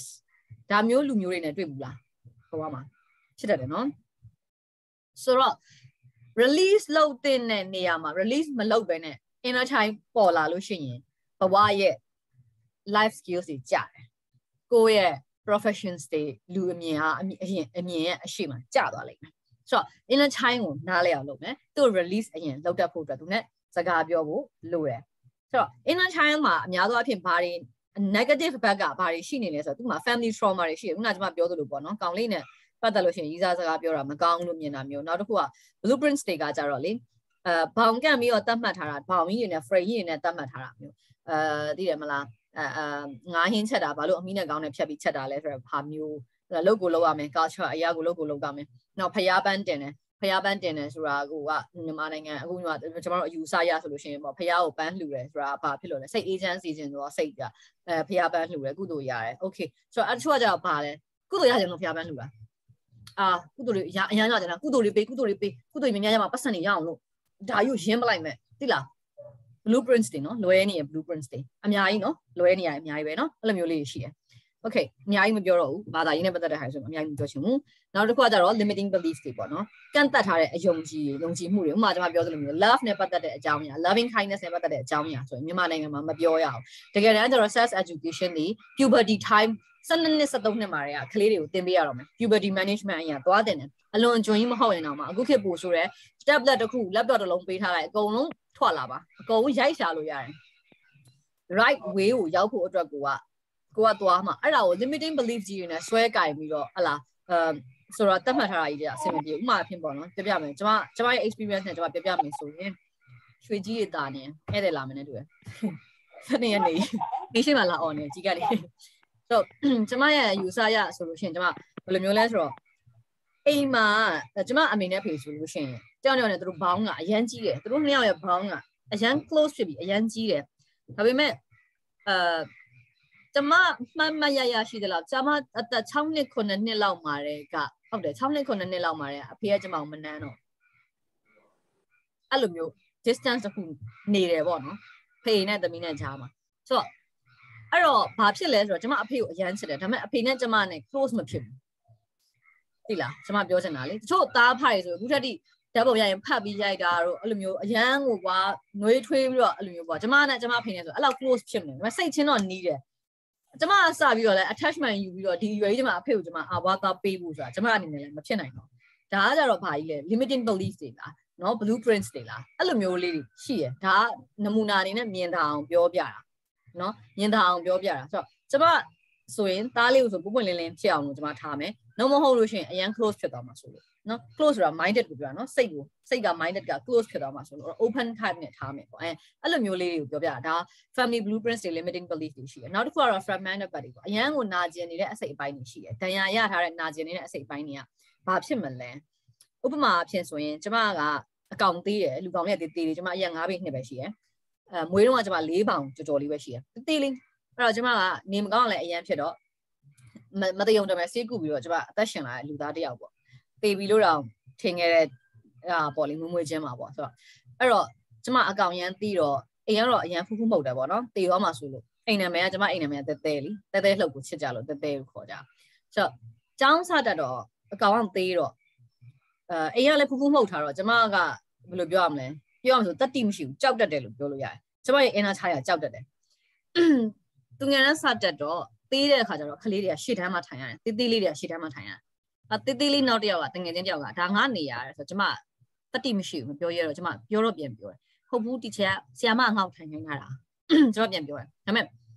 ကြောက်တယ်လေတခုခုကကျမကိုပိတ်ဆို့ထားတယ်လေကျမကြောက်တယ်လေကြောက်တော့ကျမမပြောရဲဘူးတတိရှိကျမမပြောရဲဘူးအဲ့တော့အဲ့ဒီတေးသေးလေးနောက်တစ်ယောက်ကဘာလုပ်လဲဆိုတော့သုံးတန်းသူ့ကိုသွားခေါ်ပြီးကျမကို fight ခိုင်းတယ် ကျမဘာမှမသိဘူးပလိန်အကန်ခံလိုက်ရတယ်ခန်းထဲမှာသူ့နေရာကိုလူထိုင်လို့ပါဆိုသူ့ကိုတိုင်တော့သူ့ကိုကသူ့ညီမကိုလူလို့ပါဆိုပြီးကျမကိုစော်ဘလော် TV ကန်တာဘိုက်ကို3 4ချက်လောက်လှိမ့်နေရပါကန်လိုက်တာကျမအခန်းထဲကနေပြီးတော့ကောက်လိုက်တာအခန်းပြင်ရောက်သွားတာအထိလှိမ့်လှိမ့်ညာဘောလုံးလုံးကျမကိုကန်ထုတ်လိုက်တာသူငယ်တန်းမှာကျမနောင်းနေကြောင်းမသွားရဲဘူးကျမအရန်ကြောက်တာကြောင်းသွားရမှာကျမရဲ့အတွက်နေ့တိုင်း trauma ကြောင်းသွားရမယ် trauma ကြီးကအရန်ကြောက်တာအိမ်ကိုပြောပြတယ်တမီးကြောင်းမတက်ချင်ဘူးအဲ့လိုနိုင်ချင်းခံရတယ်ပြောပြပြောပြတော့လေအဲ့ကလေးမလေးက ဘာပြောလဲဆိုတော့ကိုကပါသူ့ကိုတခုခုလုပ်လို့အဲ့ဒါကိုသူ့ကိုကမြင်သွားလို့လုပ်ပါတယ်သူက manipulate တတ်တယ်ပေါ့ကွာငငယ်လေးနဲ့ပြောရမှာဆို manipulate လုပ်တယ်ပေါ့သူငယ်တန်း9နှစ်ပဲရှိသေးတယ်ဆိုတော့အဲ့တော့ဆီယမကတော့ fair square ကျမတို့တော့မရိုက်ဘူးဒါပေမဲ့အဲ့သုံးတန်းဆီယမကိုခေါ်ပြီးတော့ဒီကလေးကိုတော့ပြောတယ်ဒါပေမဲ့ဘာအပြစ်ပေးမှုဘာ punishment မှလည်းမရှိဘူးပြီးသွားတယ်ဒါပေမဲ့နေ့တိုင်းကျမဘာဖြစ်လဲဆိုတော့နေကင်းထမင်းစားစင်းကိုကျမအမေကအပြင်ကနေစောင့်နေရတယ်ကျောင်းမြန်ကနေစောင့်နေရတယ်ကျမအမေနာကိုသွားတယ်နေဘူးဘူးမိုးရော်ရအဲ့နားမှာကျမအမေနာမှာထမင်းသွားစားကျမတယောက်တည်းလုံးအုံလီ ကျမလူနဲ့မပေါင်းရင်ဘူးဘာလို့လဲကျမအဲ့လိုလောက်ခံလိုက်တဲ့အခါမှာကျမအရန်ကြောက်တာအဲ့တော့မှတ်မှတ်ရရနောက်တရက်ကျတော့အမေကကျမကိုနေကင်းထမင်းလာမကျွေးနိုင်ဘူးမနေ့ထက်ကျမထမင်းရိုက်ထည့်ပေးလိုက်တယ်အမေကလည်းအဲ့တော့ဝန်တန်းတော့နေကင်းကိုသူ့ထမင်းစားချိန်ကနေပြီးတော့ဖဲ့ပြီးကျမကိုနေ့တိုင်းလာလာပြီးထမင်းအတူတူလာစားပြီးလာကျွေးပေးတာအဲ့လောက်အထိအမေက view ဆိုင်ခဲ့တာဆိုတော့ကျမမသွားရဲဘူးထမင်းမစားရဘူးတနေ့ကုန်ငူတာအဲ့နေအမေအလုပ်ရှိလို့အမေထမင်းလာမကျွေးနိုင်ဘူးကျမတနေ့ကုန်ငူတာဆ iam အမေရဲ့တမိဘာဖြစ်လို့ငူနေရလဲမေမေထမင်းလာမကျွေးဘူးမေမေကအလုပ်ရှိလို့မလာနိုင်ဘူး သိရတာနဲ့ကိုကျမပြောပြောပြီးငူတာအဲ့ trauma ကြီးကကျမပေါ်မှာအကြီးဆုံးပဲဆိုတော့အဲ့ဒါကို release ဖြစ်အောင်အမေကဘယ်လို train ပေးလဲဆိုတော့လမ်းမှာတွေ့ရလူတိုင်းကိုနှုတ်ဆက်စကားပြောလမ်းမှာတွေ့ရလူနဲ့စကားပြောခိုင်းတယ်ကျမပြောသမျှစကားကိုအရေးတယူနားထောင်ပြီးတယ်ကျမနေ့တိုင်းအိမ်မှာအเจ้าမှာဘာဖြစ်လာလဲအရေးတယူနားထောင်ပြီးတယ်အဲပြီးတော့အဲ့လိုပေါ့နော်ဘယ်လိုပြောမလဲကျမရဲ့တက်တီကိုမရရအောင်ဆွဲထုတ်ပြီးတော့မွေးပေးတာပေါ့အဲအဲ့လိုနည်းနဲ့ကျမအဲ့ trauma ကိုပြတ်အောင်လုပ်ခဲ့တယ်ဒါပေမဲ့ကျမရဲ့ inner child ကအရင်ကြောက်တတ်တယ်ဒီတေးသေးလေးကအရင်ကြောက်တတ်တယ်ဒါပေမဲ့ရင်းကျက်လာတဲ့အပိုင်းမှာကျမအခုလောလောဆယ်မှာကျမကိုသိရလူတိုင်းသိတယ်ကျမဘယ်လိုလူမျိုးလဲဆိုတာပေါ့နော်အဲ့လိုမျိုးဖြစ်သွားတာပေါ့ဒါကတော့နမူနာအနေနဲ့ပြောပြတာကလေးတိုင်းမှာတော့၎င်း something တခုခုရှိကြတယ်လို့ so okay ဟုတ်ပြီအဲ့တော့ကျမတို့ကကိုယ့်ရဲ့ inner child နဲ့တွေ့ပြီးတဲ့အခါမှာကိုဘာခံစားနေရလဲကိုဘာတွေကြောက်တတ်တယ်ဆိုတာကိုသိပြီးသွားလို့ရှိရင်ကိုကဘာတူလဲဆိုတာကိုတစ်ချက်သိဖို့အတွက်ကိုကမေးရမယ် have you been asked yourself who you are ငါကဘာတူလဲဆိုတာကိုကိုမေးဘူးလားပြောချင်တဲ့သဘောကငါကဘာတူလဲငါကအရန်ကြောက်တတ်တဲ့လူလေးပေါ့နော်အဲမအိခင်ပြောစရာရှိလားပြောပါနော်ပြောစရာများရှိလို့လားမအိခင်ရှိဦးတီချာမရှိဘူးလားဟုတ်ဟုတ်ပြောစရာမေးစရာရှိရင်ပြောပါနော်ဟုတ်ကဲ့ဟုတ်ဆိုတော့အာကျွန်မပြန်ပြီး share လိုက်ပါမယ် ပေါ်လားမသိဘူးနော်ဟုတ်ဟုတ်ကိုကဘာတူလဲဆိုတော့ကိုကိုကိုမေးဘူးလားကျမဆိုရင်ကျမကိုကျမမေးကြည့်ပြီးတော့စဉ်းစားကြည့်ရခါမှာကျမဒီအရန်ကြောက်တတ်တဲ့ကလေးလေးကလေးစိတ်ရှိတဲ့ကလေးလေးတယောက်ရှိတယ်အဲ့ဒီပြင်ပဲကျမဟာအရန်ကိုအကောင်းစားကြိုက်တော့ဟလာအင်မတန်ယွန်တတ်တော့အင်မတန်စီစာကြောင်တော့ဟလာအအင်မတန်ကြကြီးကြောင်နိုင်တော့အဲထည့်လိုက်အောင်မယ်ကိုကိုကိုအဲအဲ့လို parts တွေလည်းကျမမှာရှိတယ်နောက်ပြီးလို့ရှိရင် အရန်တနာတတ်တော့ဘာလို့ဆိုကျမငယ်ငယ်တုန်းကသူများကကျမကိုအနိုင်ကျင့်တာခံခဲ့ရတာအဲ့ကျမဘိုးတနာတတ်တယ်သိလားသူများတယောက်ကအနိုင်ကျင့်တာကိုခံရတဲ့လူမျိုးဆိုရင်ကျမအရန်ကူညီချင်တာအရန်တနာတတ်တာအဲ့လိုအရန်တနာတတ်တဲ့စိတ်ရှိသလို victim စိတ်ကလည်းကျမမှာအများကြီးအရန်ကြီးတယ်အဲ့တော့ကိုကိုကိုပြန်မေးပြစ်သလားကိုဟာဘသူလဲဆိုတာအဲ့ဒါကိုပြောတာနော်ငါကတော့ professor doctor ဘသူဘသူဘသူပါ no အဲ့ဒါမျိုးပြောတာမဟုတ်ဘူးကိုကိုကိုပြန်မေးပြစ်သလားဆိုတာ ask yourself you are ဘသူလဲဆိုတာပြန်မေးပြစ်သလား အဲ့ဒါကိုပြောချင်တာနောက်တစ်ခုကဘယ်ကနေလာခဲ့ရလဲဆိုတာတော့အဓိကကတော့နည်းနည်းလေးအဲရှုပ်ထွေးတဲ့ complicated ဖြစ်တဲ့အပိုင်းလေးတစ်ခုရောက်သွားပြီနည်းနည်းလေးနယ်လွန်ဖြစ်ရလေးတစ်ခုနဲ့ဆိုင်မယ်တချို့လူတွေကိုကိုဘယ်ကလာလဲသိရမသိရင်လိုက်ရှာကြမလို့ကိုဒီ new လို့သာတတ်မှတ်ထားလိုက်အစွဲဖြုတ်ချလိုက်တချို့ကသိရသိရတဲ့အတွက်ကြောင့်မလို့ငါဘာကြောင့်ငါဘယ်ကနေလာလဲဆိုတော့ကိုယ့်ကိုသိရင်ဘာလို့လာတယ်လဲဆိုတော့လည်းသိတယ် ချို့ကြတော့ဘယ်ကလာလဲဆိုတော့လည်းမသိဘူးဘာလို့လာလဲဆိုတော့လည်းမသိဘူးဟုတ်ပြီအဲ့ဒါဆိုရင်ဘာလုပ်ဖို့ပဲလို့လဲဒီမှာရှိနေတဲ့ဟာရဲ့ objective ကိုသိအောင်လုပ်ဖို့ပဲလို့တော့တယ်ငါဒီမှာ objective အရာဆိုရင်ငါမိသားစုကိုကောင်းကောင်းမွန်မွန်ထောက်ပံ့ပေးဖို့အတွက်လာတာလားကောင်းကောင်းမွန်ငါမိသားစုကိုအဲထောက်ပံ့ချင်လို့လာတာဆိုလို့ရှိရင်ငါကြီးပဲထောက်ပံ့နေရတာပဲငါ့ကိုကြတော့ view ပြန်မဆိုင်ဘူးဆိုတော့ victim စိတ်တွေပြန်မမွေးနဲ့ objective ကဘာလဲ clear know your clear objective and make this decision နောက်ပြန်ဆွဲပြီးတော့ posse posse gossip တွေအပြောမခံနဲ့ရှိလာတဲ့ gossip တွေကိုပြန်ပြီး release လုပ်လိုက်ပေါ့နော်မဟုတ်ရင်အရန်လွန်ဆွဲလိုက်မယ်နော်အဲ့တော့ apart from the question ဒီအပေါ်မှာရှိနေတဲ့ question တွေထဲမှာဆိုလို့ရှိရင်အရေးကြီးဆုံးက do you really know who you are ကိုကဘာတူလဲဆိုတာသိဖို့ကအရင်အရေးကြီးတယ်အဲကျမဆိုရင်လူတွေကိုကူညီရတာသဘောကျတယ်အဲလူတွေနဲ့စကားပြောရတာသဘောကျတယ်ကျမ extrovert အရင်ဖြစ်တယ်အဲအထူးသဖြင့် ကျမအဲ့လိုမျိုးနယ်လွန်ဖြစ်ရက်တွေနဲ့ပတ်သက်တဲ့ဟာတွေကျမ connection ရတာလေးတွေရှိတတ်တယ်။အဲကျမဒီသူများနဲ့မတူတဲ့အပိုင်းတွေရှိတဲ့ intuition အားကောင်းတာတွေရှိမယ်။အဲကျမကကျမလေ့လာပြီးတော့ကျမကိုကျမသိအောင်လုပ်တယ်။ပြီးရင် objective ကဘာလဲ။ကိုဘာလုပ်ချင်တာလဲ။ကိုရဲ့ objective ကိုပြန်မေးနော်။ငါ life coach ကြီးလုပ်ပြီးတော့လူတွေကိုဆရာကြီးလုပ် coach ကြီးလုပ်ပြီးတော့ငါကပတ်စံရှာချင်တာလား။ဒါမှမဟုတ်ရင်ငါကအဲကူညီပေးပြီးတော့ပြောပြချင်တာလား။ဒါမှမဟုတ်ရင် ငါကစီးပွားရေးကိုအောင်မြင်အောင်လုပ်ချင်တာလား။ဒါမှမဟုတ်ရင်အိမ်မှာတော့နာမည်ကမိခိုလို့ပဲခံလိုက်မယ်ဒါပေမဲ့ငါဒီ CFO မိန်းမတွေဒီအိမ်မှာမိခိုနော်ဒါပေမဲ့မိန်းမတွေဒီအိမ်မှာ CFO ယောက်ျားတွေခြာတယ်များပတ်စံကိုလက်ထက်အပ်ကြတာကိုက CFO ပဲဟုတ်လားအဲအဲ့လိုမျိုးပေါ့ကိုကဘာအနေနဲ့ရက်တီမှာလဲကိုဘာဖြစ်ချင်တာလဲ who you are ဆိုတာကိုအရင်သိအောင်လုပ်အဲ့ဒီ role ကိုသိပြီဆိုရင်အဲ့ဒီ objective ကိုအပြောင်းမခံနဲ့ဘေးကဝင်လာသမျှ gossip တွေအတင်းဖြစ်နေ negativity တွေကိုဖြုတ်ချနော်အဲ့ဒါလေးကအရေးကြီးပါတယ် ဘေးအိမ်ကမီးစက်နိုးထားတာတော်တော်လေးစူးညံ့တယ်အတန်လေးအားနာပါတယ်ဆိုတော့အဲ့တော့ know your own wall ဖြစ်ဖို့အတွက်က conscious mind ကနေလည်းသိဖို့လိုတယ်နောက်တစ်ခုက unconscious mind ကနေလည်းသိဖို့လိုတယ်ဘာတွေကိုသိရမှာလဲဆိုတော့ခုနကကျွန်မပြောတဲ့ limiting belief တွေကိုကဘယ် pattern မှာပဲခဏခဏသွားနေရလဲခဏခဏဒီအာရီးစားဆိုရင်လည်းဒီလိုရီးစားမျိုးပဲထထထထထထထထရတယ်ဆိုတော့အဲ့ pattern ကိုကဆွဲထားတာကျွန်တော်တို့ computer circuits တွေလိုပဲတတတတတတဒီထဲမှာပဲလဲနေတာကွာ အဲ့တော့ဒီထဲကနေရုံးမထွက်နိုင်ဘူးအဲ့ဒီ pattern တွေသိဖို့လိုတယ်နောက်တစ်ခုကကြတော့ကိုက strong belief ကဘာတွေရှိနေလဲဘယ်လို attach တွေကိုဆွဲအဆွဲတွေပေါ့နော်အဆွဲကြီးကြီးတွေပါဖြစ်လဲချစ်ဆွဲမုန်းဆွဲအဆွဲတွေဘာဆွဲတွေရှိနေတယ်လဲအဲ့အဆွဲတွေကိုလည်းခွာချဖို့လိုတယ်ဥပမာအားဖြင့်ဒီကြီးစားကမကောင်းဒီယောက်ျားကမကောင်းဒါပေမဲ့ကွာနိုင်လားဆိုတော့မကွာနိုင်ဘူးချစ်လို့ကွာလိုက်ရင်ဒုက္ခရောက်မှာဆိုလို့ ရေနွေးဥကစားမတည့်တတ်ဘူးခမင်းကစားချက်မစားတတ်ဘူးကွာပေးကြည့်လိုက်လေသူဘလို့အသက်ရှင်မလဲတော့မသိရသေးတာပေါ့အဲ့လိုမျိုးမတတ်မှတ်နိုင်ဘူးကိုကလိုက်ပြီး attach ဖြစ်နေတာမျိုးဒါ example ပြောပြတာနော်ဆိုတော့အဲ့လိုမျိုး strong belief တွေနဲ့ strong attach တွေကဘာတွေကဖြစ်နေရလဲကိုကိုကိုအရင် deep down ပြန်စဉ်းစားကြည့်မိသားစုမှာလည်းအဲ့လိုပဲကျွန်မပြောတယ်ငါကတော့နိုင်ငံခြားသားမဲ့အခွင့်အရေးကိုလက်လွတ်ဆုံးရှုံးခံပြီးတော့အငယ်ကောင်အကြောင်းပြအောင်ထားလိုက်တဲ့ဒီပတ်စံနဲ့အငယ်ကောင်အကြောင်းပြဆရာဝန်ကြီးဖြစ်တော့ငါ့ကိုတော့လှည့်မကြည့်ဘူးငါကတော့မိသားစုမှာအနစ်နာခံခဲ့ရတာ that's your own choice လေ ဒါယူရွေးချယ်ခဲ့တဲ့လမ်းပဲအမေကပြောတယ်သမီးရဲ့သမီးကအကြီးဆိုတော့မောင်လေးကိုဦးစားပေးလိုက်ပါနိုင်ငံခြားမသွားတော့နဲ့နော်ဒီပတ်စံမောင်လေးကြောင်းပြအောင်ထားဖို့အမေတို့သုံးလိုက်ကြမယ်လေအတွင်းကမလှုပ်ချင်ဘူးဒါပေမဲ့ဘေးကအမေက gossip ပြောတယ်อืมอืมอืมဆိုကောင်းချိန်လိုက်တယ်ခံတော့ကိုကခံတယ်ပြီးတော့မှအဲ့ဒါကိုကိုကိုကို victim တွေကတစ်သက်လုံးဆွဲခေါ်မပြီးတော့ဆွဲခေါ်ဆွဲခေါ်ဆွဲခေါ်ပြီးတော့အသက်50ရောက်တဲ့အထိဆွဲခေါ်နေမှာလား right လွှတ်မချနိုင်သေးရ ကျမပြောခဲ့တဲ့ဘုံကြီးနှစ်ပါးမြစ်ကိုဖြတ်ကူးတဲ့ဥပမာလိုပဲလွှတ်မချနိုင်မနဲ့တည်လာတာဘသူကတည်လာတာလဲတကယ်အဲ့ဒီအမှုအကျင့်အဲ့ဒီအပြုတ်မှုတခုအဲ့ဒီမန်နာကိုလှုပ်လိုက်တာဘသူကလှုပ်လိုက်တာလဲအဲ့ဒီမန်နာအဲ့နေရာမှာပြီးသွားပြီဒါပေမဲ့အဲ့ဒါကိုတည်လာတဲ့အဲ့ emotions ကိုဘသူကတည်နေရလဲဘာတွေ attach ဖြစ်ပြီးတည်နေရလဲဘသူကလှုပ်မချတာလဲအဲ့ဒါတွေသိအောင်လုပ်ဖို့လိုတယ်နောက်တစ်ခုက how do you do decisions when you face problems ကိုပြဿနာတွေတွေ့တဲ့အခါမှာဘလို့ solve လုပ်လို့ရှိတယ်လဲ ဥပမာအာဒီလင်မယားမြောက်ရန်ဖြစ်တယ်ဆိုတဲ့အခါမှာရန်ဖြစ်ရန်ဖြစ်နဲ့အာအကြီးဖြစ်သွားမှာဆိုလို့အကျယ်ကျယ်ဖြစ်သွားမှာဆိုလို့မပြောတော့ဘူးတော်ပြီးငြိမ်ချလိုက်တယ်စိတ်ကောက်ကိုကကောက်နေတော့3ရက်လောက်ရှိပြီထမင်းမစားဘူးစကားမပြောဘူးကိုကသိတောင်မသိဘူးစိတ်ကောက် decision ကမချနိုင်ဘူးချလိုက် decision တခုကျွန်တော်အများနဲ့ပြောတဲ့စကားတခုရှိတယ် put the problems on the table and solve it ပြဿနာဖြစ်လာရင်အဲ့ပြဿနာကိုဇပွဲပေါ်တင်ပြီးရှင်းဇပွဲပေါ်မတင်မနဲ့စိတ်ထဲမှာထည့်ပြီးတော့အဲ့လိုကြိတ်ပြီးတော့အဲ့လိုဖြစ်မနေနဲ့အဲ့ဒါဆိုအဲ့ problems ကပြီးမသွားဘူးပေါ့နော် ဒါ relationship မှာလည်းမဟုတ်ဘူး job မှာလည်းအဲ့လိုပဲဒီ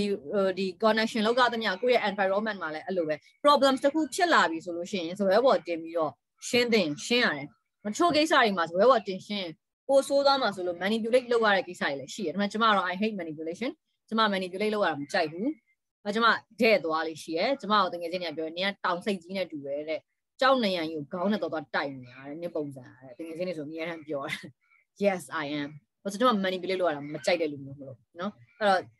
အဲ့လိုမျိုးပေါ့နော်ကိုကဘယ်လိုနည်းနဲ့ decision တွေကိုလုပ်ပြီးတော့ problem တွေကို safe အာ soft လုပ်လေးရှိတယ်လေဖြည့်ရှင်းလေးရှိတယ်လေကိုကိုအတိအောင်ပြန်လုပ်ပါတဲ့နောက်ပြီး how did you put yourself into this again and again ဒီလိုပြဿနာကိုထပ်ခါထပ်ခါဖြစ်လာအောင်ကိုကကြီးဖန်တီးပြီးတွင်းနေတာဘယ်လိုနည်းနဲ့ကိုကတွင်းနေရလဲဆိုတော့သိဖို့လိုတယ်ကိုကဒီပြဿနာကိုထပ်ခါထပ်ခါဖန်တီးပြီးတွင်းနေတာဥမာအဖြစ်ထားပါတော့အများနဲ့ယုံနောက်ကြတယ် ခုနနာရီမှအိယာထားတယ်၈နာရီရုံရောက်သွားမှာဘယ်လို့မှမမီဘူးအဲ့ဒါကိုနေတိုင်းခုနနာရီမှထားတယ်အလန်း6နာရီခွဲပေးထားတယ်6နာရီ45တခါပေးတယ်6နာရီ50တခါပေးတယ်9နာရီတခါပေးတယ်အလန်းကိုရည်နေတာနောက်ဆုံးအလန်းကျမှထားမယ်ငါထားအောင်ပတ်တန်လေအဲ့ပတ်တန်ကြီးနဲ့ကိုယ့်ကိုပုတ်နေရလေအဲ့တော့ပြန်ပုတ်တယ်လေအဲ့တော့နောက်တစ်ကြဝရုံသုံးကပြေးရပြန်ပြီဟိုးဟာလာရုံးအာ9မိနစ်နောက်ကြပြန်ပြီ7မိနစ်နောက်ကြပြန်ပြီဒီပတ်တန်ကြီးကိုကိုကကို create လုပ်ပြီးခဏခဏဒါယူ again and again လုပ်နေတာအဲ့ဒါဘယ်သူနဲ့ပဲဆိုင်နေဆိုတော့ကိုနဲ့ပဲဆိုင်နေအဲ့ဒါပဲ အဲ့ဒီ habit ပဲအဲ့ဒါမျိုးကကြာရင် personality ဖြစ်လာဒီကောင်မြင်တဲ့ယုံနောက်ကြတယ် like that ဒီကောင်မြဲကြည့်လိုက် rush ဖြစ်နေတာပဲ like that right ဟုတ်တယ်မလားကိုကအမြဲတမ်းကြီးဒီပုံစံကို create လုပ်မှာတော့ဒီပုံစံပဲသွားမှာပေါ့နောက်ပြီးတော့ why you hate something or somebody ရဲ့လူတယောက်ကိုဘာလို့မုန်းတာလဲတဲ့တခုခုရောဘာလို့မုန်းတာလဲတဲ့ that is very အအရန်ကိုဟိုခေါမလဲနည်းနည်းလေးအသေးစိတ်ဆန်သွားပြီပေါ့နော်ပမာအဖြစ်ပေါ့ အာနာပါဝါရှိတဲ့လူကိုမုန်းတာတာမန်လူကိုပြောတာနော်တာမန်လူကိုပြောတာ current situation external factor တွေတွဲမထည့်ပဲနဲ့စဉ်းစားကြည့်မယ်ငွေကြေးချမ်းသာတဲ့လူဆိုရင်ဘာလို့အမြင်ကတ်တာလဲနောက်မို့လို့ရှိရင်အရန်လှတဲ့လူဆိုဘာလို့အမြင်ကတ်တာလဲဘာလို့အမြင်ကတ်တာလဲဆိုတော့နောက်ဆက်တွဲမှာရှိတယ်လေကိုကဘာကို believe လုပ်ထားတာလဲဥမာထားပါတော့ for example let's say तू ကကိုလုံးကိုပေါင်းလှတယ်အဲလလပပလေးနဲ့ကြောကြောရွရွလေးနေတတ်တယ်ပေါ့နော်အဲဆိုကိုကအမြင်ကတ်တယ်ဒီအဲ့ကောင်မလေးရွာကိုရွရတယ် ဘလိုင်းကြီးအမြင်ကတ်တယ်ရွာကိုရွရတယ်ဘာဖြစ်လို့အမြင်ကတ်နေရလဲ on the other hand မှာကိုမရွရလို့တိလားသူ့အမြင်ကတ်တာကိုမရွရလို့ကိုကညောင်အမြင်ကတ်တာကိုမလှလို့ကိုထက်ပူလှလို့ညောင်အမြင်ကတ်တာ like that လေအဲ့လိုအကြောင်းအရာလေးတွေရှိတယ်လူတိုင်းရဲ့နောက်ဆက်တွဲနောက်ဆက်တွဲမှာလူတယောက်ကိုအာမုံပြီနောက်မှတခုခုပေါ့အကြောင်းအရာတခုခုသစုံတရာတခုခုမုံပြီဆိုရင်အဲ့ဒါဟာရဲ့နောက်ဆက်တွဲက root cause ကိုပြန်ပြီးတော့ deep dive ဆင်းပြီးတော့ root ကိုရှာမှရမယ်နော်အဲ့ဒါကြောင့်ပြောတာ know your self know your own world ဆိုတာ ကိုယ့်ရဲ့ကဘာငယ်လေးကိုပဲကိုအရင်လေ့လာပါအောင်ကိုယ့်ကဘာလေးကိုလေ့လာတာကျွန်မခုပြောသွားတဲ့အချက်ကနည်းနည်းလေးနော်တကယ်တမ်း deep down deep dive ဆင်းအများကြီးကိုယ့်အကိုတစ်ခုချင်းတစ်ခုချင်းစီကိုအစဆွဲထုတ်ပြီးတော့ဖော်မယ်ဆိုရင်တော့အများကြီးပဲဒါကြောင့်မလို့ပြောင်းခြင်းတယ်ဆိုရင် you cannot change only for your 30%မြင်နေတဲ့ conscious mind 30ခိုင်နှုန်းပဲပြောင်းလို့မရပါဘူးအောက်က unconscious 70%ကိုပဲပြောင်းမှရပါပါတဲ့เนาะဒါကြောင့်မလို့ကိုယ့်ကိုယ်ကိုရင်ပြအောင်လုပ်ဖို့လိုပါတယ် okay ဒီနေ့အတွက် main topic တစ်ခုဖြစ်တဲ့အကြောင်းအရာက self love အာစက်နိုင်ခွဲတော့မယ် self love ကအဓိကကတော့ဘာလဲဆိုတော့ study yourself the deeper you go the clearer you see ကိုကိုကိုလေ့လာပါကိုကိုကိုလေ့လာတယ်လေးလေးနက်နက်လေ့လာလေးလေးကိုကိုကိုရှင်းရှင်းလင်းလင်းသိလာလေးလေးပဲပေါ့နော်ဆိုတော့ self love self care ကိုလူတော်တော်များများက ego နဲ့မှားတယ် ego ego ဆိုတာအတ္တကိုပြောတာပါနော် pride မာန အဲ့လိုအတ္တတို့မာနတို့နဲ့ self love နဲ့မှားတတ်ကြတယ်ဆိုတော့အခုနကတော်တော်များများပြောသွားတဲ့ victim နေရာမှာထားတယ်ဆိုတဲ့လူတွေအများကြီးနဲ့ဒီ topic နဲ့သက်ဆိုင်တယ်နော်ကိုကိုကို victim နေရာခဏခဏပို့ရဆိုတဲ့လူတွေနဲ့သက်ဆိုင်တယ်ဘာလို့လဲဆိုတော့ကိုကိုကိုပိုချစ်ဖို့လိုတယ်အဲ့တော့ကိုကိုကိုပိုချစ်ပါဆိုတာက ego ကြီးခိုင်းတာတော့မဟုတ်ဘူး ego ကြီးကြီးပလိုက်ပါနင်ကအတ္တဆန်ဆန်နဲ့မှအတ္တကြီးကြီးနဲ့နင်းတော့ပဲနင်စဉ်းစားလိုက်ပါ ဆိုအတ္တဟိအထနောနာထော်လို့ခိုင်းတာမဟုတ်ဘူးအတ္တအရင်ကြီးခိုင်းတာမဟုတ်ဘူးဒါပေမဲ့ကိုကိုကိုချစ်ပေးဖို့လိုတယ်ဆိုတော့ကိုကိုကိုချစ်တယ်ဆိုတဲ့နေရာမှာခုနကကျွန်မပြောခဲ့သလိုမျိုးပေါ့အမှန်တရားတွေနဲ့ချစ်ဖို့လိုတယ်ကိုကမှန်တယ်လို့ထင်ထားတဲ့အရာတွေနဲ့မဟုတ်ဘူးတကယ်အမှန်တရားတွေနဲ့ချစ်ဖို့လိုတယ်အမ် for example ပြောမယ်ဆိုအဲနောက်တစ်ကြောင်းပြပြလိုက်မယ်နော် အဲ့ဒါဆိုရင်တဲ့အမှန်တရား truth ဆိုတဲ့အရာနဲ့ right ဆိုတဲ့အရာဘာကွာတယ်လဲတဲ့ okay ဒီ question ဆိုတော့ကျွန်မသဘောကျသွားပြီ stop share လုပ်ပြီးတော့တယောက်ယောက်လောက်ဖြေပေးပါအောင် true ကျွန်မအခုပြောရတဲ့ true ပေါ့နော်အမှန်တရားဆိုတာ ਨੇ right ဆိုတာ ਨੇ ဘာကွာတယ်လဲ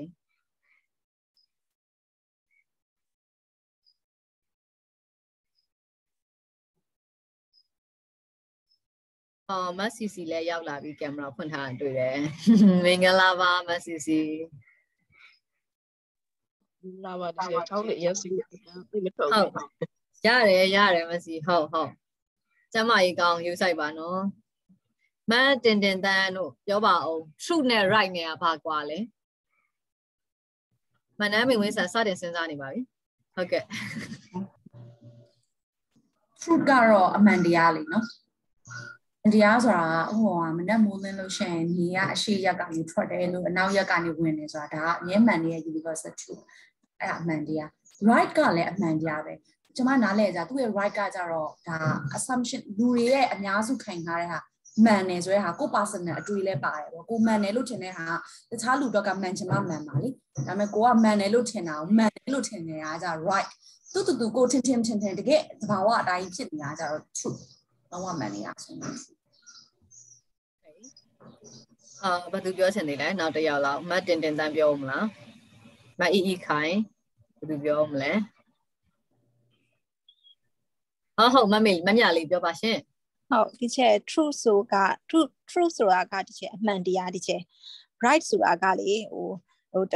ညီမအမြင်နဲ့တွေးတွေးကြည့်လို့ရှိရင်ဒီချက်အခွင့်အရေးပေါ့ ကလေးမှလည်းလူဆိုရင်လူအခွင့်အရေးရှိရယ်ကလေးဆိုလည်းကလေးအခွင့်အရေးရှိရယ်ပေါ့နော်ဆိုတော့ဟိုကျမတို့ main ကလေးဆိုလည်း main မမှာအခွင့်အရေးရှိရယ်ပေါ့နော်ဆိုတော့အဲ့ဒါမျိုးလေးလို့ထင်နေဒီချက်ဟုတ်ဟုတ်ပြောတာကြံသွားဟုတ်တယ် right ကတော့သူ definition ရဆိုညာဘက်ကလည်း right ပဲလीနော်မှန်လားလည်း human right တို့ဘာ right ညာ right တို့လည်းအဲ့ right ပဲညာဘက်ကလည်း right ပဲဟုတ်တယ် Okay Okay ဆိုတော့ဟုတ်တယ်နော်အကောင်လုံးပြောသွားတဲ့ဟာနီးစပ်ပါတယ်အခုမသနာအာချက်ပေါက်မှာပို့နေတယ် true is objective ကတဲ့ factual တဲ့ it can be proven either empirically so okay ဆိုတော့ true နဲ့ right နဲ့ကဘာကွာတယ်လဲဆိုတော့ခုနကမနန်းပြောသွားမနန်းမင်းဝင်းဆန်ပြောသွားတဲ့ဟာမျိုးနဲ့ဆိုရင်မြင်တာတယ်နေရအရှိရက်ကထွက်မှာဒါဒီ true ပဲအမှန်တရားပဲเนาะအာနေနေထွက်ရင်ပူမယ် true နွေရာသီမှာပူမယ် true မိုးရာသီမှာမိုးရွာကိုရောက်မှာပဲ true okay ဒါတွေက true တွေတကယ်အမှန်တရားကြီးတခုဥပမာအဖြစ်မွေးဖွားလာခြင်းရဲ့နောက်ဆက်တွဲမှာတည်ခြင်းတရားပါတယ် true เนาะအဲ့တော့ဖြစ်ပြီးရင်ပြက်နေတဲ့သဘောတရားတွေဒီ true အဲ့ဒါအမှန်တရားတွေအဲ့ဒါကိုသွားပြီးတော့မ true ပါဘူးလို့ပြောလို့မရဘူးအဲ့တော့ right ဆိုတာကကြတော့ဘာမျိုး yes universal truth နောက်ဘာမျိုးနဲ့သွားဆိုင်နေဆိုတော့ဥပမာ အဲမြို့မှာနေတဲ့လူတယောက်ကပြောတယ်အမလီကုံစင်းနှုံးတွေတက်လိုက်တာကစွန်းရွက်ကတစည်း300ဖြစ်သွားပြီနှစ်စီး900ပေးဝယ်စားရတယ်ကစွန်းရွက်တစည်းရဲဆိုရင်ကြော်လိုက်ရင်ဒီလောက်ပဲရတယ်အဲ့တော့နှစ်စီးဝယ်မှဒီလောက်ရတယ်အဲနှစ်စီးကိုဒီလောက်ရတော့နှစ်ယောက်ကချစ်ကုတ်ပြီးစားတယ်တယောက်တည်းတော့မဝချင်ဘူး something like that ပေါ့အဲ့တော့နယ်ကလူတယောက်ကပြောတယ်အမလီကစွန်းရွက်များတစည်း300ပေးဝယ်တယ်ဟုတ်လားငါတို့နယ်မှာကသိန်းရိုးတဲ့ဆင်းချိုးလိုက်ကစွန်းရွက်တွေမှာအများကြီးပဲ right သူ့အတွက် right ကျမတို့မြို့နေလူသားစားအတွက်လည်း right right ဟုတ်တယ်နော်အဲ့တော့ right ဆိုတာဒီကိုယ့်ရဲ့ perception ကိုယ့်ရဲ့ own experience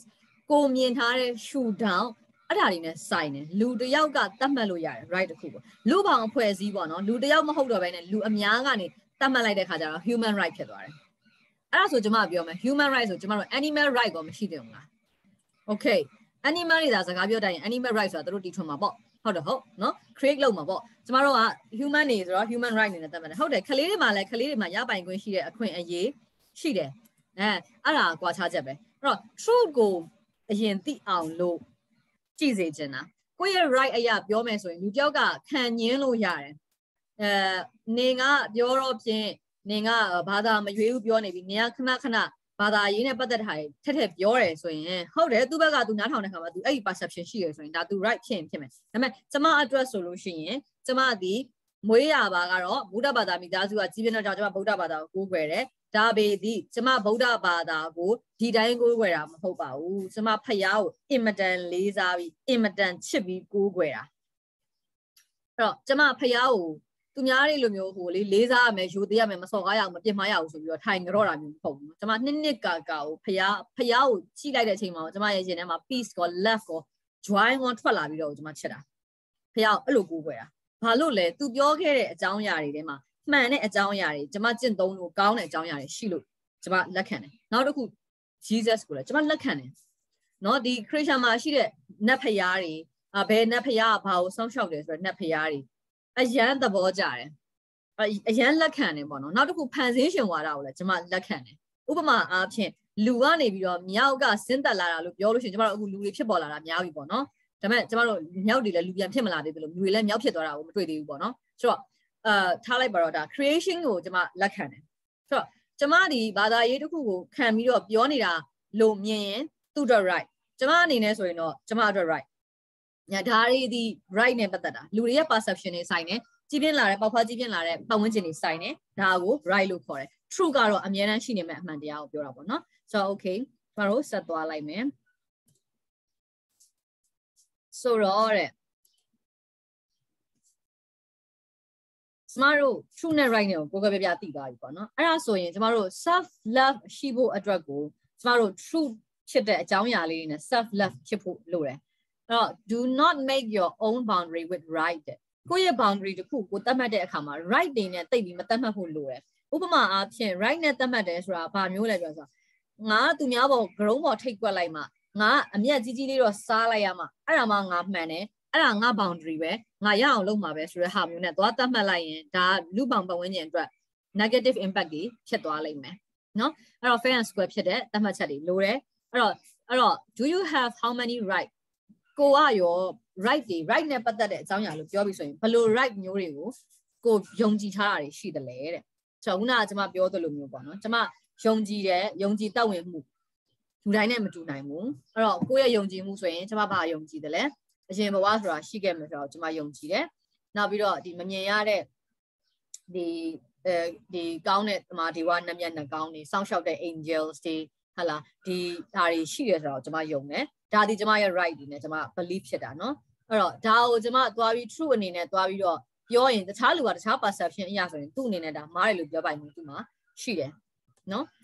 နောက်တစ်ခုကတော့ self love ကိုလုပ်တဲ့အခါမှာ physically ရော mentally ရောလုပ်ဖို့လိုတယ်တဲ့ yeah that is important as well ကျမတို့ self love လုပ်မယ်ဆိုတဲ့အခါမှာကျမတို့ကိုကိုကိုလှလှပပပြင်နေဟဲ့လားဒီ makeup တွေလိမ့်နေအာဝတ်ကောင်းစားလာတွေဝတ်တယ်ကျမတို့အဲကြော့ကြော့ကော့ကော့လေးနေမယ် physically okay နောက်တစ်ခု mentally အပြင်ကိုယ့်ရဲ့စိတ်ပိုင်းဆိုင်ရာ thinking တွေမြင့်မားလာဖို့သင်တန်းတွေတက်တာမျိုးเนาะနောက် mental development ဖြစ်လာဖို့အတွက်ကျမတို့ရဲ့ concept တွေကိုပြောင်းတာ perception တွေပြောင်းယူလိုက်တာမျိုးတွေဒီဒါ mentally develop လုပ်တာဒါဒီလေကိုကိုကိုချစ်တာ ਨੇ အတူတူပဲ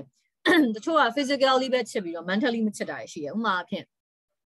အာမိသားစုမှာခဏခဏကိုကို fitting နေရပြင်ပြန်ပို့ပြီးတော့တွေးနေတာအဲ့ဒါလေကိုကိုကိုနင်မအောင်လုပ်နေရနော် self love ကိုတိဆောက်ချင်တယ်ဆိုရင်လောလောလေးပဲအာကိုက boundary တစ်ခုတတ်မှတ်လိုက် ငါသားလေးအတွက်ကစုံရွက်ကြော်ထားတယ်ငါကစုံရွက်မစားဘူးဆိုရင်မစားနဲ့ရတယ်ဒါကိုယ့်ရဲ့ boundary ပဲဒါငါသားလေးအတွက်သတ်မှတ်ထားတယ်အဲကိုယ့်ယောက်ျားအဲ့သားလေးရဲ့ကစုံရွက်ကြော်ယူစားမယ်ဆိုရင်နှစ်ခွက်ကြော်ရင်ကြော်လိုက်မယ်ဒါမှမဟုတ်တစ်ခွက်ထဲကိုနှစ်ချမ်းခွက်ရင်ခွဲလိုက်ဒါနင့်ဟာဒါကလေးဟာနင်သွားမထိနဲ့ like that အဲကိုကကြတော့အော်ငါတော့မစားဘူးငါကလေးကိုနင်ကဘာလို့သစားရလဲအဖြစ်ညာဖြစ်တဲ့မလိုဘူးလေဒီဟာတွေဒီလိုဒီလိုဒီလို emotions တွေထွက်လာဖို့မလိုဘူး solve လုပ်လိုက်ပြီးတော့ဖြတ်ချလိုက်ပဲအဲ့ဒါ self love ပဲ ဘာလို့ဖို့ကိုကသွားပြီးတော့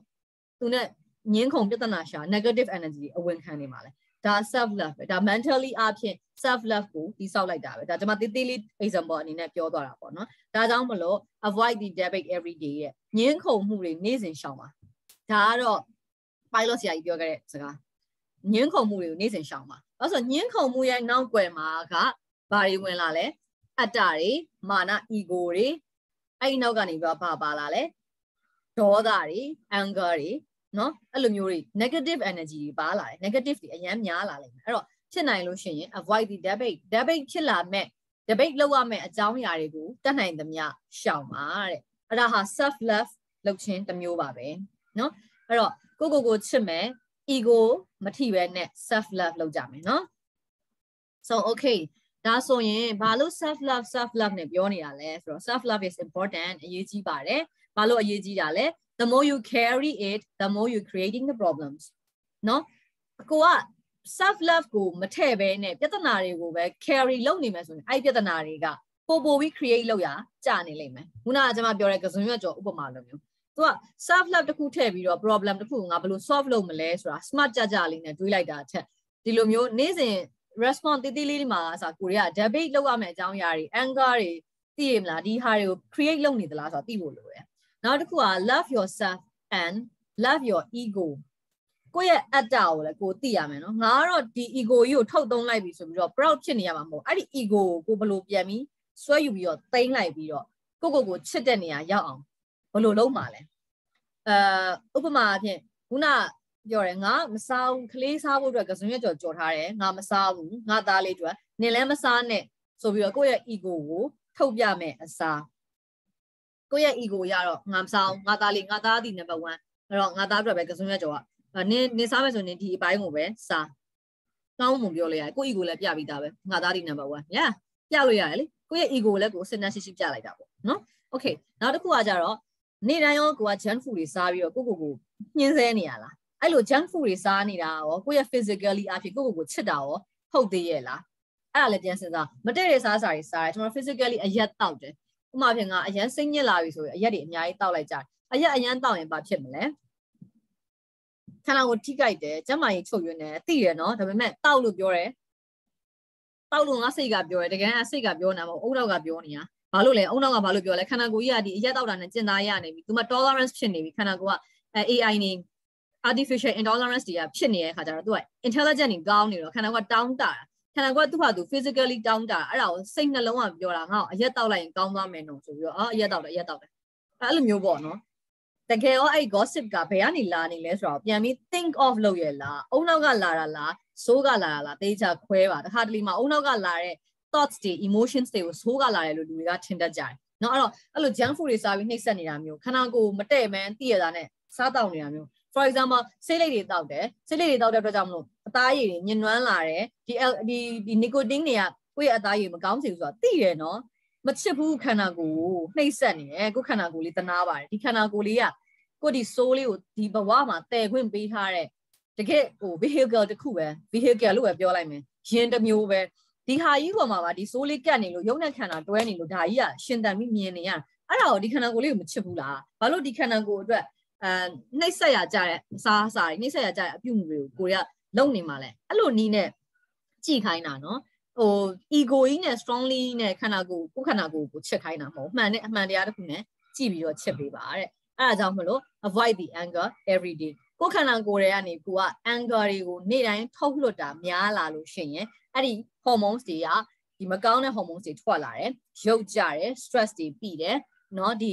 အာအရေးအကြောင်းတွေပေါ်လာမယ်ဒါခန္ဓာကိုယ်ပါပဲရှိသေးတယ် အဲ့ဒီဟာရဲ့နောက်ဆက်တွဲမှာ mentally အဖြစ်ဆိုလို့ရှိရင်စိတ်ပိုင်းဆိုင်ရာအရန်အားနည်းလာလို့ရှိရင်အဲစိတ်ယောဂဖြစ်တာတော့၎င်းကြီးကြီးမားမားလူတိုင်းမှာတော့စိတ်ယောဂရှိတယ်စိတ်စိတ်ကလေးတွေအဆွဲ attach လေးတွေနဲ့ယောဂဆိုတာရှိတယ်ဒါပေမဲ့အဲ့ဒါကြီးလာလို့ရှိရင် physiotherapy နဲ့အဲ sorry မလို့ psychologist တွေနဲ့ပြပြီးဆေးကုရတာတွေပါတယ်ဖြစ်လာနိုင်တယ်ဖြစ်သွားနိုင်တယ်เนาะအဲ့တော့အဲ့ဒါကြောင့်မလို့ anger ကိုလည်းပဲ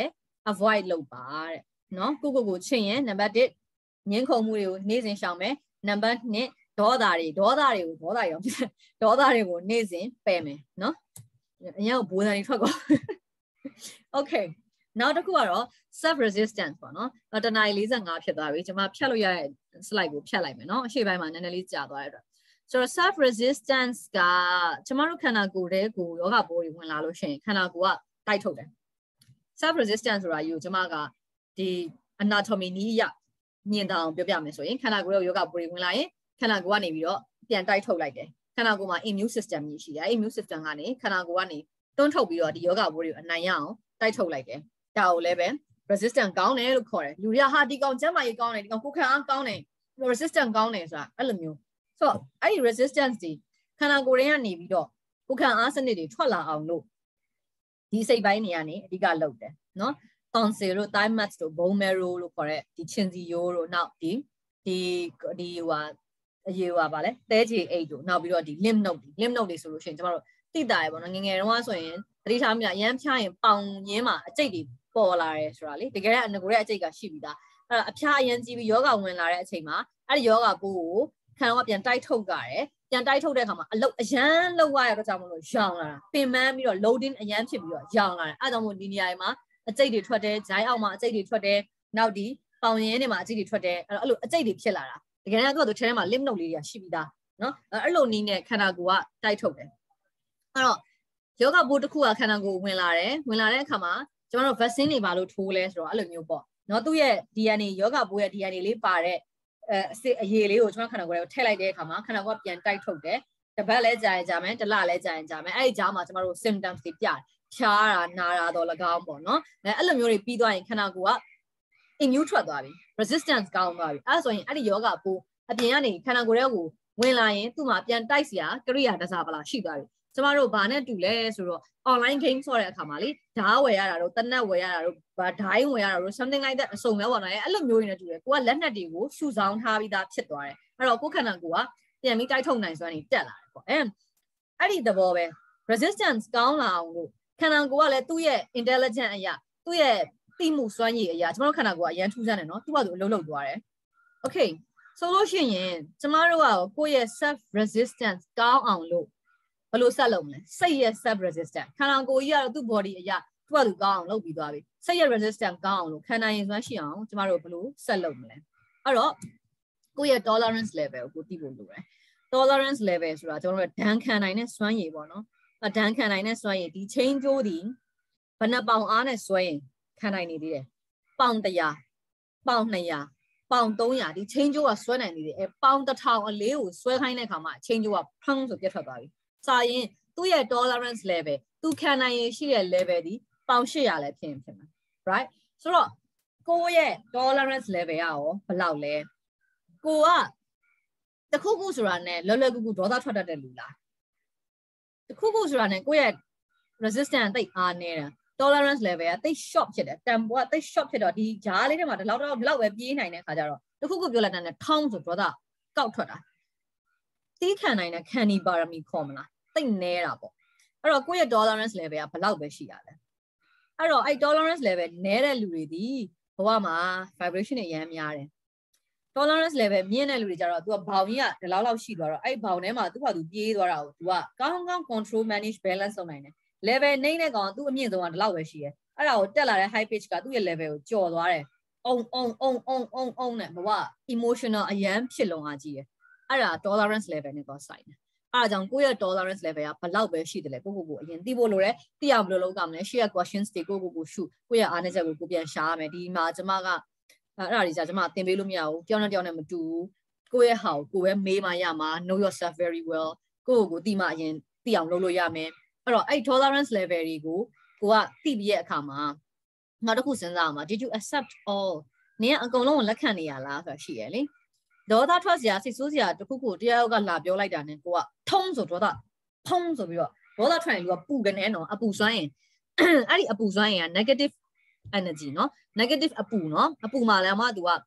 အဲကောင်းတဲ့အပူနဲ့ဆိုးတဲ့အပူရှိတယ်လို့မျိုးပေါ့ तू ကကြတော့ဆိုးတဲ့အပူကနေပြီးတော့အုံးဆိုပြီးတော့ထပြီးထွက်သွားတယ်ခန္ဓာကိုယ်ထဲမှာရှိသမျှ သွေးတွေအကုန်လုံးဘဘဘဘနဲ့နှလုံးကအမြန်မြန်မြန်မြန်ညှစ်ထုတ်လိုက်တယ်ဒီကုလုံးသွေးတွေကပူကနေပူကနေစီးဆင်းသွားပြီးတော့ဖူးဆိုပြီးတော့ဒီအုံနောက်ကသတိပေးလိုက်တဲ့စိတ်စော်လိုက်တဲ့ emotions ကြောင့်မလို့ခန္ဓာကိုယ်ရဲ့ metabolism တွေအကုန်လုံးပြောင်းလဲသွားတယ်အဲ့ဒါတွေအကုန်လုံးဖြစ်သွားပြီးတော့ကိုကအဲ့ဒါကို accept လုပ်လိုက်တာလေစိတ်ကလေးက yes accept လို့တကားဖွင့်ပေးလိုက်တာ ਨੇ အဲ့ဒီဟာတွေကအရန်အရန်တူတောင်းလာပါတော့အပုံတသိန်းပုံတပုံတော့ second ပိုင်းအတွင်းမှာဖုံးဆိုပြီးတော့ အများကြီးပြောင်းလဲသွားတာခန္ဓာကိုယ်ကသူ့ဘာသူသူ့ရဲ့ intelligent အရန်ကြီးရသူ့ဘာသူဖြစ်သွားတာဆိုတော့ကိုကအဲ့လိုမျိုး accept လုပ်နေတဲ့လူလားဒါမှမဟုတ်ရင် consider ပြန်လုပ်သလားဒေါသထွက်စရာကြောင့်တခုဖြစ်လာပြီဆိုရင် consider ပြန်လုပ်သလား consider မလုပ်ဘူးဆိုရင်ဒါကိုယ့်ရဲ့ tolerance level ကနှိမ့်နေသေးရဲ့နော်အဲ့ဒါကိုသိအောင်လုပ်ရမယ်တဲ့အဲ့တော့ tolerance level ကဘာလို့အရေးကြီးတယ်လဲကိုယ့်ရဲ့သိခံနိုင်စွာခံနိုင်ရည်ကဘယ်နေရာတွေမှာ impact သွားဖြစ်တယ်လဲဆိုတော့ relationship ချစ်ချင်းမြတ်တာနဲ့ပတ်သက်တဲ့အကြောင်းတွေနောက် job အလုပ်နဲ့ပတ်သက်တဲ့အကြောင်းတွေနောက်ငွေကြေး incomes နဲ့ပတ်သက်တဲ့အကြောင်းတွေနောက် family မိသားစုနဲ့ပတ်သက်တဲ့အကြောင်းတွေနောက်တစ်ခု environment ပတ်ဝန်းကျင်နဲ့ပတ်သက်တဲ့အကြောင်းတွေမှာ impact သွားဖြစ်တယ်။ uh uh for example အဲဥပမာအဖြစ်ပေါ့နော်အင်းရှိမှာကားမရက်ရဘူးဆိုပြီးတော့ဆိုင်းမုတ်ထောင်ထားတယ်။အဲဆိုင်းမုတ်ထောင်ထားတာကိုကားလာပိတ်ရက်သွားတယ်။စိတ်ဆိုးတယ်။နောက်နေ့ကျတော့ဝလုံးတားတယ်။ ဝလုံးကျိုးအောင်ကားပါကင်လာထိုးသွားတယ်ဟာအဲ့လိုမျိုးပေါ့ကိုယ့်ရဲ့ tolerance level ကဘယ်လောက်အထိကိုကသွားနေရလဲ။ဒါကျွန်မပါကင်လေးကိုပဲညင်တာအောင်လို့ပြောပြ။အဲ့ကိုယ့်ရဲ့ tolerance level ကပါကင်ခဏရှေ့မှာလာထိုးလိုက်ပြီဆိုတာနဲ့ငါလက်နဲ့ရေးတာကိုချိန်နဲ့ဖြတ်ပြီးဆိုပြီးထောင်းကနေဒေါသထွက်လိုက်သလား။ဒါမှမဟုတ်ရင် reason behind သူဘာလို့ဒီမှာ rush လီရက်သွားတာလဲသူ့မှာလည်း reason ပါရှိနိုင်မလဲဆိုပြီးတော့သူများစိတ်ကိုတိတ်တွေးခိုင်းတာတော့မဟုတ်ဘူးကိုကိုကို consider ပြန်လုပ်ပြီးကိုယ့်ရဲ့ဒေါသကိုပြန်ဆွဲချမှာဒါ မြင်တာအောင်လို့ဥပမာအနေနဲ့ပြောပြတာ love ချစ်ချင်းမြတ်တာနဲ့ပတ်သက်တဲ့ relationship မှာလည်းဒီတိုင်းပဲနောက်တစ်ခု job မှာလည်းအဲ့လိုပဲအလုပ်ထဲမှာကိုက tolerance level တိတ်နှိမ့်လို့ရှိရင်နိုင်ငံခြားမှာဆိုတော့အရန်သိတာတယ်ဒီနိုင်ငံမှာတော်တော်လေးသိတာမှာနိုင်ငံခြားမှာဆိုအရန်သိတာ tolerance level မြင့်တဲ့လူတွေဆိုရင်အရာတို့တက်တာအရန်မြင့်တယ်ဒါဆိုတော့လေသူတို့ရဲ့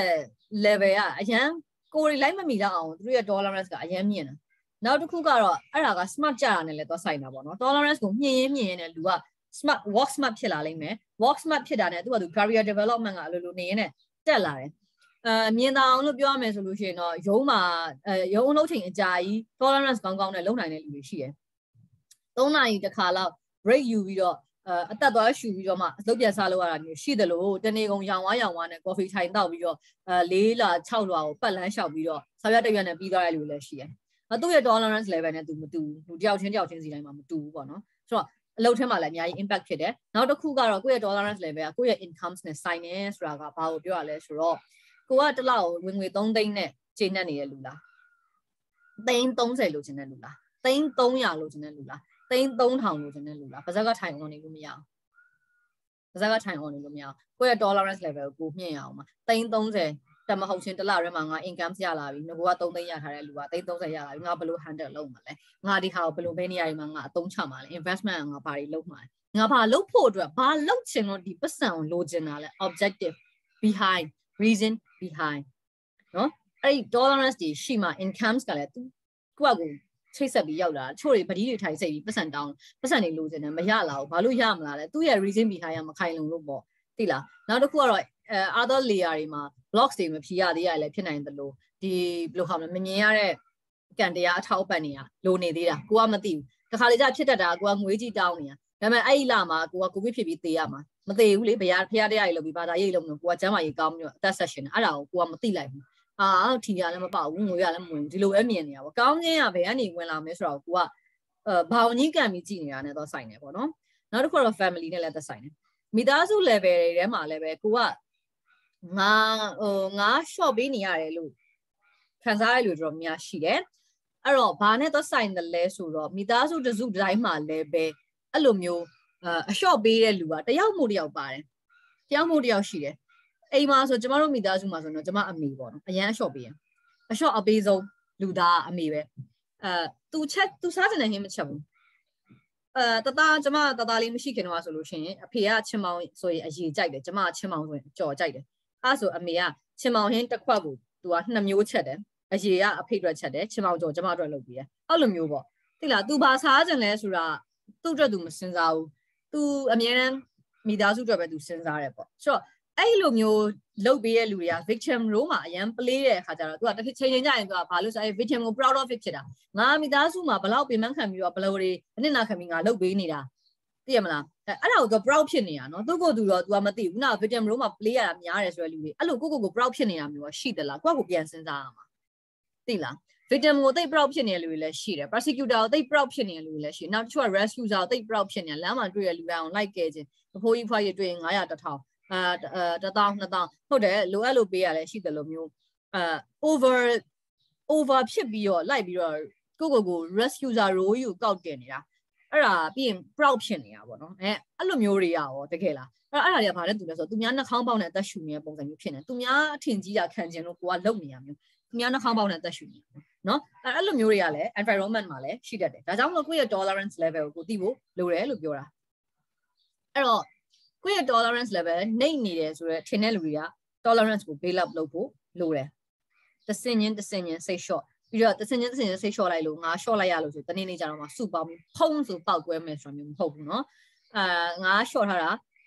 3ရက်ရှိပြီအာငါ short ထားတာ5ချိန်ရှိပြီဒီတစ်ချိန်ဆိုတော့နင်အသေးပဲအာ no no no เนาะ tolerance level ကအဲ့လိုညှင့်တာမဟုတ်ဘူးเนาะ release ကိုလုပ်နိုင်သွားရမှာ tolerance ညှင့်သွားတယ် release ပါလုပ်တတ်သွားလိမ့်မယ်เนาะဆိုတဲ့အခါကျတော့အဲ့တော့အဲ့ tolerance level ကိုညှင့်ဖို့အတွက်ဆိုရင်ခုနကကျွန်မပြောသလိုပဲဒီလိုဒီလိုအမြင့်အနှိမ်အကန့်လေးရှိတဲ့အဲ့ boundary လေးကို သိရမယ်ကိုယ့်ရဲ့ boundary ကိုကိုတိဆောက်ဖို့လိုတယ်ဆိုတော့ကိုယ့်ရဲ့ boundary ကဘာလဲ tolerance ကို level မြင့်တော့မယ်ဆိုရင် boundary ဆိုတာဘာလဲ boundary ဆိုတာ CY CY ဆိုတာလူစီဘလူးစီရှိတယ်နေရာတိုင်းမှာ C ရှိတယ်အဲ့တော့အရင်တုန်းကဆိုရင်တော့ကျွန်မမသိခဲ့ဘူးပေါ့နော်ကျွန်မနောက်ပိုင်းမှာသိတာကလေ ကိုယ့်ရဲ့စိတ်စွမ်းအားလျောက်ကိုဒီကိုယ့်အိမ်ထဲကိုမြင်အပ်တော့မမြင်အပ်တော့အရာတွေကိုဝင်ခွင့်ပေးခြင်းမပေးခြင်း boundary ကအစားကိုသတ်မှတ်လို့ရတယ်လူသားတွေမှာအဲ့ဒီ power ရှိတယ်နော်အာတကယ်ကို strong ဖြစ်တဲ့ power ပါဆိုတော့အဲ့လို power တွေကအစားလူသားတွေမှာရှိတဲ့ကြောင့်မလို့ boundary တွေအရေးကြီးတယ်လူလူချင်းမပြောနဲ့မမြင်ရတဲ့ဒီဟွာတွေကိုပါကိုကကန့်တတ်နိုင်တယ်နော်ကိုမှ boundary တစ်ခုထားနိုင်တယ် so အဲ့တော့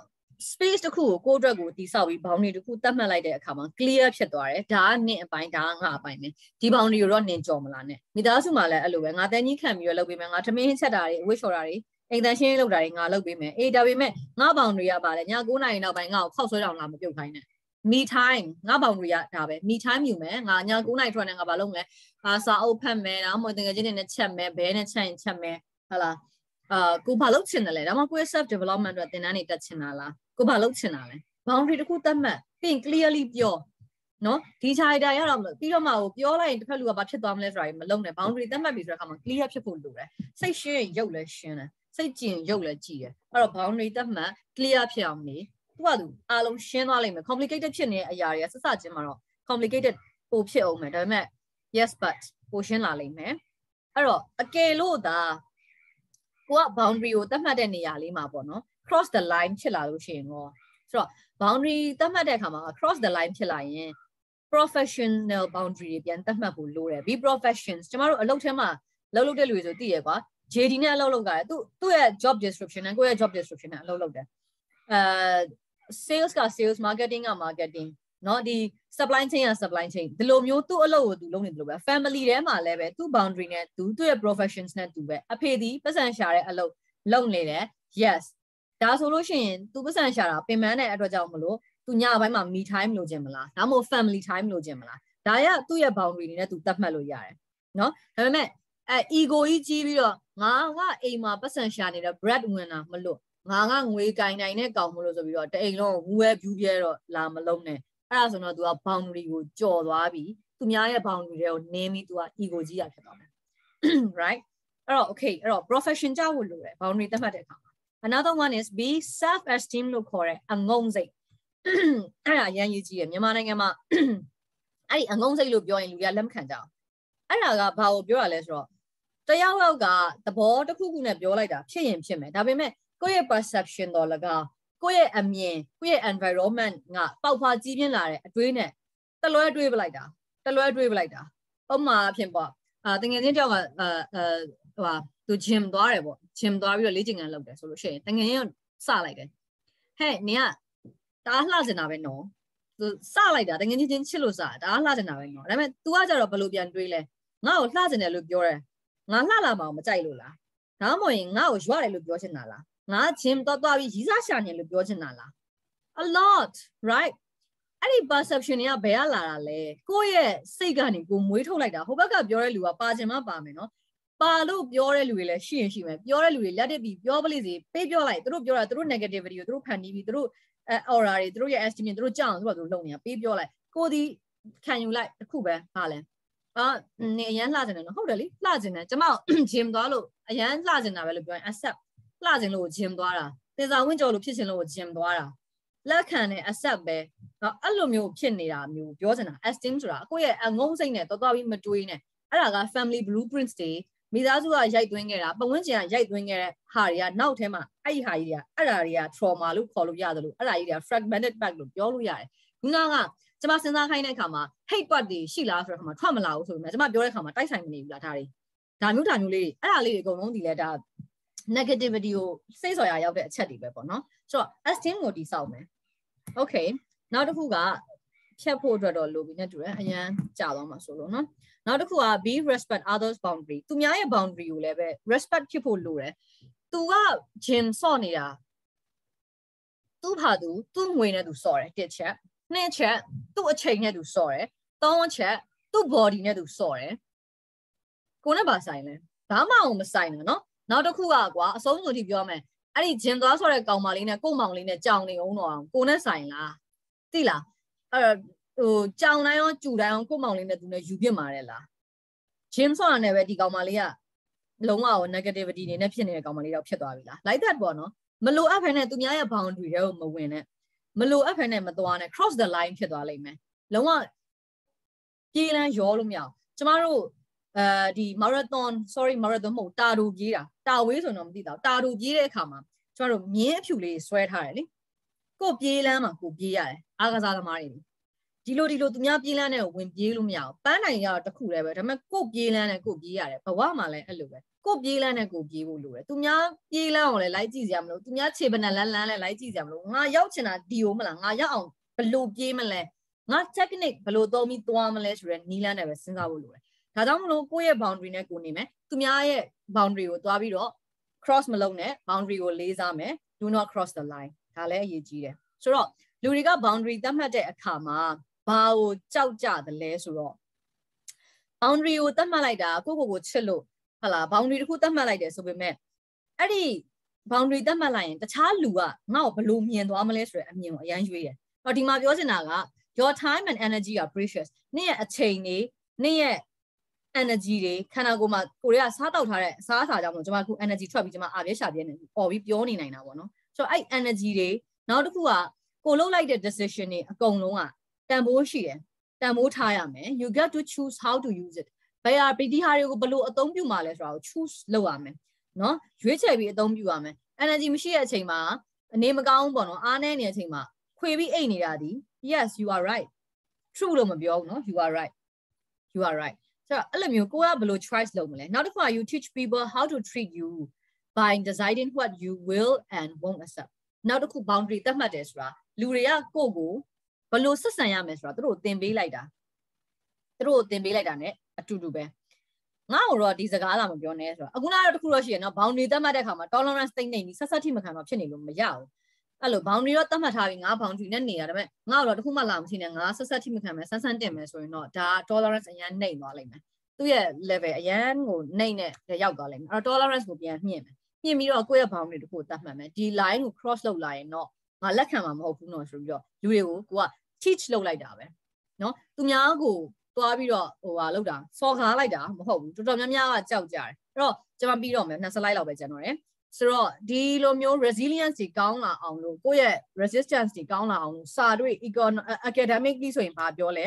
vision ချမှတ်ဖို့လိုမယ်။ဘာဖြစ်ချင်တယ်ဘာလုပ်ချင်တယ်ဆိုတာကိုသိရမယ်။နောက်တစ်ခုကတော့ composure စိတ်ခံစားချက်တွေကို regulate emotions emotions တွေသိရမယ်။နောက်တစ်ခုကကိုယ့်ရဲ့ bias တွေအဖြတ်စိတ်တွေ gossip တွေကိုအဲ့ interpretate လုပ်တဲ့အခါတွေမှာကိုကနားလည်နေရမယ်။ ခုနလာပြောတဲ့ဟာတွေအကုန်လုံးနားလည်နေရမယ်။နောက်တစ်ခုက calm and control အများရန်ကိုယ့်ရဲ့သိစိတ်ကို control အနေနဲ့သိနေရမယ် control ဆိုတာချုပ်ထိန်ခိုင်းတာမဟုတ်ဘူးသိခိုင်းတာပါနော်သိနေရမယ်နောက်တစ်ခု reasoning ဖြစ်ဖို့လိုတယ် problem တွေဘယ်လိုလုပ်မလဲနောက်ပြီးတော့အဲ့ problem တွေကို saving solving လုပ်ဖို့အတွက်ခုနကပြော resourcefulness ဖြစ်ဖို့ဆိုတာအခုလိုမျိုးထားပါတော့ဒီလိုသင်တန်းမျိုးတွေလာမတက်ဖဲနဲ့ဒီလို problem တွေ solving လုပ်ဖို့အတွက်ဆိုရယ် resource ကိုဘယ်ရရမလဲ ဟုတ်ပြီဒီသင်တန်းလာမတက်ဘူးဆိုရင်ဘုံကြီးတရားရနားထောင်တာနေသွားမလားဒါမှမဟုတ်ရှင်ဓမ္မဒီတရားဓမ္မတွေပြောရလို့ရှင်နေနားထောင်မလားတရားရောက်စီကနေ resource တစ်ခုခုကိုကိုယူမရမယ်နောက်တစ်ခုက anticipate and plan ကိုကဒါတွေကိုဖြည့်ရှင်းတော့မယ်ဆိုရင် plan လုပ်ဖို့လုပ်မယ်ကျမ်းမာရေးကောင်းနေအောင်တည်ဆောက်ထားဖို့လိုမယ်ကျမ်းမာရေးမကောင်းရင် resistant တိတ်ကြတယ်ဥမာအဖြစ်လွယ်လွယ်လေးပြောမယ်လူတွေက bike စားရင်တိတ်စိတ်တူလွယ်တယ် bike စားလာလို့ဆိုအရင်စိတ်တူလွယ်တယ်ကျွန်မဆိုကျွန်မကကျွန်မတတိထားမိတာအချိန်ပေါင်းမနေဘူးအချိန်ပေါင်းမနေဘူး ကျမရဲ့ resistant အတော်အတိုဆုံးအချိန် resistant အနည်းဆုံးအချိန်က bike စာနေတဲ့အချိန်ပဲအဲ့တော့အဲ့အဲ့ဟာကြီးကကိုယ့်ရဲ့အားနဲ့ကြအဲ့ဒါဆိုရင်အများအားမဟုတ်တစ်ခုခုသွားတော့လကောင်း something like that ကိုအများအားကိုနာမှာထား bike စာလာပြီဆိုတစ်ခုခုစားပြီးနော်အဲ့လိုမျိုးပေါ့ health ဖြစ်ဖို့ရယ်အဲ sorry ဒီ nutrition အရေးကြီးရယ် sleep enough ဖြစ်ဖို့လိုတယ်နောက်တစ်ခုကခန္ဓာကိုယ်တချမ်းအပူဓာတ်အေးဓာတ်ရှိတယ်အဲ့ဒီဟာတွေ regulate ဖြစ်သွားဖို့အပူဓာတ်အေးဓာတ် regulate ဖြစ်ဖို့နောက် အကြောတွေစိုင်းနေတာထုံကျင်နေတာဓာတ်ကြီးလေးပါမျှဖို့ exercise လုပ်ဖို့လိုတယ်နော်အဲဒါလေးတွေက health နဲ့ဆိုင်တယ်နောက်တစ်ခုကကြတော့ tendency ကကြတော့ persistent နေကောင်းနေဖို့အတွက်ခုနကကျွန်မပြောတဲ့ tolerance ကိုပြောတာ persistent ကောင်းနေဖို့လိုတယ်နောက်တစ်ခုက optimistic မြင်တတ်ဖို့လိုတယ်ဘာကြောင့်ဆိုတော့အကောင့်ဘက်ကနေစတွေး negativity ကနေစမတွေးနဲ့ negativity ကနေစတွေး esteem အရင်နှိမ့်နေအငုံစိတ်တွေထွက်လာလိမ့်မယ်နော်နောက်တစ်ခုက bounce back အချိန်မီနောက်ပြန်ဆုပ်ဖို့ဝင်မလေးနဲ့အာဥမာအဖြစ်ပေါ့နော် ကားအချိန်အချိန်တစ်ခုနဲ့လာတယ်မိဘရညီဘတော့ကောက်ရက်လိုက်တယ်မြင်းဖြူကိုရှေ့ဘိန်းကကြော်သွားပြီအဲ့တော့ရှေ့ဘိန်းကြော်တာပဲဘာမှဖြစ်သေးဘူးနောက်ဘိန်းကြော်တာမဟုတ်သေးဘူးညရက်နေလိုက်ရတယ်ဒါပေမဲ့အဲ့ဒီနှစ်တောင်လောက်ကြော်သွားတဲ့ရှေ့ဘိန်းကိုနောက်ပြန်စိတ်တဲ့ဘိန်းလေးနှစ်လိမ့်အောင်လူတွေလှုပ်ဖို့ခဲရင်တယ်လူတွေနောက်ပြန်ဆုပ်တာမှတိတ်ဝင်လေတယ်ကိုပြောလိုက်တဲ့စကားတခုမှားသွားရင်တော့မှတောင်းပန်ပါတယ်ပြောဖို့တိတ်ဝင်လေးတယ်ရုပ်သိမ်းဖို့တိတ်ဝင်လေးတယ် ဘာလို့လဲရိုက်သွင်းထားတယ်လေကာချာကထွက်ပြီးသားစင်စွယ်ပြန်ဝင်ရိုးထုံးစံမရှိအဲ့လေကောင်းလိုက်တဲ့စကားပုံအဲ့ဒါကိုကျမတို့ဘယ်လိုသုံးလဲမကောင်းတဲ့ဘက်မှာယူသုံးတယ်အဲ့တော့ bounce back ပြန်လှုပ်ဖို့လိုတဲ့အပိုင်းတွေကျွန်တော် bounce back ပြန် back ဆုပ်ဖို့လိုရင် back ဆုပ်ကြမယ်အဲ့ဒါကိုဝင်မလေးအောင်အဲ့ tendency ရှိဖို့လိုတယ်အ short အတင်းလေးသွားရမယ်နော်နောက်ပတ်ဝန်းကျင်နဲ့ collaborate လုပ်တတ်ဖို့လိုတယ် social နဲ့ collaborate လုပ်ကြမယ်နောက်တစ်ခုကကြတော့ perception တွေအတွေးအမြင်တွေကို manage လုပ်ပါ emotional ကိုလိုက်မသွားနဲ့ကိုယ့်ရဲ့အတွေးမြင်ငါဘာတော့တွေးနေတယ်ဆိုတဲ့ဟာတွေနဲ့အတွေးမြင်ကို manage လုပ်ပါသူများကိုကိုယ့်ရဲ့အတွေးမြင်ကို collaborate လုပ်ပါဒါစာတွေပြောထားတာ okay practically ရပြန်ဆက်ပြောမယ်ဆိုရင်ဘယ်လို resilience ကောင်းအောင်တည်ဆောက်မလဲကျမဟိုနေ့ကပြောသလိုကျမရေးမကောင်းရင် medication စိတ်ကူတာမှုခံယူမယ်ကျမရေးကူတာဖို့ meditation စိတ်ကူတာမှုခံယူမယ် prevention လုပ်ဖို့အဲ့တော့ကျမရေးကောင်းစိတ်ကူတာတာရောစိတ်စိတ်ကူတာတာရောနှစ်ခုစလုံးကျမတို့လုပ်ဖို့လိုအပ်တယ် ဘာလို့ဆိုတော့ physical နဲ့ mental နဲ့ရောနေတာ three parts of the body ကတစ်ခုထဲမှာရှိနေတာမလို့အဲ့တော့ဘယ်လိုနည်းနဲ့ resistance သွားမလဲနော် nurture a positive view of yourself တဲ့ကိုကိုကိုအကောင်းမြင်တတ်တဲ့စိတ်ကလေးကိုမွေးမယ်နောက်တစ်ခုက make clear decision and move forward ရှေ့ကိုရောက်ဖို့အတွက် clear decision ဖြစ်ဖို့အတွက်လုပ်မယ် make good connection တွေပေးမယ်နောက်တစ်ခု accept the change လုပ်မယ်အဲ့တော့ရှင်းရှင်းလေးပဲ number 1အနေနဲ့ဒီပန်းရောင် cycle ထဲမှာပါတယ်နေ nurture a positive view of yourself ကပါလဲ law of attraction ပြောချင်တာအများသောအားဖြင့်ကျေးဇူးတင်တတ်တဲ့စိတ်ကလေးမွေးခြင်းမွေးစေခြင်းတာ attitude of gratitude ကျွန်မအဲ lecture chapter 1မှာကျွန်မပြောခဲ့တယ်မနဲ့အိယာနိုးလာမျက်လုံးနှလုံးဖွင့်နိုင်တယ်ဆိုတော့ဟိုကကျေးဇူးတင်စရာပဲကျွန်မတို့မအိတ်ခင်မှာကျွန်မအမေအဖေအိတ်သွားတယ်မနဲ့မိုးလင်းကျွန်မအမေအဖေမအိတ်ခင်အတိုင်းအကောင်းတိုင်းပြန်နိုးလာတယ်ကျေးဇူးတင်စရာပဲ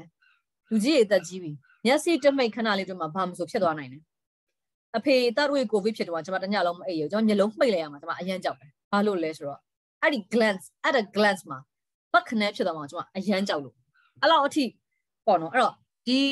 attitude of gratitude ကအရန်အရေးကြီးတယ်ဟောငါမျက်လုံးနေမြင်နေရသေးပါလားဟောငါတကူလုံးအကောင်းနဲ့နိုးလာတာညအိတ်နေနဲ့လေဖြန်းပြီးမနဲ့မထနိုင်တဲ့လူတပုံကြီးကြာကျေးဇူးတင်လိုက်ပါကောင်းတိုင်းနိုးထလာရတာဟုတ်တယ်နော် law of attraction နောက်တစ်ခုက can uh, make good connection ဆိုတာဘာလဲဆိုတော့လူတိုင်းကိုမေတ္တာထားခိုင်းတာပေါ့နော်မေတ္တာစီးဖြန်းခိုင်းတာ spreading the alexa လို့ခေါ်တဲ့မေတ္တာမော်ရည်လေးကိုပတ်ဖြန်းခိုင်းတာမေတ္တာထားခိုင်းတာကလေးဆန်လေးတွေကိုချစ်မေတ္တာနဲ့ဆက်ဆံတာလူတွေကိုချစ်မေတ္တာနဲ့ဆက်ဆံတာကျွန်တော်တို့ချစ်ချင်းမေတ္တာ love ကိုအဲလှုပ်ဆောင်လိုက်တဲ့အခါမှာဒီအုံလောက်ရဲ့အလဲကောင်မှာရှိတဲ့အစိတ်ပိုင်းလေးတစ်ခုရှိတယ်အဲ့ဒီအစိတ်ပိုင်းကနေပြီးတော့ glance ကနေပြီးတော့အဲ့ဒီ glance လေးတွေထုတ်လွတ်တယ်အဲ့ဒီအခါမှာလူက အဲဒီအုံနောက်ရဲ့ function လောက်ဆောင်မှုတွေပိုများလာတယ်ပြီးလို့ရှိရင်ကျမတို့ connection တွေကောင်းလာတယ်ပြီးရင်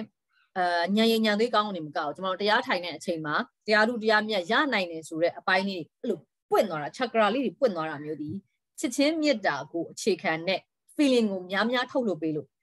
ဥပမာကြောင်လေးတွေခွေးလေးတွေအိမ်မှာမွေးတတ်တဲ့လူဆိုရင်သိတယ်သူတို့လေးနဲ့စော့နေတဲ့အချိန်မှာချစ်တဲ့ချစ်ချင်းမေတ္တာခံစားချက်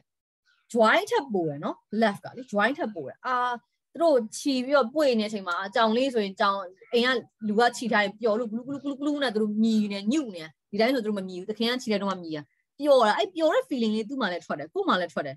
အဲ့ဒီ feeling လေးကအဲ့ဒါကောင်းတယ်အဲ့လိုမျိုးချစ်ချင်းမြတ်တာနဲ့ပတ်သက်တဲ့ feeling ကိုမကြာခဏလူတိုင်းပေါ်မှာမဟုတ်ရင်တောင်မှမကြာခဏတစ်နေ့မှာဘယ်နှကြိမ်ထုတ်လွှတ်နိုင်တယ်လဲနော်အဲ့ spreading the alexa လုပ်ဖို့အဲ့ဒါဆိုရင် good connection တွေဖြစ်လာမယ် နော်ဒါဆိုရင် tolerance level ကမြင့်လာမယ်တော်ရုံတရုံစိတ်ဆိုးဒေါသထွက်တာကြီးကျသွားမယ်နောက်တစ်ခုက clear decision move forward လုပ်ဖို့လိုတယ်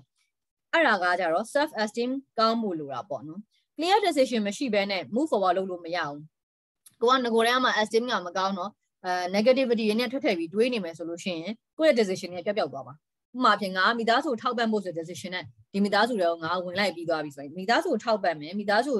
စောက်ရှောက်ပေးမယ်အဲ့ဒါအောင်မှဘေးကနေ gossip တွေနဲ့အာ esteem နေနေနေနဲ့ပြန်စဉ်းစားတယ်ငါပဲ victim ဖြစ်နေရပဲတို့ကကျတော့နေတိုင်းကြက်သားဟင်းနဲ့စားရငါနေတိုင်းငပိရည်နဲ့စားနေရတယ်။အော်စားခြင်းကြက်သားဟင်းမျိုးဝက်သားဟင်းမဲ့စားစားငါဒီနေ့ငါစားနေတာချက်စားမယ် love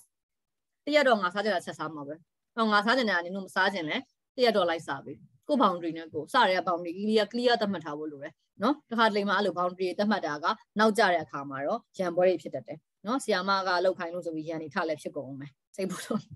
Okay နောက်တစ်ခုကတော့ be present accept the change ပြောင်းလဲမှုကိုလက်ခံမှုအတွက်ကတော့ be present ဖြစ်ဖို့လိုတယ်ကိုကကြီးပဲအဲပြောင်းလဲနေလို့မရဘူးပြောင်းလဲမှုကိုတဘာဝတရားရနေပြန်ပေးလာတဲ့ response ကကောင်းတာတော့၎င်းဆိုးတာတော့၎င်းကိုကိုက accept be present ဖြစ်ဖို့လိုတယ် for example ကိုက acceptance of the change ဖြစ်ချင်လို့ငါရဲ့ career ကအရင်တော့ဆီယာမပေါ့နော်အခုငါက corporate ထဲကိုပြောင်းပြီးဝင်လိုက်တယ်ပေါ့အဲအဲ့ဒီအချိန်မှာကိုကတော့ chain လုပ်လိုက်ပြီးသွားတယ်အဲ့အချိန်မှာဖုံးဆိုပြီးတော့ အဲကိုဗစ်ဒီခုတွေစဖြစ်တယ်ပေါ့နော်အာလုပ်ငန်းကိုင်ငန်းတွေအကုန်လုံးရက်သွားတယ်အစမ်းက3လကာလမှာလည်းဘုတ်ဆိုပြုတ်သွားတယ်ပေါ့နော်ဆိုတော့ကိုဖြစ်ချင်တာ career ပြောင်းတဲ့ development ဖြစ်ချင်တာကိုက career ကြီးပြောင်းလိုက်ပြီးကမှ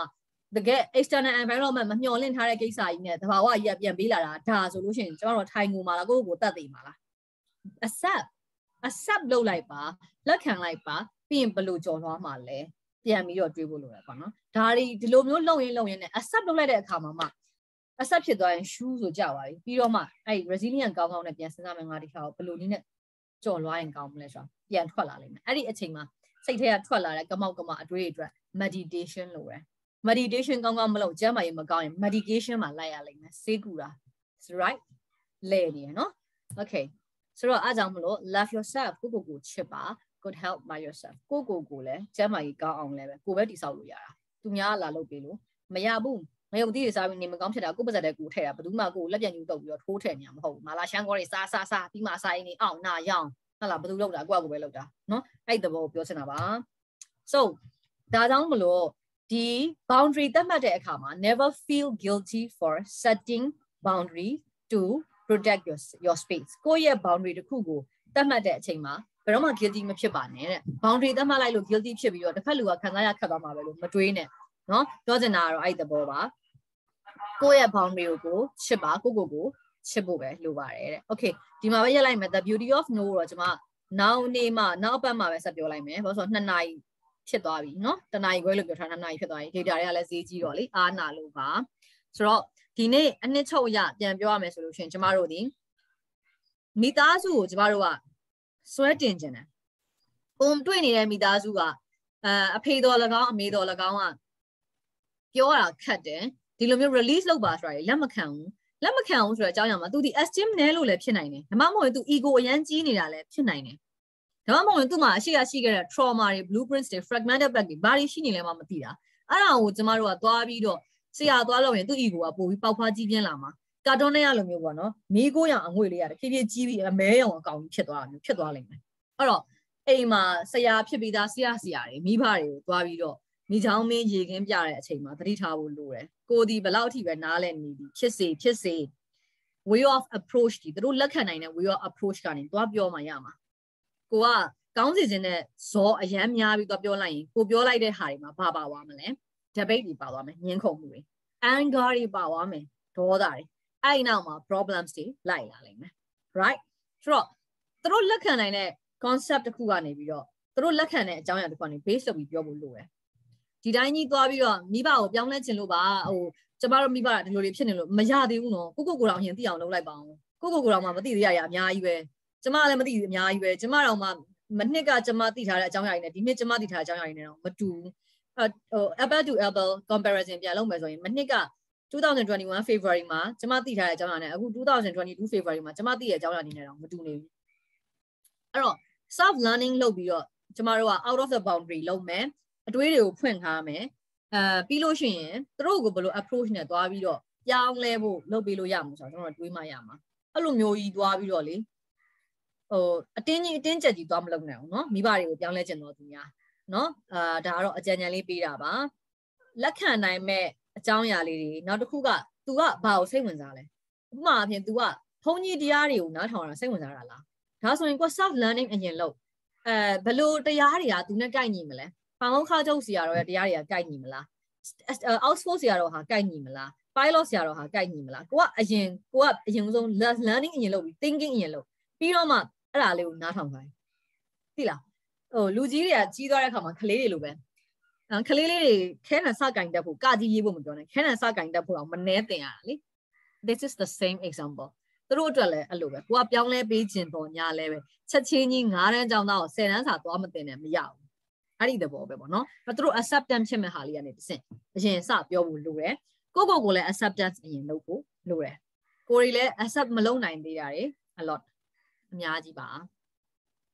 အဲ့တော့အခုဒီနေ့တော့ကျွန်မအဲဒီ tolerance level boundary level အကြောင်းအထိကျွန်မဒီနေ့ပြောလိုက်မယ်အဲနောက်အပတ်မှာကျွန်မ the power of the beauty of no ဆိုတဲ့အကြောင်းလေးနဲ့ဆက်သွားမယ်ပေါ့နော်အဲ့တော့ဒီနေ့သင်ခဲ့တဲ့အကြောင်းအရာနဲ့ပတ်သက်လို့ဆွေးနွေးချင်တာတွေရှင်ဆွေးနွေးလို့ရပါတယ်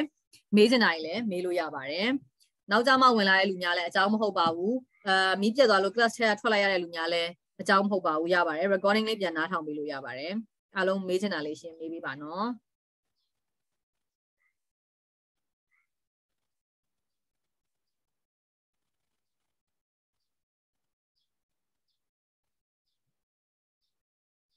မေးစရာလေးများပါများရှိပါသလဲရှင်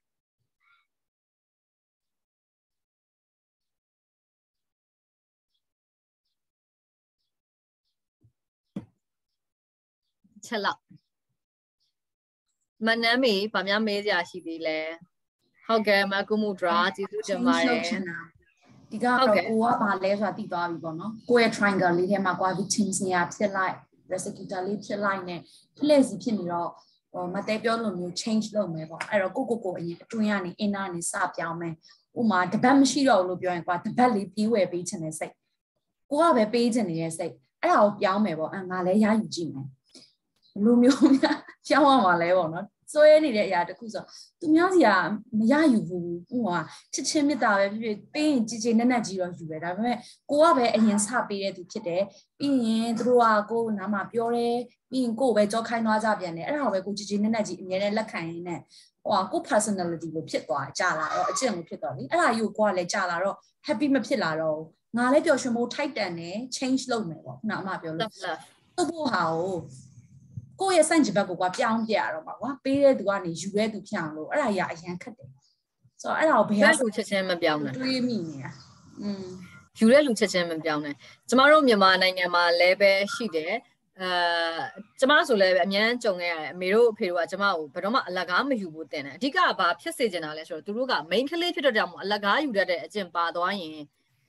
ပျက်စီးမှာဆိုလို့ပေါ့နော်ဆိုတော့အများနဲ့အမေတို့ဖေတို့က give and take ကိုတင်တယ်ကျမငယ်ငယ်လေးတွေက give take give ပြီးမှ take take give တောင်မဟုတ်ဘူးသူတို့က give take ကိုတင်တော့ကျမပေးတာလေတိတ်ပေးချင်တာပေါ့နော်အဲ့လိုမျိုးမနမ်းမင်ဝင်းဆန်လိုပဲကျမအရန်ပေးတတ်တဲ့ပေးခြင်းတဲ့စိတ်ရှိတယ်ဆိုတော့အယူကိုစမစင်စားနဲ့ကိုပေးမယ်ဆိုရင်လည်းပဲအဲပေးလိုက်ခြင်းဒီနောက်ဆက်တွဲကိုပြန်စင်စားငါငါကိုငါချစ်လို့ပေးရလားသူ့ကိုချစ်လို့ပေးရလားအဲ့ဒါကိုပြန်စင်စားရမယ်ပေါ့နော်ဥပမာအပြင်တိတာမြင်တောင်ပြောရမယ်ဆိုရင်လူတယောက်ကတည်သွားတယ် တည်သွားတဲ့လူကမြုပ်လိုက်ပြီးတကြိုပြီးသွားပြီအဲ့ဒါကိုကြံခဲ့တဲ့လူကနေမရှိရင်ငါမနေနိုင်ပါဘူးဆိုပြီးလိုက်တတ်တယ်အဲ့ဒါတည်သွားတဲ့လူကိုချစ်တာလားသူ့ကိုယ်သူချစ်တာလားသူ့ကိုယ်သူချစ်တာ wrongly self love လို့ခေါ်တယ်သူ့ကိုယ်သူချစ်တာကြံခဲ့ရတဲ့ loneliness တွေ pain တွေကိုရင်မဆိုင်ခြင်းလို့အဲ့ဒီနေရာနေခုန်ထွက်ပလိုက်တာသိလားဟိုတလောတော့ကျွန်မတွေ့လိုက်တာလीအာ ကိုကိုကိုတတ်တယ်ကလေး၃ယောက်ကြံခဲ့တယ်ဆိုလားပဲ something like that လीဆိုတော့အဲ့တော့အဲ့ဒါဒီသူဒီသူ့ကိုသူ wrongly self love ဖြစ်နေတာသူ့ရဲ့ perception ကြီးကလွဲပြီး तू ကဒီဒုက္ခတွင်းထဲကနေလွတ်ရောဟဲ့ဆို तू ကထွက်သွားပြင်မဲ့မိဘမဲ့ဖြစ်ပြီးကြံခဲ့မဲ့ကလေးတွေကဘယ်သူထမင်းကျွေးထားမှလဲဒီလောက်ကတ်ဟိုဒီလောက်ဒုက္ခတွေရောက်နေတဲ့ကတ်ကာလကြီးထဲမှာဟုတ်တယ်မလား right ဆိုတော့ဒီလိုမျိုးပေါ့ problem တခုကို solve လုပ်တာလွဲသွားတယ်အဲ့ဒီသဘောမျိုးပဲကိုကသူ့ကို power လေးမရှိဘူးဆိုတော့ power လေးဝယ်ပေးခြင်းတယ်ဆိုတာက သူ့ကိုချစ်တာလားကိုကိုကိုချစ်တာလားကိုကဝယ်ပေးလိုက်ရင် तू ပျော်သွားမယ် तू ပျော်သွားရင်ကိုပါရလဲ sweet ဖြစ်တယ်ငါ့ကိုပိုချစ်လာမှာငါဒါလေးဝယ်ပေးလိုက်တယ် तू ပျော်သွားရင် तू ပြောမှငါ့ကိုပိုချစ်လာမှာအချစ်ခံချင်တာတကယ်တမ်းတော့သိလားတကယ်တမ်းနောက်ဆက်တွဲကတော့ကိုကအချစ်ခံချင်တာအဲ့တော့အချစ်ခံခြင်းလို့ကိုကလှုပ်လိုက်တဲ့ဒီအပြုတ်မှုလေးတစ်ခုပေါ့ဆိုတော့အဲ့တော့အဲ့ဒါလေးတွေကိုရိုင်းတလောက်ထိမ့်မယ် control လုပ်မယ်ပြီးရင် boundary တစ်ခုချမှတ်မယ်เนาะအဲ့တော့ boundary တစ်ခုချမှတ်မယ်ဆိုတာက ဟုတ်ပြီငါကြီးပဲတိတ်ပေးမနေနဲ့လောကကြီးထဲမှာပေးလို့ရင်လည်းပေါ်တယ်ဖះဟောခဲ့တယ်လို့မျိုးဆရာမြတ်စွာဘုရားဆိုဘာပြောလဲဆိုတော့မေးခွန်းအောင်မမေးရင်မဖြေရဘူးလေမမေးရင်မဖြေရအောင်ဆိုတတ်မှတ်ခိုင်းတာမဟုတ်ဘူး boundary တစ်ခုထားခိုင်းတာမမေးဘဲနဲ့ဖြေနေတဲ့စကားအရန်ပေါ်တယ်အရန်ပေါ်တယ်အလကားရတဲ့ပစ္စည်းဆိုရင်တန်ဖိုးမထားဘူး for example ကျွန်တော်တို့အခုအသက်ဒီတိုင်းရှူနေရတော့ကျွန်တော်တို့တန်ဖိုးမထားဘူးအောက်ဆီဂျင်တွေကျပြီးအဆုတ်ကြီးမလုံနိုင်တော့ဘူးဆိုတဲ့အခါကျတော့မှအဲ့ဒီအောက်ဆီဂျင်အိုးကြီးပတ်စံပေးဝယ်ပြီးကျွန်တော်တို့ရှူရတာအဲ့တော့မှအမလီအောက်ဆီဂျင်ဟဲ့ မလီဘဏ္ဍသိန်းဟဲ့ဆိုတာဖြစ်လာတာလေသူ့ရဲ့တန်ဖိုးသတ်မှတ်မှုတစ်ခုကြောင့်ဖြစ်လာတာအဲ့တော့အဲ့လိုပဲအလကားရတဲ့ပစ္စည်းတွေကပေါ်တယ်တန်ဖိုးမထားတတ်ကြအောင်အဲ့တော့ဒီကိုအလကားပေးလိုက်တဲ့ပစ္စည်းတစ်ခုကိုကိုယ့်ရဲ့စေတနာတော်၎င်းကိုယ့်ရဲ့ချစ်ချင်းမေတ္တာတော်၎င်းကိုဟိုဘက်က reflection လေးပြန်ခံစားနိုင်တဲ့လူဖြစ်ဖို့မျှော်လင့်ချက်ရှိရဆိုရင်ပေးကိုဒီအရိယာမဟုတ်သေးတဲ့အတွက်ကိုဒီအရိယာဖြစ်သွားပြီဆိုတော့ရတယ်ပေးလိုက်တော့ဘာမှ reflection ပြန်မလာလဲနေငါခံနိုင်တယ်ဆိုရင်လှုပ်အဲ့လှုပ်ကိုလှုပ်လို့ရတယ်ပေါ့နော် အဲအဲ့လိုမှမဟုတ်မျှော်လင့်ချက်လေးရှိနေသေးတယ်ဆိုလို့ရှိရင်တော့ကိုပေးမယ်ဆိုတဲ့အရာတိုင်းဒီနောက်က consequences ကိုပြန်ကြည့်ပေါ့နော်။ဘာ consequences ဖြစ်လာနိုင်တယ်လဲဆိုတော့ပြန်ကြည့်။နောက်တစ်ခုကတော့ခုနပြောတဲ့ boundary သတ်မှတ်မယ်။ကိုယ့်ရဲ့ energy တွေကိုစက်ဝင်းတွေကိုကိုကဘယ်လိုလူမျိုးတွေပဲဆွဲခေါ်မှာလဲဆိုတော့ကိုယ့်ဘာကို create လုပ်မယ်။နော် future version တစ်ခုကိုစာအုပ်တုံးမှာချရင်ငါဟာဘယ်လိုလူမျိုးဖြစ်ချင်တယ်ဆိုတော့စာအုပ်တုံးမှာ deeply ချရင်စိတ်ကဘလို့ရုပ်ကဘလို့ခန္ဓာကိုယ်ကဘလို့ပေါင်ချိန်ကဘလို့ ငါဒီအသက်ဘလောက်မှာဘလို့နေထားဖြစ်နေပြီငါဘလို့ဝတ်စားတွေဝတ်နေတယ်ငါဘာတွေစားတော့ပြီငါဘဝကိုဘလို့ဖြတ်တန်းနေရဆိုတော့ detail ချရင်အဲ့ဒီခါမှာတဖြည်းဖြည်းနဲ့ဆက်စချင်းမှာတော့ငကြောင်ကြီးပဲဒါပေမဲ့တဖြည်းဖြည်းနဲ့ရုပ်လုံးပေါ်လာလိမ့်မယ်ကိုဖြစ်ချင်တဲ့ version နဲ့ရုပ်လုံးပေါ်လာလိမ့်မယ် for example ထားပါတော့အဲကျမရဲ့ future version ဒီသူဒီအဲ့လိုပေါ့ dress ဒီလိုမျိုးအင်ကြီးအဖြူလေးတွေဝတ်တယ်ပဲထားပါတော့အဲ့ဆိုကျမအင်ကြီးအဖြူလေးတွေကိုတတိထားပြီးဝတ်မယ် right အဲအဲ့ဒါဒီ pop up မဟုတ်ဘူးเนาะ fat မဟုတ်ဘူး popping လောက်တာမဟုတ်ဘူး fat မဟုတ်ဘဲနဲ့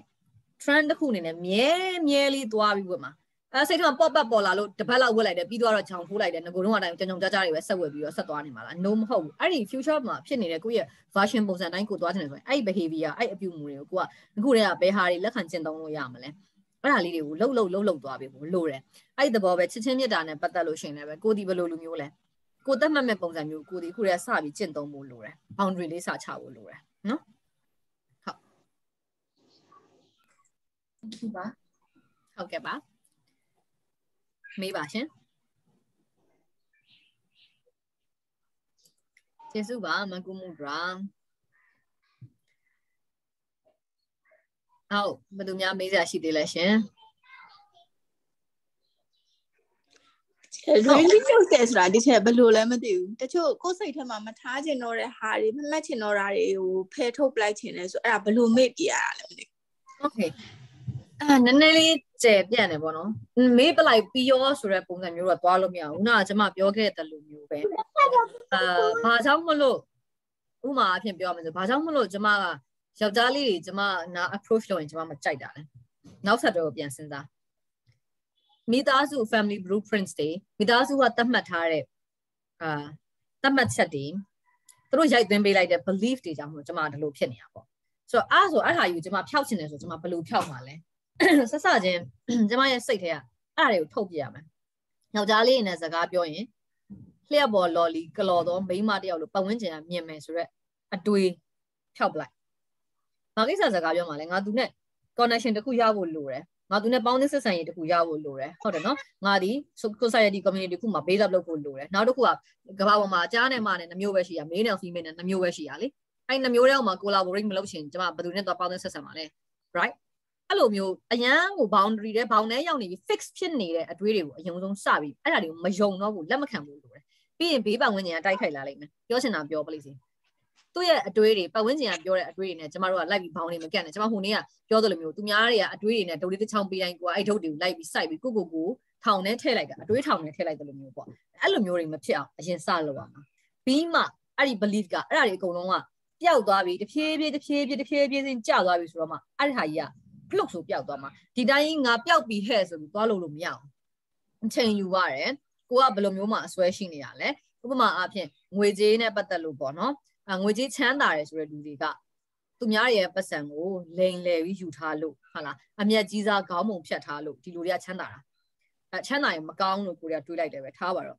တကယ်တမ်းကျကိုယ့်ရဲ့မသိစိတ်မှာမချမ်းသာခြင်းလားချမ်းသာခြင်းနဲ့အဲဒါပေမဲ့ဒီအပေါ်ကနေဟန်ဆောင်ပြီးအုပ်ထားတဲ့ဟာကြီးအဲ့ဒါတွေကိုဖယ်ချပြရမှာ ငွေကြေးချမ်းသာရင်ဟုတ်ပြီငါဘလို့နီးနဲ့ကောင်းတဲ့ဘက်ကနေငွေကြေးချမ်းသာလာတဲ့အခါမှာအကျိုးပြုလို့ရတယ်ငွေကြေးချမ်းသာလာပြီးနောက်ပိုင်းမှာဒီ community ကြီးကိုအကျိုးပြုနေတဲ့လူတွေကဘယ်လိုတွေရှိတယ်လဲဘယ်လိုအကျိုးပြုလို့ရတယ်လဲဒီလိုမျိုးကိုယ့်ရဲ့ fix ဖြစ်နေပြီးတော့ကန့်ပြီးတော့တွေးထားတဲ့အတွေးတွေကိုဖွင့်ထုတ်ပလိုက်ရမှာအရန် boundary တွေကိုရောက်နေအဲ့ဒီ belief တွေက release လုပ်လို့မရအောင်ပေါ့နော်အဲ့လိုပိတ်ပြီးတော့လှောင်နေမှာပေါ့ ကျမဆိုလို့ရှိရင်လည်းအဲကျမအဲ့လိုမျိုးပေါ့ကျမပြောသလိုမျိုးငငယ်တော့ကျမအရန်ကြောက်တတ်တယ်နိဒါပေမဲ့မကြောက်တတ်တော့အောင်လို့ကျမဘယ်လိုလုပ်လဲဆိုအဲ့ကြောက်တတ်တယ်သူများငါ့ကိုလာအနိုင်ကျင့်လိုက်မယ်ဆိုရဲစိတ်တွေအဲ့ဒါတွေအကုန်လုံးကျမဖယ်ထုတ်တာပြီးတော့ကျမရဲ့ confidence ကိုကျွန်မတိဆောက်တယ်ခလေးဘဝဆိုတော့ confidence ကတော့အမေကနေတွဲပြီးတိဆောက်ပြီးတာပေါ့အဲ့တော့ကိုယ့်ရဲ့ confidence လေးကိုတိဆောက်ရင်တိဆောက်ရင်ねလူတွေရှေ့မှာစကားပြောရဲလာတယ်လူတွေနဲ့ပြောရမှာလည်းဝင်မလေးဘူးနောက်တစ်ခုကျွန်မရဲ့အကြီးဆုံး confidence level so high ကတော့ ကျွန်မကိုဘယ်လို gossip ပြောပြောကျွန်မ view မဆိုင်ဘူးအဓိကဘာလို့ view မဆိုင်တာလဲဆိုတော့ကျွန်မမှန်အောင်နေတယ်ဒါဆိုလို့ရှိရင်တော့လူသည်လိုတစ်မျိုးမလိုတစ်မျိုးတော့ပြောကြမှာပဲပြောပါဒါဒီသူ့အပိုင်းနဲ့သူ့အမြင်နဲ့သူပြောတာသူ့ right နဲ့သူပြောတာပေါ့နော်ဒါကျမရဲ့ right ကိုတော့ကျမကင်ထားတယ်လူဒီ esteem ကောင်းလာတယ်ခုနပြောသလိုမျိုးခိုင်လုံတဲ့ right ဒီကနေတိဆောက်ထားတယ်ဆိုလို့ရှိရင်အဲ့ boundary ဒီမာလာလိုက်မယ် boundary မာလာလို့ရှိရင် belief တွေကိုဖြုတ်ချရတာလွယ်တယ် တုံနဲ့နဲ့အင်ကြီးမဝတ်နဲ့ပြက်ပေါ်လော်လီယာရောက်တယ်ပြက်ပေါ်လော်လီကျင်လို့ဝတ်တာမဟုတ်ဘူးငါကူငါလှကျင်လို့ဝတ်တာငါကြိုက်လို့ဝတ်တာဝတ်မှာပဲဝတ်လို့ရတယ်အဲ့ခါမှာခုနကတွေ့တဲ့တုံနဲ့နဲ့မဝတ်နဲ့ဆိုတော့ belief ကြီးပျောက်သွားတယ်အဲ့ခါမှာဒီအင်ကြီးကိုဝတ်ချင်နေတာဒီအင်ကြီးကိုမဝတ်ရတဲ့ဟာအတွင်းစိတ်မှာရှိနေတော့အဲ့လိုအင်ကြီးဝတ်တဲ့လူတိုင်းကအမြင်လိုက်ကတ်နေတာဆိုတော့အဲ့ဒီ negative ကြီးပျောက်သွားတယ်အာအဲ့လိုမျိုးပေါ့တဆင့်ချင်းစီသွားတာပေါ့နော်ကျွန်မနားလည်အောင်ရှင်းပြတာပေါ့နော်ဥပမာလေးနဲ့အဲအဲ့လိုမျိုးအရင်ဦးဆုံးတော့စပြီးတိဆောက်ဖို့လိုတယ်ချက်ချင်းကြီး ဖလွတ်ဆိုပြီးတော့မပြောက်သွားအောင်။ဘာလို့ဆိုတော့နှစ်ရှည်လာများတိဆောက်လာတဲ့ကျမတို့မသိဘဲနဲ့အမြင့်တွယ်လာတဲ့ unconscious mind ထဲမှာရှိနေတဲ့အရာတွေဖြစ်နေလို့နော်။ဟုတ်ကျေးဇူးပါဒီချေဟုတ်မေးပါနော်နေချင်တယ်ဆိုရင်မတီတီလည်းမေးလို့ရတယ်အန်ဒီမတင်တင်တန်းလည်းမေးလို့ရပါတယ်ဘယ်သူမေးချင်ပါသေးလဲဒီချေကင်မရာဖွင့်ထားတယ်လေလိုက်ခေါ်ဟုတ်မေးပါရှင့်ဟုတ်မမြလေးဟုတ်ဟုတ်ပါ sorry ခုနကလက်ပြထားတာ ကဲဒီချေဟိုကလေးဒီချေဟိုခုနကဒီချေပြောတဲ့ boundary ပေါ့နော်အစတော့ကအရင်တော့ဟိုခုနကပေါ့ victim အနေနဲ့ခံစားခဲ့ရတယ်ပေါ့နော် victim အနေနဲ့ခံစားခဲ့ရပြီးတော့ခုနောက်ပိုင်းကျတော့ဟို boundary တစ်ခုကိုတတ်မှတ်လိုက်တယ်ဒီချေဒါပေမဲ့အဲ့ဒါကိုကိုကကိုကိုယ်စိတ်ထဲမှာတတ်မှတ်လိုက်တာဒါပေမဲ့ဒါကိုတိလို့တတ်မှတ်လိုက်တာမဟုတ်ဒါပေမဲ့အခုဒီချက်ပြောတာနဲ့ဆိုတော်တော်တိုက်ဆိုင်သွားတယ်ဒီချက် boundary ကိုတတ်မှတ်လိုက်တဲ့အချိန်မှာကိုယ်စိတ်ထဲမှာတော်တော်ပေါ့သွားတယ်ဒီချက် တော်တော်ပေါ့သွားကိုလှုပ်ပေးနိုင်တဲ့အဟာတွေပဲကိုလှုပ်ပေးတော့မယ်ပေါ့မလှုပ်ပေးနိုင်တဲ့ဟာတွေကိုဟိုဟိုလက်တွေကိုလှုပ်လိုက်တော့မယ်ဆိုတဲ့ဟာနဲ့အဲ့လိုမျိုးစိတ်ထဲမှာတွေးလိုက်တဲ့အတွက်ကြောင့်မို့တော်တော်ပေါ့ ပါဝိုင်းရှင်နာတခုနောက်တစ်ခုကခုနဒီချက်ပြောတော့ဒီချက်မှာတားလေးရှိရလို့ပြောတော့လေဒီချက်တားလေးကဒီချက်အတွက်နံပါတ်1ပေါ့နော်အဲ့ဒီအချိန်မှာဟာပေါ့ဒီချက်သူများတွေဒီချက်အတွက်နံပါတ်1ဖြစ်တဲ့အတွက်ကြောင့်သူများတွေပြောတာကိုဒီချက်လက်ခံလားဒါမှမဟုတ်လို့ရှင်ဟိုဒီချက်သားလေးကိုဒီချက်ဘယ်လိုမျိုးပြန်ပြီးတော့ထိန်းချောင်းပေးလဲပေါ့နော်ဒီချက်တော့မှဒါမျိုးတွေဒါတွေဒါတွေဒါတွေဒီလိုလုပ်ခဲ့တယ်ဆိုတဲ့ဟာတွေနဲ့ပေါ့နော်အဲ့ဒါလေးကိုဒီချက်တော့သိကျင်တယ်ဒီချက်ဘာဖြစ်လဲဆိုတော့အမ် uh, my sister tell that oh, my time is my right ပေါ့နော် Uh, don't uh, other don't other don't care ပေါ့ other other they uh, they speak don't care ဆိုပြောလေအဲ့လိုမျိုးဟာခွန်နေကဟိုချစ်ချစ်တာပေါ့နော်ဒါပေမဲ့ချစ်တဲ့ဟာလွဲနေတယ်ပေါ့နော်ဆိုတော့အဲ့လိုခံစားရတယ်ဒီချင်းဆိုတော့ဟိုစိတ်ထဲမှာအဲ့ဒါဒီချက်တစ်ချက်လောက် sharing လုပ်ပေးလို့ရမလားလို့ဟုတ်ပြီမယ်လို့ဟုတ် ဆိုတော့ကျမအဲ့ဒါတော့လေးတစ်ခုအိမ်လောက်မှာသိကြလို့ပါဒီချက်မောင်နှမမရှိဘူးပေါ့နော်အဓိကတော့မောင်နှမမရှိဘူးဒါပေမဲ့ကျမကတော့အဓိက fighting ဝင်ရတာမောင်နှမထက်ပိုပြီးတော့ gain ကြီးတဲ့ level ကြီးတဲ့အမေဖေပေါ့ကျမအမေဖေပေါ့ကလေးရဲ့အဖိုးဖွာပေါ့ဗမာစကားလည်းရှိရလေတားအချစ်မြည်အနှစ်တဲ့ဆိုတော့စကားရှိတယ်ဆိုတော့ကျမကသူ့ရဲ့ mindset ကို open ဖွင့်ပေးထားတယ် fix မဖြစ်စေချင်တော့ open ဖွင့်ပေးထားတဲ့ခါကျတော့တစ်ခါတလေမှာသားကပြောလိုက်တာနဲ့မရအောင် ဥပမာကျမတော့ကဟဲ့အတမထွက်တဲ့ငြိမ်ငြိမ်နေဆိုရင်မိဘတခုံးပြောလိုက်ရင်ကျမဇွတ်ဆိုငြိမ်ချလိုက်ရတာရှိတယ်ကျမအဖေကျမကတခါမှမရိုက်ဘူးအမေကတော့စော်သလားမမေးနဲ့အဖေကတခါမှမရိုက်ဘူးဒါပေမဲ့ကြောက်တယ်လေကြောက်တော့ဇွတ်ဆိုငြိမ်ချလိုက်တယ်ကျမတော့ကနဲ့အများတန်း compare လုပ်တယ်နင့်တော့ကတခွန်မဲ့နင့်သားကပြောလို့မရဘူးပေါ့နော်အဲအဲ့လို compare လုပ်တယ်ဆိုတော့ကျမကသူ့ကိုဖွင့်ပေးထားတာကိုပြောလို့ဘယ်ရမလဲတခွန်ပြောလိုက်တာနဲ့ခွက်ဆိုကောက်ငြိမ်သွားတဲ့အနေအထားမျိုးအဲ့လိုအဖိခံအုတ်ခံအကြီးကိုကျမမဖြစ်အောင်လို့ကျမသူ့ကိုဖွင့်ပေးထားတော့ သူအမြဲ complain တက်တယ်ဘာလို့ဒါလောက်ခိုင်းတာလဲတခုခုစားဆိုလဲဒါကဘာကြောင့်စားခိုင်းတာအဲ့လိုမျိုးအမြဲတမ်း complain တက်တယ်နေကင်းနေပူတဲ့စပိန်ထွက်မစည်းနဲ့ဆိုလို့ရှိရင်ဘာလို့ထွက်မစည်းခိုင်းတာလဲနေပူတဲ့အပူရှက်ပြီးဖြားတတ်တယ်ပြီးနေကခဏခဏဖြားလွယ်တယ်အော်စီးကျင်ခြံထဲမှာစီးကားကိုခြံမြင်ထုတ်ပေးမယ်ခြံထဲမှာနေရိတ်တယ်ခြံထဲမှာပတ်စီး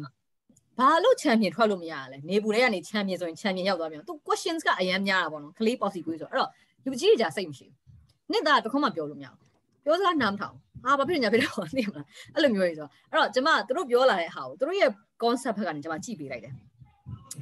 အော် तू ဒီလိုမြင်နေတာငါ့ကိုဘာကြောင့်မြင်တာလဲငါအရန်အလိုလိုက်လွန်းနေလို့လားဘယ် points တွေမှာငါအရန်အလိုလိုက်ရရောက်သွားလို့တို့ဒီလိုမြင်တာလဲဆိုတော့တို့ရဲ့ concept တို့ရဲ့ perception ဘက်ကနေကျမတွေးပြီးတော့ဝင်ပြီးထိုင်ပြီးတွေးလိုက်တယ်။ဝင်ထိုင်တွေးလိုက်တဲ့ခါကျရင်စားခြင်းတယ်ဆိုရင်ကျမဖြည့်ဆည်းပေးတယ်။သွားခြင်းတယ်ဆိုရင်ကျမ ပို့လို့ရတဲ့နေရာတွေပို့ပေးတယ်။မေးခွန်းနေဆိုရင်ဘလောက်မေးမေးကျမအချိန်ထုတ်ပြီးတော့စိတ်ရှည်လက်ရှိရှင်းပြရတယ်ပေါ့နော်။ဆိုတော့ဒီဟာတွေနဲ့ပတ်သက်လို့ကလေးကကျင့်သားရလာတော့ဒီဖိုးရီဖွားရီစီကို तू သွားပြီး attach လုပ်တဲ့ approach လုပ်တဲ့အခါမှာ negative ဖြစ်သွားတာလုံးဝရောင်းမြန် positive ကနေ negative ပေါ့နော်အပေါ်နဲ့အောက် up and down ဖြစ်တယ်လို့ဖြစ်သွားတာအဲ့တော့ဒါကိုသူတို့ကဒီလိုမြင်တာဒါပေမဲ့ကျမဘက်ကကြည့်မယ်ဆိုရင်ဒါကတသားမှားနေတာဆိုတော့မမောင်းအဲဒါပေမဲ့ကျမပြန်ကြည့်ရရဲ့သူ့ teacher ကနေကျမကို report လုပ်တယ်အာအမကြီးမြန်မာစာကတော့ဘယ်လိုဖြစ်နေလဲ အင်္ဂလိပ်စာကတော့ဘယ်လိုဖြစ်နေလဲသင်ချာဘယ်လိုဖြစ်နေလဲဒါပေမဲ့ဆိုကျမလက်ခံရတယ်အဲမဟုတ်ဘူးငါသားတော်ပြီးသားအဲ့လိုတော့သွားလို့လို့မရဘူးပေါ့နော်တကယ် accept လုပ်ပေးရတယ်ဖြစ်နေတဲ့ဟာ accept လုပ်ပေးရတယ်သူဘယ်ဘာသာမှာ weak ဖြစ်နေတယ်လဲဘယ်နေအောင်ငါဘယ်လို fail up လုပ်ရင်လို့မလဲနောက်တစ်ခုတသားတွေအရန် picky eater အစားအရန်ရွေးတယ်ပေါ့အစားအရန်ရွေးတဲ့ခါကျတော့ဒီ vitamin တွေအစုံရဖို့အာဟာရပြည့်ဖို့တော့ငါဘယ်လိုနည်းနဲ့ပတ်ပြီးကျွေးရင်ကောင်းမလဲအဲ့လိုနည်းနဲ့ဘေးကလူကနင့်ကလေးကအစားအသိပ်ရွေးတာပဲဂကြီးကြောင်ညာလို့ပြောတာကိုကျွန်မ boom ဆိုပြီးဒေါသထွက်လို့မရအောင်ကျွန်မ accept လုပ်ပေးရမယ် ဘာလို့ဆို तू ကတကယ် picky eater ဖြစ်နေတာနော်ရွေးလုံးနေတာနောက်တစ်ခုကနင့်ကလေးကလည်းပိန်ညောင်နေတာပဲဟုတ် accept လုပ်ပေးရမယ်ကျွန်မကလေးပိန်ညောင်နေတယ်ကျွန်မသူ့အရန်ကိုဝစေချင်တာပဲတိုက်လိုက်တဲ့အားစီလည်းမျိုးစုံပဲဒါပေမဲ့ तू မှမဝလာတာလေသူ့ရဲ့ body ပုံစံကမဝလာအောင်ကျမလည်းငငယ်တော့အရန်ပိန်တော့ကျမနဲ့တူလို့ तू ပိန်တာလည်းဖြစ်ရင်ဖြစ်မှာပေါ့သူ့ရဲ့ body structure သူတိဆောက်ပုံညာအဲ့တော့တခုခုပြောလိုက်တိုင်းကျွန်မခုနပြောသလိုပေါ့ဆန်းဆန်းတင်ဆက်ဆက်ထိမခံမဟုတ်ဖဲနဲ့သူတို့ point of view ကနေပြန်ဝင်ကြည့်လိုက်ငါက ဘာတွေလုံးနေလို့သူတို့ကငါ့ကိုဒီလိုပြောတာလဲနော်ဝင်ကြည့်လိုက်ပြီးလို့ရှိရင်ဒီကလေးတစ်ခုလောက်ထားဘာလဲဆိုတော့ငါဒီငါတော့အရန်ချစ်တယ်အဲ့တော့ပုံမလင်းလင်းအေးအေးချမ်းချမ်းနဲ့ပြောငါသားလေးကိုငါဘလောက်ကြီးအောင်ဖြစ်စေချင်တာဥမာအဖြစ်ဆိုရင်ကျမဆိုရင်ကျမသားလေးကိုအောင်မြင်တဲ့လူတစ်ယောက်ဖြစ်စေချင်တယ်တကယ်ဝင်ဝင်ပြောရဲဆိုရဲရှိရမယ်နောက်သူဒီအဲ knowledge အရန်ကျွယ်ဝပြီးတော့ decision making ကောင်းကောင်းလုပ်နိုင်တဲ့ယောက်ျားတစ်ယောက်နောက်တစ်ခုက မိန်းမယောက်ျားကြားမှ discrimination မရှိဘဲနဲ့ထမင်းဟင်းလည်းချက်တတ်ရမယ်အိမ်လုံးလည်းလုပ်နိုင်ရမယ်မိန်းမကိုလည်းချက်ရမယ်ဟဲ့လားကောင်းမွန်တဲ့ relationship လေးတစ်ခုတည်ဆောက်ပြီးတော့သူ့ဘဝလေးကိုသူ stand ရက်တည်နိုင်တယ်အိမ်အောင်မပြည့်ဘူးဆိုရင်လည်းပဲသူဒီမေမရှိတဲ့အချိန်မှာထမင်းချက်မစားတတ်ပါဘူးဆိုယောက်ျားလေးမဖြစ်နေအောင်အဝိမလျှော်တတ်ပါဘူးဆိုယောက်ျားလေးဖြစ်မနေအောင်အဲ့လိုမျိုးပေါ့ကျမရဲ့သားလေးပေါ်မှာကျမထားတဲ့ hope တွေကျမရှင်းပြထားတယ်ရှင်းပြတာမဟုတ်လည်းပဲတိအောင်လို့ပြောပြထားတယ်ပေါ့ declare လုပ်ထားတယ်အဲ့တော့အဲ့ဒီခါကို တခါပြောရင်တို့နားဝင်ကြမှာဝင်မယ်ဒါပေမဲ့နေ့တိုင်းတွတ်တွတ်တွတ်ပြောတာမဟုတ်ဘဲနဲ့အလင်းသင်သင်တယ်လို့ကြုံရင်ကြုံတယ်လို့ရှင်းပြထားခြင်းအပြင်သူတို့ရဲ့ unconscious mind မှာ knock the door တကားတော့ခောက်ပြီးသားဖြစ်သွားတယ်။ဟုတ်ပြီသူ့သားပေါ်မှာထားတဲ့သူ့ရဲ့မျောလင့်ချက်ကြီးကတိတ်ကြီးပါလား။အဲ့လိုမျိုးပေါ့နော်။နောက်တစ်ခုက open minded တွေးတတ်အောင်လို့ fixed minded မဖြစ်အောင်လို့ကလေးကိုဖွင့်မိထားတာဆိုရင်မေးခွန်းနေမေးတာကိုဘာလို့သူစိတ်ရှိလက်ရှိလက်ခံပြီးဖြေပေးနေတာလဲဆိုတော့အရင်လိုမျိုးသူတို့ပွိုင်းအောင်မထောက်တော့အဲအဲ့လိုမျိုးပေါ့ဖြစ်ဖြစ်ချင်း ပြောင်းယူရလိမ့်မယ်ပတ်ဝန်းကျင်မှာရှိတဲ့လူတွေဒါလည်းသူတို့ကိုပြန်ပြီးကိုက teach လုပ်သွားတာပဲကိုယ့်ရဲ့ boundary တခုကိုသူတို့သိအောင်လို့သူတို့ educate ပြန်လုပ်ပေးသွားတာအဲ့တော့သားလေးကိုလည်းအဲ့လိုပဲ boundary တခုသတ်မှတ်ပေးထားလိုက်လူတစ်ယောက်ကိုသွားတောင်းတယ်ကျမဆိုသားကို boundary တခုသတ်မှတ်တသားကြီးသူများပစ္စည်းကိုလိုချင်တယ်ဆိုလို့ရှိရင်စော့ချင်တယ်ဆိုရင်အရင်တောင်းရမယ်တောင်းပြီးတော့ तू ကပေးစော့မှာတသားစော့ရမယ်အရင်တော့ကလေးဆိုတော့ rap ဆိုဆွဲပြီးတော့ rap လုပ်လိုက်တာဆွဲပြီး तू ယူစော့ရင်စော့တယ်တခါကျ rap လုပ်ပြီးထွက်ပြေးလာတယ် तू စော့ချင်တာလေဒါကို तू ဒီမကောင်းတဲ့ အဲ society ကတတ်မှတ်ထားတဲ့မကောင်းတဲ့အမှုချင်းတခုလို့ तू မသိဘူးဆိုတော့အဲ့ဒါကို rap လုပ်တဲ့ဟာယူပျောက်သွားအောင်ဘယ်လိုလုပ်သားခွင့်တောင်းပြီးမှယူရမယ်လိုချင်ရင်မမဝယ်ပေးမယ်ဒီနေ့စော့ချင်တယ်ဆိုရင်တငယ်ချင်းကိုပြောတငယ်ချင်းငါ့ကိုဒါလေးပြီးစော့ပါဆိုပြီးတော့ခွင့်တောင်းပြီးမှစော့ရမယ်သူ့ဘာသူ့ရဲ့ boundary လေးကနေပြန်တတ်မှတ်ပြီးတော့ပေါ့နော်အဲ့ဒါဆိုရင်အခုနကဟဲ့ rap လုပ်တဲ့ထွက်ပြီးသွားဟေးခလေးကယူပြေးသွားတော့နော်ဘယ်လောက်လဲကျမယော်ပေးလိုက်မယ်အဲ့လိုအမူအရာ response ထက်ဆိုင်ရင်ပတ်ဝန်းကျင် acceptable ဖြစ်တဲ့ response ဖြစ်လာတယ်လို့ခလေးကိုလည်း teach လုပ်ပြီးသားဖြစ်သွားတယ်ပေါ့နော်နည်းနည်းလေးတော့ မအေးကอืมဘယ်လိုပြောမလဲဟိုအလုံးလောက်ရတယ် brain နဲ့အလုံးလောက်ရတယ်ကိစ္စတိုင်းမှာကလေးတယောက်ရလာပြီး brain ကအရင်လှုပ်လှုပ်ရတယ်ပေါ့နော်အဲသူ့ကိုဘယ်လိုနည်းနဲ့ပါတခါ teach လုပ်ပြီးသားဖြစ်သွားမလဲဆိုတော့တွေးပြီးတော့အဲ့လိုမျိုးပတ်ဝန်းကျင်ကိုအဲတင်ပေးပါပတ်ဝန်းကျင်ကိုပြန် teach လုပ်ပေါ့နော်ညီမပဲဖြစ်ဖြစ်အမပဲဖြစ်ဖြစ်အမေပဲဖြစ်ဖြစ်ပေါ့နော်အဲ့လိုလေးလိုပါလိမ့်မယ်ရှင်ဟုတ်ကျမဖြေတဲ့အဖြေကမမလေးသိကျင်တာနဲ့ကြိုက်လာတော့မသိဘူးနော်ဟုတ်ကြိုက်ပါတယ်ဒီချင်းဟုတ် နောက်တစ်ခုကလေဒီချေမေးခွန်းနှစ်ခုရှိရပေါ့နော်ချေနောက်တစ်ခုကကျတော့ခုနကဒီချေပြောတဲ့ကလေးတွေကိုဟော open minded ဒီပို့တော့ကိုနာ open နေအများကြီးမေးရဒီချေဆိုတော့တို့အရင်တော့ကျတော့အရင်ရဲ့ generation ကကျတော့အဲ့လိုမျိုးမေးခွန်းတွေပြန်ထုတ်တယ်ပြန်ပြောတယ်ဆိုရင်အဲ့လို complaint တက်တယ်ဆိုရင်တို့ကအာလူကြီးတွေပြန်ပြောတယ်ပေါ့အာစကားများတယ်ပေါ့လူကြီးပြောတာလက်မခံဘူးပေါ့လူကြီးပြောရင်ထားထားဆိုမပြီးဘူးပေါ့ဆိုတဲ့ဟာကြီးက အရန်ပြောတယ်ဒီချက်ဆိုတော့အဲ့လိုမျိုးဟာကိုအဲ့တော့အဲ့ချိန်မှာအာဘာဖြစ်သွားလဲဆိုတော့အဲ့ဒါကိုအမေပေါ်ပြန်ပြီးတော့ဟိုအခ ဖြစ်ပြန်ဖြစ်သွားတယ်အဲသူ့အမေကလိုလိုက်တာဟိုဘယ်လိုလိုက်လို့ကလေးတွေကဒီလိုမျိုးဖြစ်နေတာပေါ့သူ့နေရာမှာမဆုံးမတာဟိုဆိုတဲ့ဟာကြီးနဲ့ဖြစ်သွားတယ်ဆိုတော့သမီးကြီးလေးဆိုရင်10နှစ်ရှိပြီတစ်ချက်သူကလုံမီမှာကြောင်းတက်တာဆိုတော့လုံမီကဆရာမတွေကအရန် open minded ဖြစ်ဖို့အတွက်ကိုကလေးတွေကို question အရန်ထုတ်ခိုင်းတယ် complaint ရန်တက်ခိုင်းတယ်ဆိုတော့သူဒီ comment ရန်တက်တယ်ဒါပေမဲ့လူကြီးတွေနဲ့ခုနလိုမျိုးဖြစ်သွားတယ်ပေါ့နော်ခုနလိုမျိုးဖြစ်တယ်ပြီးတော့လူကြီးတွေရဲ့အမေကအမေကအမေကဟိုအလိုလိုက်လို့အမေကဘာမှမပြောလို့ဒီလိုမျိုးတွေဖြစ်တယ် ဆိုတဲ့ဟာနဲ့တက်ဖြစ်တယ်ချင်းအဲ့ဒါတစ်ခုနောက်တစ်ခုကကျတော့ခုနကပြောတဲ့ဟိုညီမလေးဆိုတီချယ်ဆိုရင်အခုတီချယ်ပြောပြတဲ့ဟာနားထောင်ပြီးတော့တီချယ်ဒီ accept ဟိုပေါ့တတအတွက်ကိုတီချယ် accept ဟိုတစ်ခုခုပြောပြတယ်ဆိုလို့ရှိရင်တီချယ်က acceptance တစ်ခုပေါ့လက်ခံလိုက်တယ်လက်ခံလက်ခံလိုက်တယ်လက်ခံပြောမှတီချယ်ကဘယ်လိုလုပ်ရမလဲဆိုတဲ့ဟာကိုဘယ်လိုပြန်ဖြေရှင်းမယ်ပေါ့နော်ဆိုတော့စဉ်းစားတယ်ဒါပေမဲ့အိမ်ကအဲ့ဟိုညီမကြတော့လေလုံးဝလက်မခံဘူး လုံးဝလက်မခံခုနဒီချက်ပြောသလိုဆန်းဆန်းတင်ဖြစ်နေတယ်ပေါ့နော်ဆိုတော့အဲအဲ့လိုမျိုးပုံစံမျိုးဖြစ်နေတဲ့ဟာနည်းနည်းလေးလွဲနေသလားလို့ဒီချက်အဲ့ဒါလေးတစ်ခုနှစ်ခုပေါ့အဲ့နှစ်ခုပြဿနာနှစ်ခုဖြစ်နေတယ်ဒီချက်ဟုတ် over over love ပေါ့နော် over love ဖြစ်နေတာအချစ်လွန်နေရလို့ပြောလို့ရတယ်အဲ့ဒါကကြတော့လူတိုင်းကချစ်တာ哦ချစ်တဲ့အခါမှာတချို့ဆိုရင်ယောက်ျားကိုအထိမခံဘူးစကားလေးနဲ့တော့မှချို့ဆိုရင်မိန်းမကိုအထိမခံဘူးစကားလေးနဲ့တော့အဲ့လိုမျိုးပေါ့အဲ သားသမီးပေါ်မှာလည်းမအေတွေကပိုဆိုးတာပေါ့မအေဆိုတဲ့အခါကျတော့ကိုကမွေးထုတ်ထားတာ哦ဆိုတော့ပိုဆိုးတယ်အဲ့တော့သူ့ကိုလည်းပဲပြောပြရမှာကအချိန်တစ်ခုတိုင်းတာတစ်ခုရောက်သွားတယ်သူရဲ့ control လုပ်ချင်တဲ့စိတ်ကြီးကိုသူရှော့ရမှာသိလားဒီလိုမျိုးကလေးကိုလာပြောတာယူ तू ကမကြိုက်ဘူးဆိုတော့ငါမြင်တဲ့အတိုင်းပဲမြင်ငါတွေးတဲ့အတိုင်းပဲတွေးငါလောက်တာမှန်တယ်ငါ့ကိုလာမပြောနဲ့ဆိုတာအဲ့ဒါ ego ego ဖြစ်သွားပြီအဲ့ ego ကြီးကိုသူ့ကို short ခိုင်းရတော့မှာကလေးကိုဒီလိုပြောလိုက်တာနဲ့ तू ကဆန်းဆန်းတစ်လက်မခံဘူးဆိုတာ ego အရန် strong ဖြစ်နေလို့ acceptance လုပ်တဲ့ဟာကို तू accept လုပ်ကိုလုပ်ရမယ် open ဖွင့်ပေးထားတယ် pin point ထောက်လာလို့ရှိရင်ကိုက acceptance လုပ်ပြီးသွားတဲ့အခါမှာအဲ don't care ကိုနှစ်မျိုးရှိရပေါ့ relevantly don't care တာနဲ့လုံးဝ aggressively don't care တာရှိတယ် aggressively don't care တာကြဘယ်သူဘာပြောပြောငါဂရုမစိုက်ငါနေချင်တယ်လို့နေမှာပဲဆိုတဲ့ don't care မျိုးအဲ့လိုမဟုတ်ဘဲနဲ့ relevantly don't care ဖြစ်ရမယ်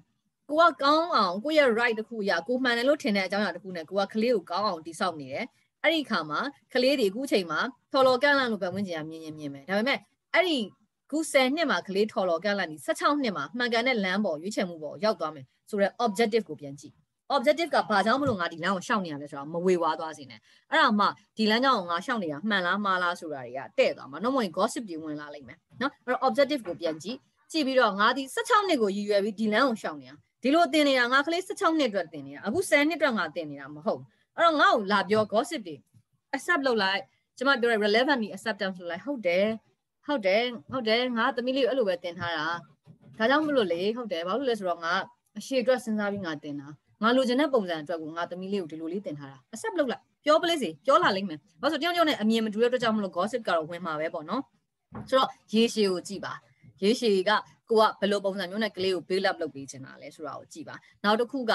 ego တွေကို short ego တွေကို short ပြီးကိုကကလေးကိုချစ်တာကနေ boundary ထဲရိုက်သွင်းတာမျိုးတော့မဖြစ်စေနဲ့ပေါ့နော် boundary ထဲရိုက်သွင်းတာများသွားရင်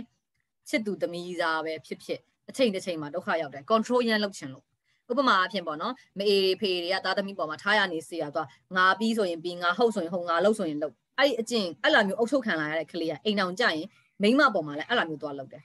မဟုတ်သူကအဲ့ပုံစံရင် pattern နဲ့ကြီးပြင်းလာတာဆိုတော့ငါနေ့ကတလား3သိန်းပေးရင်3သိန်းနဲ့လောက်အောင်ချက်4သိန်းလာမပြောနဲ့အဲ့ဒါကကလေးကြောင်းစိတ်ပါပြီးအောင်လုပ်ဒါပဲသိရမလားလုံးဝဘောင်ကြီးနဲ့ငါ အဲ့လိုမျိုးပေါ့နော် तू ကအဲ့ဒါ control လုပ်ချင်တဲ့သဘော rule လုပ်ချင်တဲ့သဘော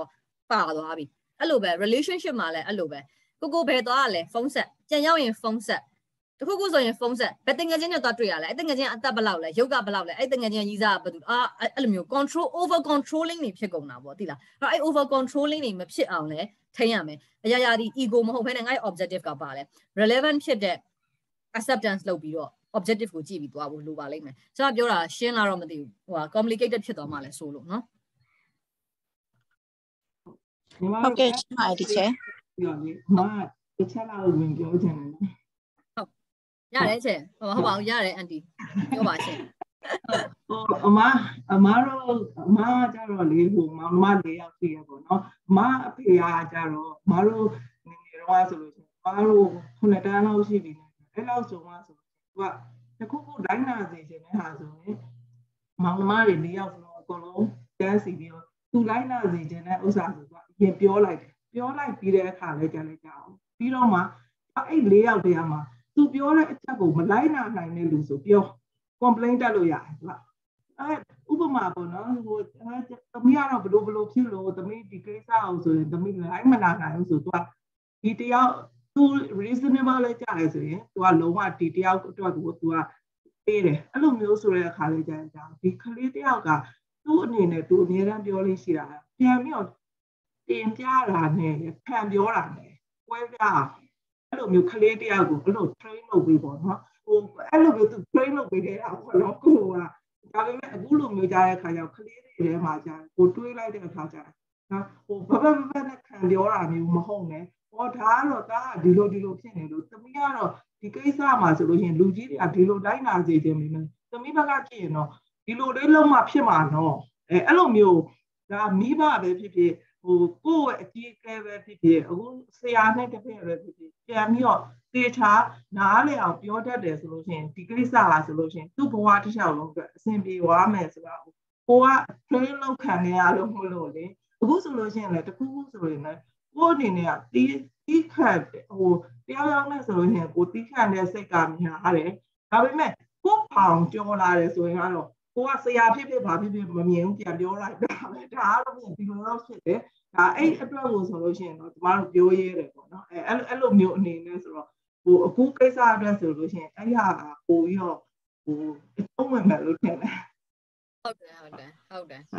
တော့ပြောရဲဆိုရဲရှိရဲဆိုတာ ਨੇ ပြန်ခံပြောတာ ਨੇ တော့မတူဘူးပေါ့အဲ့တော့ကိုယ့်ရဲ့ခံစားချက်ကိုခလေးကထုတ်ဖော်ပြောတတ်ဖို့ပြောရဲဆိုရဲရှိဖို့ဆိုတာကခုန control လုပ်တဲ့မိဘလူကြီးနဲ့အများကြီးဆိုင်တယ် open ဖွင့်ပေးထားပြီးတော့သူပြန်ပြောလာတဲ့အကြောင်းအရာကိုလက်ခံနားထောင်တယ်နောက်ပြီးတော့ facts and figure နဲ့ reason ကြကြလက်ခံပါ၏မလက်ခံပဲနဲ့ညင်းပါ၏ဆိုတာကိုပြန်ပြောနိုင်တယ်ဆိုရင်ကလေးက သူ့ရဲ့ open လုပ်တတ်တဲ့အကျင့်ဖြစ်လာမယ်ဒါမှမဟုတ်ဘဲနဲ့အပိတ်ကြီးပေါ့နော်စရဲကပြောတဲ့ဟိုကကိုကစကရိတ်တန်းတဲ့ဟာနဲ့ပြောတာဒီနေ့ထမင်းကိုကြက်ဥကြော်နဲ့စားရမယ်မစားကျင်တဲ့လူရှိလားမစားကျင်တဲ့လူပြောအလေးတန်းစကွာသွားပြီလေအဲ့တော့ကလေးကမစားကျင်ဘူးဆိုရင်မစားကျင်ဘူးအဲ့ခါကျတော့ကလေးကအဲ့လိုမပြောဘဲနဲ့ မစားချင်ဘူးဆိုပြောတဲ့ဟာပဲဘာလို့စားရမှာလဲနေတိုင်းကျုပ်ကြော်ကြီးပဲကျွေးနေမယ်ဘာကိစ္စနဲ့အဲ့လိုစားမှာဘာဖြစ်လို့ကလေးအဲ့လိုအကန့်ဖြစ်သွားတာလဲလူကြီးသွားလိုက်တဲ့ approach ကအကန့်ဘက်ကိုတွန်းပို့လိုက်လို့အဲအဲ့လိုမျိုးပေါ့အဲ့ဒါကြောင့် center of everything ကိုယ့်ရဲ့အပြုအမူအားလုံးဒီ center ပဲ everything ကိုဘာလုပ်လိုက်လဲဆိုတော့ပုံမှာမူတည်တာပေါ့နော်အဲ့တော့ကလေးကို open ဖြစ်အောင်သွားမှာလား defensive ဖြစ်အောင်သွားမှာလားဆိုတာလူကြီးရဲ့ approach ပေါ်မှာလည်းအများကြီးမူတည်တယ်ကျွန်မဆိုလည်းပဲငငယ်တုန်းက defensive ဖြစ်ခဲ့တာရှိဘာလို့ဆိုတော့အာတယောက်တည်းတူးတီးသောသမီးဆိုတော့ control လုပ်ချင်တာပေါ့နော် အာစိတ်ပူတာကနေနောက်ဆက်တွဲမှာအဖေက control လုပ်တာရှိရယ်ဆိုတော့ကျွန်မဆိုရင်ငငယ်တုန်းကအဲတငယ်ချင်းတွေနဲ့ trip excursion ကြောင်းအောင်လုပ်တယ်တစ်ခါမှမလိုက်ရအောင်တခုမှမလိုက်ရအောင်သွားချင်အရင်လိုက်ဖို့မယ်မသွားနဲ့အဲ့လိုမျိုးပေါ့ဆိုတော့ကလေးဆိုတော့မသွားချင်ဘူးလားသွားချင်တယ်လေဟုတ်တယ်မလားမြို့ရဲခရီးမဟုတ်လို့ဒီလှော်ကားတို့ဘာလို့ဆိုလဲသွားချင်တယ်လေတငယ်ချင်းတွေနဲ့သွားတာနဲ့မိဘနဲ့သွားတာ feeling not the same လေ right ဒါပေမဲ့မိဘကစိတ်ပူတယ်စိတ်ပူတော့ဆီယာမအပါမှာတယောက်နှစ်ယောက်ဒီကလေးတွေအယောက်340ကိုဘယ်လိုလုပ်ထိန်းနိုင်မှာလဲငါသမီးတစ်ခုဖြစ်သွားမယ်ဆိုစိတ်နဲ့ right အဲ့တော့ မိဘဘက်ကလည်း acceptance ရှိဖို့လိုတယ်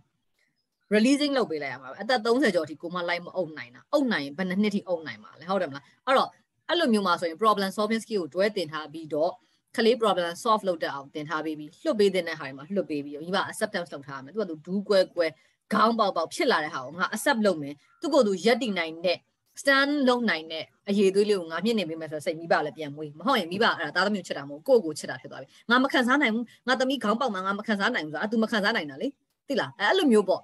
ကိုယ့်ကိုယ်ကိုချစ်တာလားသူများကိုချစ်တာလားဆိုတာအဲ့ဒါလေးတွေကိုကြည့်ပြီးတော့ပြောခိုင်းတာပါပြောပြီးတော့ကြည့်ပြီးတော့ဆုံးဖြတ်ခိုင်းတာပေါ့နော်ဟုတ်ကျေးဇူးပါဟုတ်မေးလို့ရပါတယ်နော်မတ်တီတီတို့မမြလေးဘယ်သူများမေးချင်တယ်လဲမသိဘူးနော်